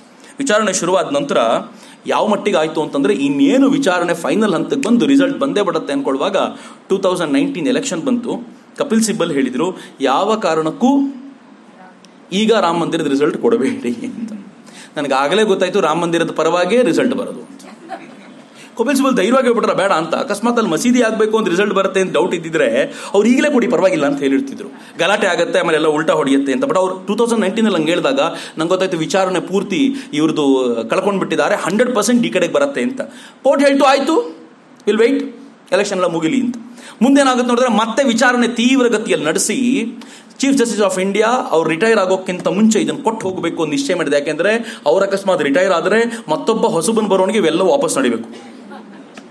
ಅದಕ್ಕೆ ಏನು ನಡೆದಿದೆಯೋ ಮುಗಿಸಿ ಹೋಗಬೇಕು ಅಂತ ಒಂದು ಐತಿಹಾಸಿಕ ನಿರ್ಣಯ ಕೊಡಲೇಬೇಕು ಅಂತ ನಿಶ್ಚಯ ಮಾಡಿದ್ರಿಂದಾಗಿ ಫೈನಲಿ ಎಲ್ಲಿವರೆಗೂ ಬಂತು ಅಂತಂದ್ರೆ ಕಳೆದ ಕೆಲವಾರು ದಿನಗಳ ಮುಂಚೆ ಎಲ್ಲವನ್ನು ಮುಗಿಸಿದ್ರು. ಮುಗಿಸೋ ಕೆಲವು ದಿನಗಳ ಆ ಸಂದರ್ಭದಲ್ಲಿ ನೀವು ಆ ಟೆನ್ಷನ್ ನೋಡಬೇಕಿತ್ತು ಎಲ್ಲರ ಮುಖದಲ್ಲೂ. ಹೇಗಿತ್ತು ಅಂತಂದ್ರೆ ಹೊಸದೊಂದು ಮ್ಯಾಪ್ ಅನ್ನ ಈ ರಾಮಲಲ್ಲಾನ ಪರವಾಗಿ ವಾದಿಸ್ತಾ ಇದ್ದವರು ಪ್ರೊಡ್ಯೂಸ್ ಮಾಡಿದ್ರೆ ಆಪೋಸಿಟ್ ಲಾಯರ್ ಏನ್ ಮಾಡಿದ್ರು ಹರಿದು ಬಿಸಾಕಿದ್ರು ಅದನ್ನು ಕೋರ್ಟ್ನಲ್ಲಿ ಯಾವತ್ತೂ ಹಿಂಗಾಗಲ್ಲ. ಹರಿದು ಬಿಸಾಕಿದ್ರೆ ಇದನ್ನ ನಾನು ಸ್ವೀಕಾರ ಮಾಡ್ಲಿಕ್ಕೆ ಸಿದ್ಧರಿಲ್ಲ ಅಂತ. ಅಂದ್ರೆ ತೀರಾ ಕೆಟ್ಟದಾಗಿರುವಂತ ಪರಿಸ್ಥಿತಿಯಲ್ಲಿ ಅದು ನಡೀತಾ ಇರುವಾಗಲೇ ಅಂದಾಜಾಗ್ತಿತ್ತು. ಬಟ್ ಇದೇನು ಮುಂದೆ ಏನು ಮಾಡಬೇಕು ಅಂತ ನಿಶ್ಚಯ ಆಗಿದೆ ಆದರೆ ಒಂದು ನೆನ್ಪಿಟ್ಕೊಳ್ಳಿ ಮಿತ್ರರೆ ಈ ನಿರ್ಣಯ ಇಷ್ಟು ದೀರ್ಘಕಾಲ ಯಾಕೆ ಎಳಿತು ಅಂತಂದ್ರೆ, ಈ ದೇಶದಲ್ಲಿ ಒಂದು ಭಾವನೆ ಇತ್ತು. ಆ ಭಾವನೆ ಏನು ಅಂತಂದ್ರೆ, ಅಕಸ್ಮಾತ್ ಈ ನಿರ್ಣಯ ಕೊಟ್ಬಿಟ್ರೆ ದಂಗೆಗಳಾಗ್ಬಿಡ್ತವೆ. ಎಲ್ಲಂದ್ರೆ ಅಲ್ಲಿ ಕಿತ್ತಾಟ ಶುರುವಾಗ್ಬಿಡುತ್ತೆ, ಜಗಳ, ದೊಂಬಿ ಎಲ್ಲ ಶುರುವಾಗ್ಬಿಡುತ್ತೆ. ದೇಶ ಹಳ್ಳ ಹಿಡಿಯುತ್ತೆ. ಡೆಫಿನೆಟ್ಲಿ ಹೌದು. ದಂಗೆಗಳಲ್ಲೇ ದೇಶ ಕಾಲ ಕಳೆದು ಬಿಟ್ರೆ ದೇಶ ಮುಂದುವರಿದು ಸಾಧ್ಯ ಆಗೋದಿಲ್ಲ. ನೀವೇನಾದ್ರೂ ಇಮ್ಯಾಜಿನ್ ಮಾಡಿ ತ್ರೀ ಸೆವೆಂಟಿ ಆರ್ಟಿಕಲ್ ಅನ್ನ ತೆಗೆದಿದ್ದರ ಕಾರಣಕ್ಕೋಸ್ಕರ, ಬೆಂಗಳೂರು, ಮಹಾರಾಷ್ಟ್ರಗಳಲ್ಲಿ, ಮುಂಬೈಗಳಲ್ಲಿ, ಎಲ್ಲಂದ್ರೆ ಅಲ್ಲಿ ದಂಗೆಗಳೆದ್ದು ಜನ ಬೀದಿಗೆ ಬಂದು ಎಲ್ಲ ಆಸ್ತಿ ಪಾಸ್ತಿಗಳನ್ನು ಸುಟ್ಟಾಕ್ತಾ ಇದ್ದು ಬಿಟ್ರೆ ಅದನ್ನು ವಾಪಸ್ ಕಟ್ಟೋದು ಯಾವಾಗ? ಸುಲಭ ಇರಲಿಲ್ಲ ಅದು. ಆದರೆ ಒಂದು ಸಾರ್ವಭೌಮ ರಾಷ್ಟ್ರ ಹೆಂಗಿರಬೇಕೋ ಹಂಗಿರುತ್ತೆ ಅಂತ ತೋರಿಸ್ಕೊಟ್ವಲ್ಲ ಈಗ. ಹಿಂಗಾಗಿ ಜಡ್ಜ್ಗೂ ಧೈರ್ಯ ಬಂತು. ಕೊಟ್ರೆ ನಡೆಯುತ್ತೆ ಈಗ. ಹೀಗಾಗಿ ಈ ಕ್ರೆಡಿಟ್ನ ಈ ರಾಷ್ಟ್ರವನ್ನ ಮುನ್ನಡೆಸೋರಿಗೂ ಕೊಡಲೇಬೇಕು ಯಾಕೆ ಅಂತಂದ್ರೆ ಈ ದೇಶದಲ್ಲಿ ಒಂದು ಭರವಸೆಯ ಆಶಾಕಿರಣ ಹುಟ್ಟಿಸಿದ್ದಾರೆ. ಯಾವುದಕ್ಕೂ ಹೆದರ್ಕೊಳ್ಬೇಡಿ, ಯಾವ ದಂಗೆಗಳು ಇಲ್ಲ, ಎಂಥದ್ದು ಇಲ್ಲ. ಏನ್ ನ್ಯಾಯ ಇದೆಯೋ ಆ ನಿರ್ಣಯ ಕೊಡಿ ಉಳಿದಿದ್ದು ನಾವು ನೋಡ್ಕೊಳ್ತೀವಿ ಅಂತ ಈ ದೇಶದಲ್ಲಿ ಒಂದು ವಾತಾವರಣ ಮೂಡಿಸಿದ್ದಾರಲ್ಲ ಯು ಶುಡ್ ಅಪ್ರಿಸಿಯೇಟ್ ಇಟ್ ಇದರಲ್ಲಿ ಯಾವ ಅನುಮಾನವೂ ಇಲ್ಲ. ನಾನು ಬಹಳ ಹೆಮ್ಮೆಯಿಂದ ಇದನ್ನು ಹೇಳ್ಕೊಳ್ಳಿಕ್ಕೆ ಇಚ್ಛೆ ಪಡ್ತೀನಿ ಯಾವಾಗ ಇದಾಯ್ತೋ ಐದು ಜನ ಜಡ್ಜಸ್ ಸೇರಿ ಈ ವಿಚಾರಣೆಯನ್ನು ಕಂಪ್ಲೀಟ್ ಮಾಡಿ ಫೈನಲಿ ಆ ವಿಚಾರಣೆಯನ್ನು, ಆ ವಿಚಾರಣೆಯ ವರ್ಡಿಕ್ಟ್ ನೀವು ಕೊಟ್ಟರಲ್ಲ ನಾನು ಸುಮ್ಮನೆ ರೀಡ್ ಔಟ್ ಮಾಡ್ತೀನಿ. ಏನೇನಿತ್ತು ಅವ್ರದ್ದು ಅಂತ. ಮೊದಲನೇದು, ಇದನ್ನ ಬಾಬರ್ನ ಸೇನಾಪತಿಯಾಗಿದ್ದಂಥ ಮೀರ್ ಬಾಕಿ ಕಟ್ಟಿದ ಅಂತ ಅವ್ರು ಮೊದಲು ಹೇಳ್ತಾರೆ. ಅವ್ರು ಮೊದಲು ಹೇಳೋದೆಲ್ಲವೂ ಏನಂತಂದ್ರೆ ವಾದಿ ಪ್ರತಿವಾದಿಗಳು ಏನೇನು ಹೇಳಿದ್ದಾರೆ ಅಂತ ಮೊದಲು ನೋಟ್ ಮಾಡ್ತಾ ಹೋಗಿದ್ದಾರೆ. ಮೀರ್ ಬಾಕಿ ಇದನ್ನು ಕಟ್ಟಿಸಿದ ಅಂತ. ಸೊ ಇದನ್ನು ಹೇಳಿದ ತಕ್ಷಣ ಸ್ವಲ್ಪ ಖುಷಿ ಆಯ್ತು. ಬೆಳಗ್ಗೆ ನಾವು ನೋಡ್ತಾ ಕೂತಿದ್ವಲ್ಲ ಹತ್ತುವರೆಗೆ, ಸ್ವಲ್ಪ ಖುಷಿ ಆಯ್ತು. ಹಬ್ಬ ಇದನ್ನ ಮೀರ್ ಬಾಕಿ ಕಟ್ಟಿಸ್ದ ಅಂತ ಒಪ್ಪಿದ್ರು ಅಂತಂದ್ರೆ ಸೊ ಸ್ವಲ್ಪ ಸಮಾಧಾನ ಎರಡನೇದೇನು ಹೇಳ್ತಾರೆ ಗೊತ್ತಾ? ಆದರೆ ರಾಮನ ವಿಗ್ರಹ ಬಂದಿದ್ದು ಸಾವಿರದ ಒಂಬೈನೂರ ನಲವತ್ತೊಂಬತ್ತರಲ್ಲಿ ಅಂದ್ರು. ಸೊ ಟೆನ್ಷನ್ ಇದಂದ್ರೆ ಟ್ವೆಂಟಿ ಟ್ವೆಂಟಿ ಮ್ಯಾಚ್ ಸರ್ ಆಗ್ಬಿಟ್ಟಿತ್ತು. ಏನಾಗುತ್ತಪ್ಪ ನೆಕ್ಸ್ಟ್ ಬಾಲ್ ಅಂತ. ಮೂರನೇದವರು ಹೇಳ್ತಾರೆ, ಈ ದೇಶದಲ್ಲಿ ಯಾವ ಮತಪಂಥಕ್ಕೂ ನಾವು ನಿಂತುಕೊಳ್ಳದೆ ಸೆಕ್ಯುಲರಿಸಮ್ನ ಎತ್ತಿ ಹಿಡಿಯುವಂಥ ನಿರ್ಣಯ ಕೊಡಬೇಕು. ಮತ್ತೆ ಅಲಹಾಬಾದ್ ಕೋರ್ಟ್ ರಿಪೋರ್ಟ್ ಬರುತ್ತೇನೋ ಅಂತ ಅನ್ಕೊಂಡ್ವಿ. ನಾಲ್ಕನೇದು ಹೇಳಿದ್ರು, ನಾಲ್ಕನೇದು ಬಹಳ ಚೆನ್ನಾಗಿತ್ತು. ಅಲಹಾಬಾದ್ ರಿಪೋರ್ಟ್ ಬರುತ್ತೆ ಅಂತ ನಾವು ಅನ್ಕೊಳ್ಳೋವರೆಗೆ ಹೇಳಿದ್ರು, ನಿರ್ಮೋಹಿ ಅಖಾಡಕ್ಕೆ ಯಾವ ಅಧಿಕಾರವೂ ಇದೆ ಅನ್ನೋದಕ್ಕೆ ಪ್ರೂವ್ ಮಾಡೋದ್ರಲ್ಲಿ ಅವ್ರು ಸೋತು ಹೋಗಿರೋದ್ರಿಂದ ನಿರ್ಮೋಹಿ ಅಖಾಡ ಇಲ್ಲಿಲ್ಲ. ಸೊ ಒಂದು ಹೋಯ್ತು. ಅಲಹಾಬಾದ್ ಹೈಕೋರ್ಟ್ನ ರಿಪೋರ್ಟ್ನಲ್ಲಿ ಒಂದು ಹೋಗಿ, ಈಗ ಮೋಸ್ಟ್ಲಿ ಇಬ್ಬರು ಮಾತ್ರ ಉಳ್ಕೊಳ್ತಾರೆ. ಏನಾಗ್ಬೋದು ಒಂದು ಇರೋದೇ ಎರಡು ಮುಕ್ಕಾಲು ಎಕರೆ ಅದು. ನೆಕ್ಸ್ಟ್ ಹೇಳಿದ್ರು, ರಾಮ್ಲಲ್ಲ ಅಥವಾ ರಾಮ್ ಜನ್ಮಭೂಮಿಯೇ ಒಂದು ಪಾರ್ಟಿ ಅಲ್ಲ. ರಾಮ್ಲಲ್ಲನ್ ಪಾರ್ಟಿ ಮಾಡಬಾರ್ದಾಗಿತ್ತು ಇದಕ್ಕೆ. ರಾಮ್ಲಲ್ಲ ಅಲ್ಲ. ಆತ ಜನರ ಆಸ್ಥೆಯ ಸಂಕೇತ ಅದೊಂದು ಬಹಳ ಸುಂದರವಾದ ಮಾತನ್ನು ಹೇಳಿದರು. ನೆಕ್ಸ್ಟ್ ಹೇಳಿದರು ನೆಕ್ಸ್ಟ್ ಬಹಳ ಚೆನ್ನಾಗಿತ್ತು. ಇಲ್ಲಿವರೆಗೂ ನಿಮಗೆ ನ್ಯೂಟ್ರಲ್ ಪೊಸಿಷನ್ ಅಲ್ಲಿ ಇದ್ದೀರಾ? ನೀವೇನು ಅಂತ ಜಡ್ಜ್ ಮಾಡ್ಲಿಕ್ಕೆ ಆಗ್ತಿಲ್ಲ. ನೆಕ್ಸ್ಟ್ ಹೇಳಿದರು, ಬಾಬ್ರಿ ಮಸೀದಿ ವೇಕೆಂಟ್ ಲ್ಯಾಂಡ್ ಮೇಲೆ ಬಿಲ್ಡ್ ಮಾಡಿದ್ದಲ್ಲ. ಅದರ ಕೆಳಗೆ ಅವಶೇಷಗಳಿದ್ದು ಅದು ಮಂದಿರದ ಅವಶೇಷಗಳು ಅಂತ ಗೊತ್ತಿದೆ. ಮತ್ತು ಅದನ್ನು ಆರ್ಕಿಯಾಲಜಿಕಲ್ ಸರ್ವೆ ಆಫ್ ಇಂಡಿಯಾ ಹೇಳಿರೋದ್ರಿಂದ ನಾವು ಒಪ್ಪಿಕೊಳ್ಬೇಕು ಸೈಂಟಿಫಿಕ್ ಎವಿಡೆನ್ಸಸ್ ಅನ್ನು ಒಪ್ಕೋಬೇಕು. ಕೋರ್ಟ್ ಹೇಳ್ತು. ಸ್ವಲ್ಪ ಜೀವ ಮತ್ತು ವಾಪಸ್ ಸಿಗಿರ್ತವಾ ಈಗೇನೋ ಬರೋದು ಎಷ್ಟು ಚೆನ್ನಾಗಿತ್ತು, ಬೆಳಗ್ಗೆ ಎಲ್ಲ ಮಜಾವೇ ಮಜಾ ಅದು ನೆಕ್ಸ್ಟ್ ಅವ್ರು ಹೇಳಿದ್ಲು ನೆಕ್ಸ್ಟ್ ಏನು ಗೊತ್ತಾ? ಆದರೆ ಆರ್ಕಿಯಾಲಜಿಕಲ್ ಸರ್ವೆ ಆಫ್ ಇಂಡಿಯಾದ ವಾದದ ಮೇಲೆ ಇದನ್ನ ಜಡ್ಜ್ಮೆಂಟ್ ಕೊಡ್ಲಿಕ್ಕೆ ಆಗಲ್ಲ. ಈಗ ಹೇಳಿ, ಈಗಲೇ ನೆಗೆಟ್ ಮಾಡಿದ್ರು ಅದನ್ನ. ನೆಗೆಟ್ ಮಾಡಿ ಆಮೇಲೆ ಏನು ಹೇಳಿದ್ರು? ಇದನ್ನ ಈ ಹಿಂದಿನ ಲೀಗಲ್ಗಳನ್ನು ನೋಡಿಯೇ ಜಡ್ಜ್ಮೆಂಟ್ ಕೊಡಬೇಕಾಗತ್ತೆ ಅನ್ನೋದನ್ನು ಹೇಳಲಾಯ್ತು. ನೆಕ್ಸ್ಟ್ ಹೇಳಿದ್ರು, ಸಾವಿರದ ಎಂಟುನೂರ ಐವತ್ತೇಳಕ್ಕಿಂತ ಮುಂಚೆ ಇಲ್ಲಿ ರಾಮಲಲ್ಲಾನೇ ಇದ್ದಿದ್ದು ಬೇರೆ ಯಾರೂ ಇರಲಿಲ್ಲ. ಅದಾದ ನಂತರ ಹೇಳಿದ್ರು, ಯಾವಾಗ ರಾಮಲಲ್ಲಾನಿಗೆ ಆ ಆತನ ಮಂದಿರ ಇದ್ದಂಥ ಜಾಗದಲ್ಲಿ ಪೂಜೆಗೆ ಅವಕಾಶ ನಿರಾಕರಿಸಲಾಯಿತು, ಆಗ ಔಟರ್ ಕೋರ್ಟ್ ಯಾರ್ಡ್ ಅಲ್ಲಿ ಹಿಂದೂಗಳು ಪೂಜೆ ಕಂಟಿನ್ಯೂ ಮಾಡಿದ್ರು. ಔಟರ್ ಕೋರ್ಟ್ ಯಾರ್ಡ್ ಮೇಲೆ ಅವರದ್ದೇ ಪೂರ್ಣ ಅಧಿಕಾರ. ಹೀಗಾಗಿ ಒಂದು ಸಮಾಧಾನ ಆಯಿತು, ಔಟರ್ ಕೋರ್ಟ್ ಯಾರ್ಡ್ ನಮ್ದೇ ಆಯಿತು. ಜಡ್ಜ್ಮೆಂಟ್ ಬರೋಕ್ಕಿಂತ ಮುಂಚೆ ಒಂದು ಅಂದಾಜಾಗುವಂಥ ಸಂಗತಿಗಳನ್ನ ಹೇಳ್ತೀನಿ ನಾನು. ಔಟರ್ ಕೋರ್ಟ್ ಯಾರ್ಡ್ ನಮ್ದು ಅಂತ ಫಿಕ್ಸ್ ಆಯಿತು. ಆದರೆ ಇನ್ನರ್ ಕೋರ್ಟ್ ಯಾರ್ಡ್ ಬಗ್ಗೆ ಮೇಜರ್ ಪೋರ್ಷನ್ ಇರೋದೇ ಇನ್ನರ್ ಕೋರ್ಟ್ ಯಾರ್ಡ್ ಅಲ್ಲ. ಅದು ಏನಾಗುತ್ತೆ ಅಂತ ಹೇಳಬೇಕಾದಾಗ ಅವ್ರು ನಿಧಾನವಾಗಿ ಹೇಳಿದರು, ಮಂದಿರದ ಅವಶೇಷಗಳ ಮೇಲೆ ಕಟ್ಟಿದ್ದಾರೆ ಅಂತ ಹೇಳೋದು ನಿಜ ಆದರೂ ಮಂದಿರವನ್ನು ಕೆಡವಿದ್ದಕ್ಕೆ archaeological survey of India proof ಕೊಡಲ್ಲ. ಈಗೇನು ಮಾಡೋದು? ಮುಂದೇನಾಗ್ಬೋದು ಅಂದರೆ ಮತ್ತೆ ಡಿವೈಡ್ ಆಗುತ್ತಾ ಅನ್ನುವಂಥ ಟೆನ್ಷನಲ್ಲಿರಬೇಕಾದ್ರೆ ನೆಕ್ಸ್ಟ್ ಒಂದು ಸರಿಯಾಗಿ ಹೇಳಿದ್ರು ಅವರು ನೋ ಅಬ್ಯಾಂಡನ್ಮೆಂಟ್ ಮುಸಲ್ಮಾನರು ಯಾವತ್ತೂ ಈ ಮಸೀದಿಯನ್ನು ತೊರೆದು ಹೋಗಿರಲಿಲ್ಲ. ಅದನ್ನು ಯಾರಾದರೂ ಹೇಳಿದರೆ ಅದು ಸುಳ್ಳು, ಅವರು ತೊರೆದು ಹೋಗಿರಲಿಲ್ಲ ಅಂತ ಹೇಳಿ. ಅಂದರೆ ಮಸೀದಿಯನ್ನು ಕೆಡುವಾಗ ಅವ್ರು ಇನ್ನೂ ನಮಾಜ್ ಮಾಡ್ತಿದ್ರು ಅಲ್ಲಿ, ನಮಾಜ್ ಮಾಡ್ತಾ ಇರುವಂಥ ಆ ಸಂದರ್ಭಗಳೇ. ಅಂದರೆ ಅವತ್ತು ನಮಾಜ್ ಮಾಡ್ತಿದ್ರು ಅಂತಲ್ಲ, ಆ ಹೊತ್ತಿನವರೆಗೂ, ಆ ದಿನಗಳವರೆಗೂ ನಮಾಜ್ ಮಾಡ್ತಿದ್ರು ಅಂತ ಅವರು ಸ್ಪಷ್ಟವಾಗಿ ಹೇಳಿ, ಕೊನೆಗೆ ಏನು ಹೇಳಿದ್ರು ಗೊತ್ತಾ? ಮಸೀದಿಯನ್ನು ಕೆಡವಿದ್ದು ತಪ್ಪು ಅಂತ ಸ್ಪಷ್ಟವಾದ ನಿರ್ಣಯ ಹೇಳ್ತು ಎಲ್ಲಿವರೆಗೂ ನ್ಯೂಟ್ರಲ್ ಆಗಿ ಹೋಗ್ಬಿಟ್ಟಿದ್ದೀವಿ ಈಗ ನೆಕ್ಸ್ಟ್ ಏನು ಅಂತ ಗೊತ್ತಿಲ್ಲ. ನೆಕ್ಸ್ಟ್ ಬಂತಲ್ಲ, ಅದು ಖಂಡಿತವಾಗಿ ಮುಂದೆ ಏನು ಅಂತ ತೋರಿಸ್ತಿತ್ತು. ಅದು ಹೇಳಲಾಯಿತು, ಮುಸಲ್ಮಾನರಿಗೆ ಅಥವಾ ಸುನ್ನಿ ವಕ್ಫ್ ಬೋರ್ಡ್ಗೆ ಐದು ಎಕರೆ ಜಾಗವನ್ನು ಒಂದು ಕಡೆ ಕೊಟ್ಟು, ಪರ್ಯಾಯವಾದ ಜಾಗವನ್ನು ಅವರಿಗೆ ಕೊಟ್ಟು, ಅವರಿಗೆ ಬೇಕಾದ ರೀತಿಯಲ್ಲಿ ಅದನ್ನು ಬಳಸ್ಕೊಳ್ಳಿಕ್ಕೆ ಹೇಳಬೇಕು. ಅವರದ್ದು ಹಾಸ್ಪಿಟಲ್ ಕಟ್ಕೋಬೋದು, ಅವರದರಲ್ಲಿ ಸ್ಕೂಲ್ ಕಟ್ಬೋದು, ಅವರದರಲ್ಲಿ ಮಸೀದಿನ ಕಟ್ಬೋದು, ಏನು ಬೇಕಿದ್ರು ಮಾಡ್ಕೋಬೋದು. ಆ ಥರದ ಒಂದು ವ್ಯವಸ್ಥೆ ಮಾಡಿಕೊಡಿ ಅಂದ ತಕ್ಷಣ ಔಟರ್ ಕೋರ್ಟ್ ಯಾರ್ಡ್ ನಮ್ಮದೇ ಇತ್ತು. ಇನ್ನರ್ ಕೋರ್ಟ್ ಯಾರ್ಡ್ ಬದಲಿಗೆ ಅವ್ರಿಗೊಂದು ಲ್ಯಾಂಡ್ ಬೇಕು ಅಂತಂದರೆ ಇನ್ನರ್ ಕೋರ್ಟ್ ಯಾರ್ಡು ನಮ್ಮದೇ ಅಂತ ನೈಂಟಿ ನೈನ್ ಪರ್ಸೆಂಟ್ ಗೊತ್ತಿತ್ತು. ಅಷ್ಟೊತ್ತಿಗೆ ಕೊನೆಯಲ್ಲಿ ಜಡ್ಜ್ ಹೇಳಿದರು, ಒಂದು ಟ್ರಸ್ಟನ್ನು ನಿರ್ಮಾಣ ಮಾಡಿ, ಮೂರು ತಿಂಗಳೊಳಗೆ ಈ ಕೆಲಸ ಮುಗಿಸಿ, ಮಂದಿರದ ಕಾರ್ಯ, ಕಾರ್ಯವನ್ನು ಆರಂಭಿಸಲಿಕ್ಕೆ ಚಾಲನೆ ಕೊಡಬೇಕು ಅಂತ ಯಾವಾಗ ಹೇಳಿದರೋ ದಟ್ ವಾಸ್ ರಿಯಲ್ ವಿಕ್ಟರಿ ಗೆಲುವು ಅನ್ನೋದು ರಿಪೋರ್ಟ್ ಇಷ್ಟೇ ಅಲ್ಲ, ಸಾವಿರದ ನಲವತ್ತೊಂಬತ್ತು ಪುಟಗಳ ರಿಪೋರ್ಟ್ ಇದೆ ಒಟ್ಟು ಇದು more than thousand pages report ಇದೆ.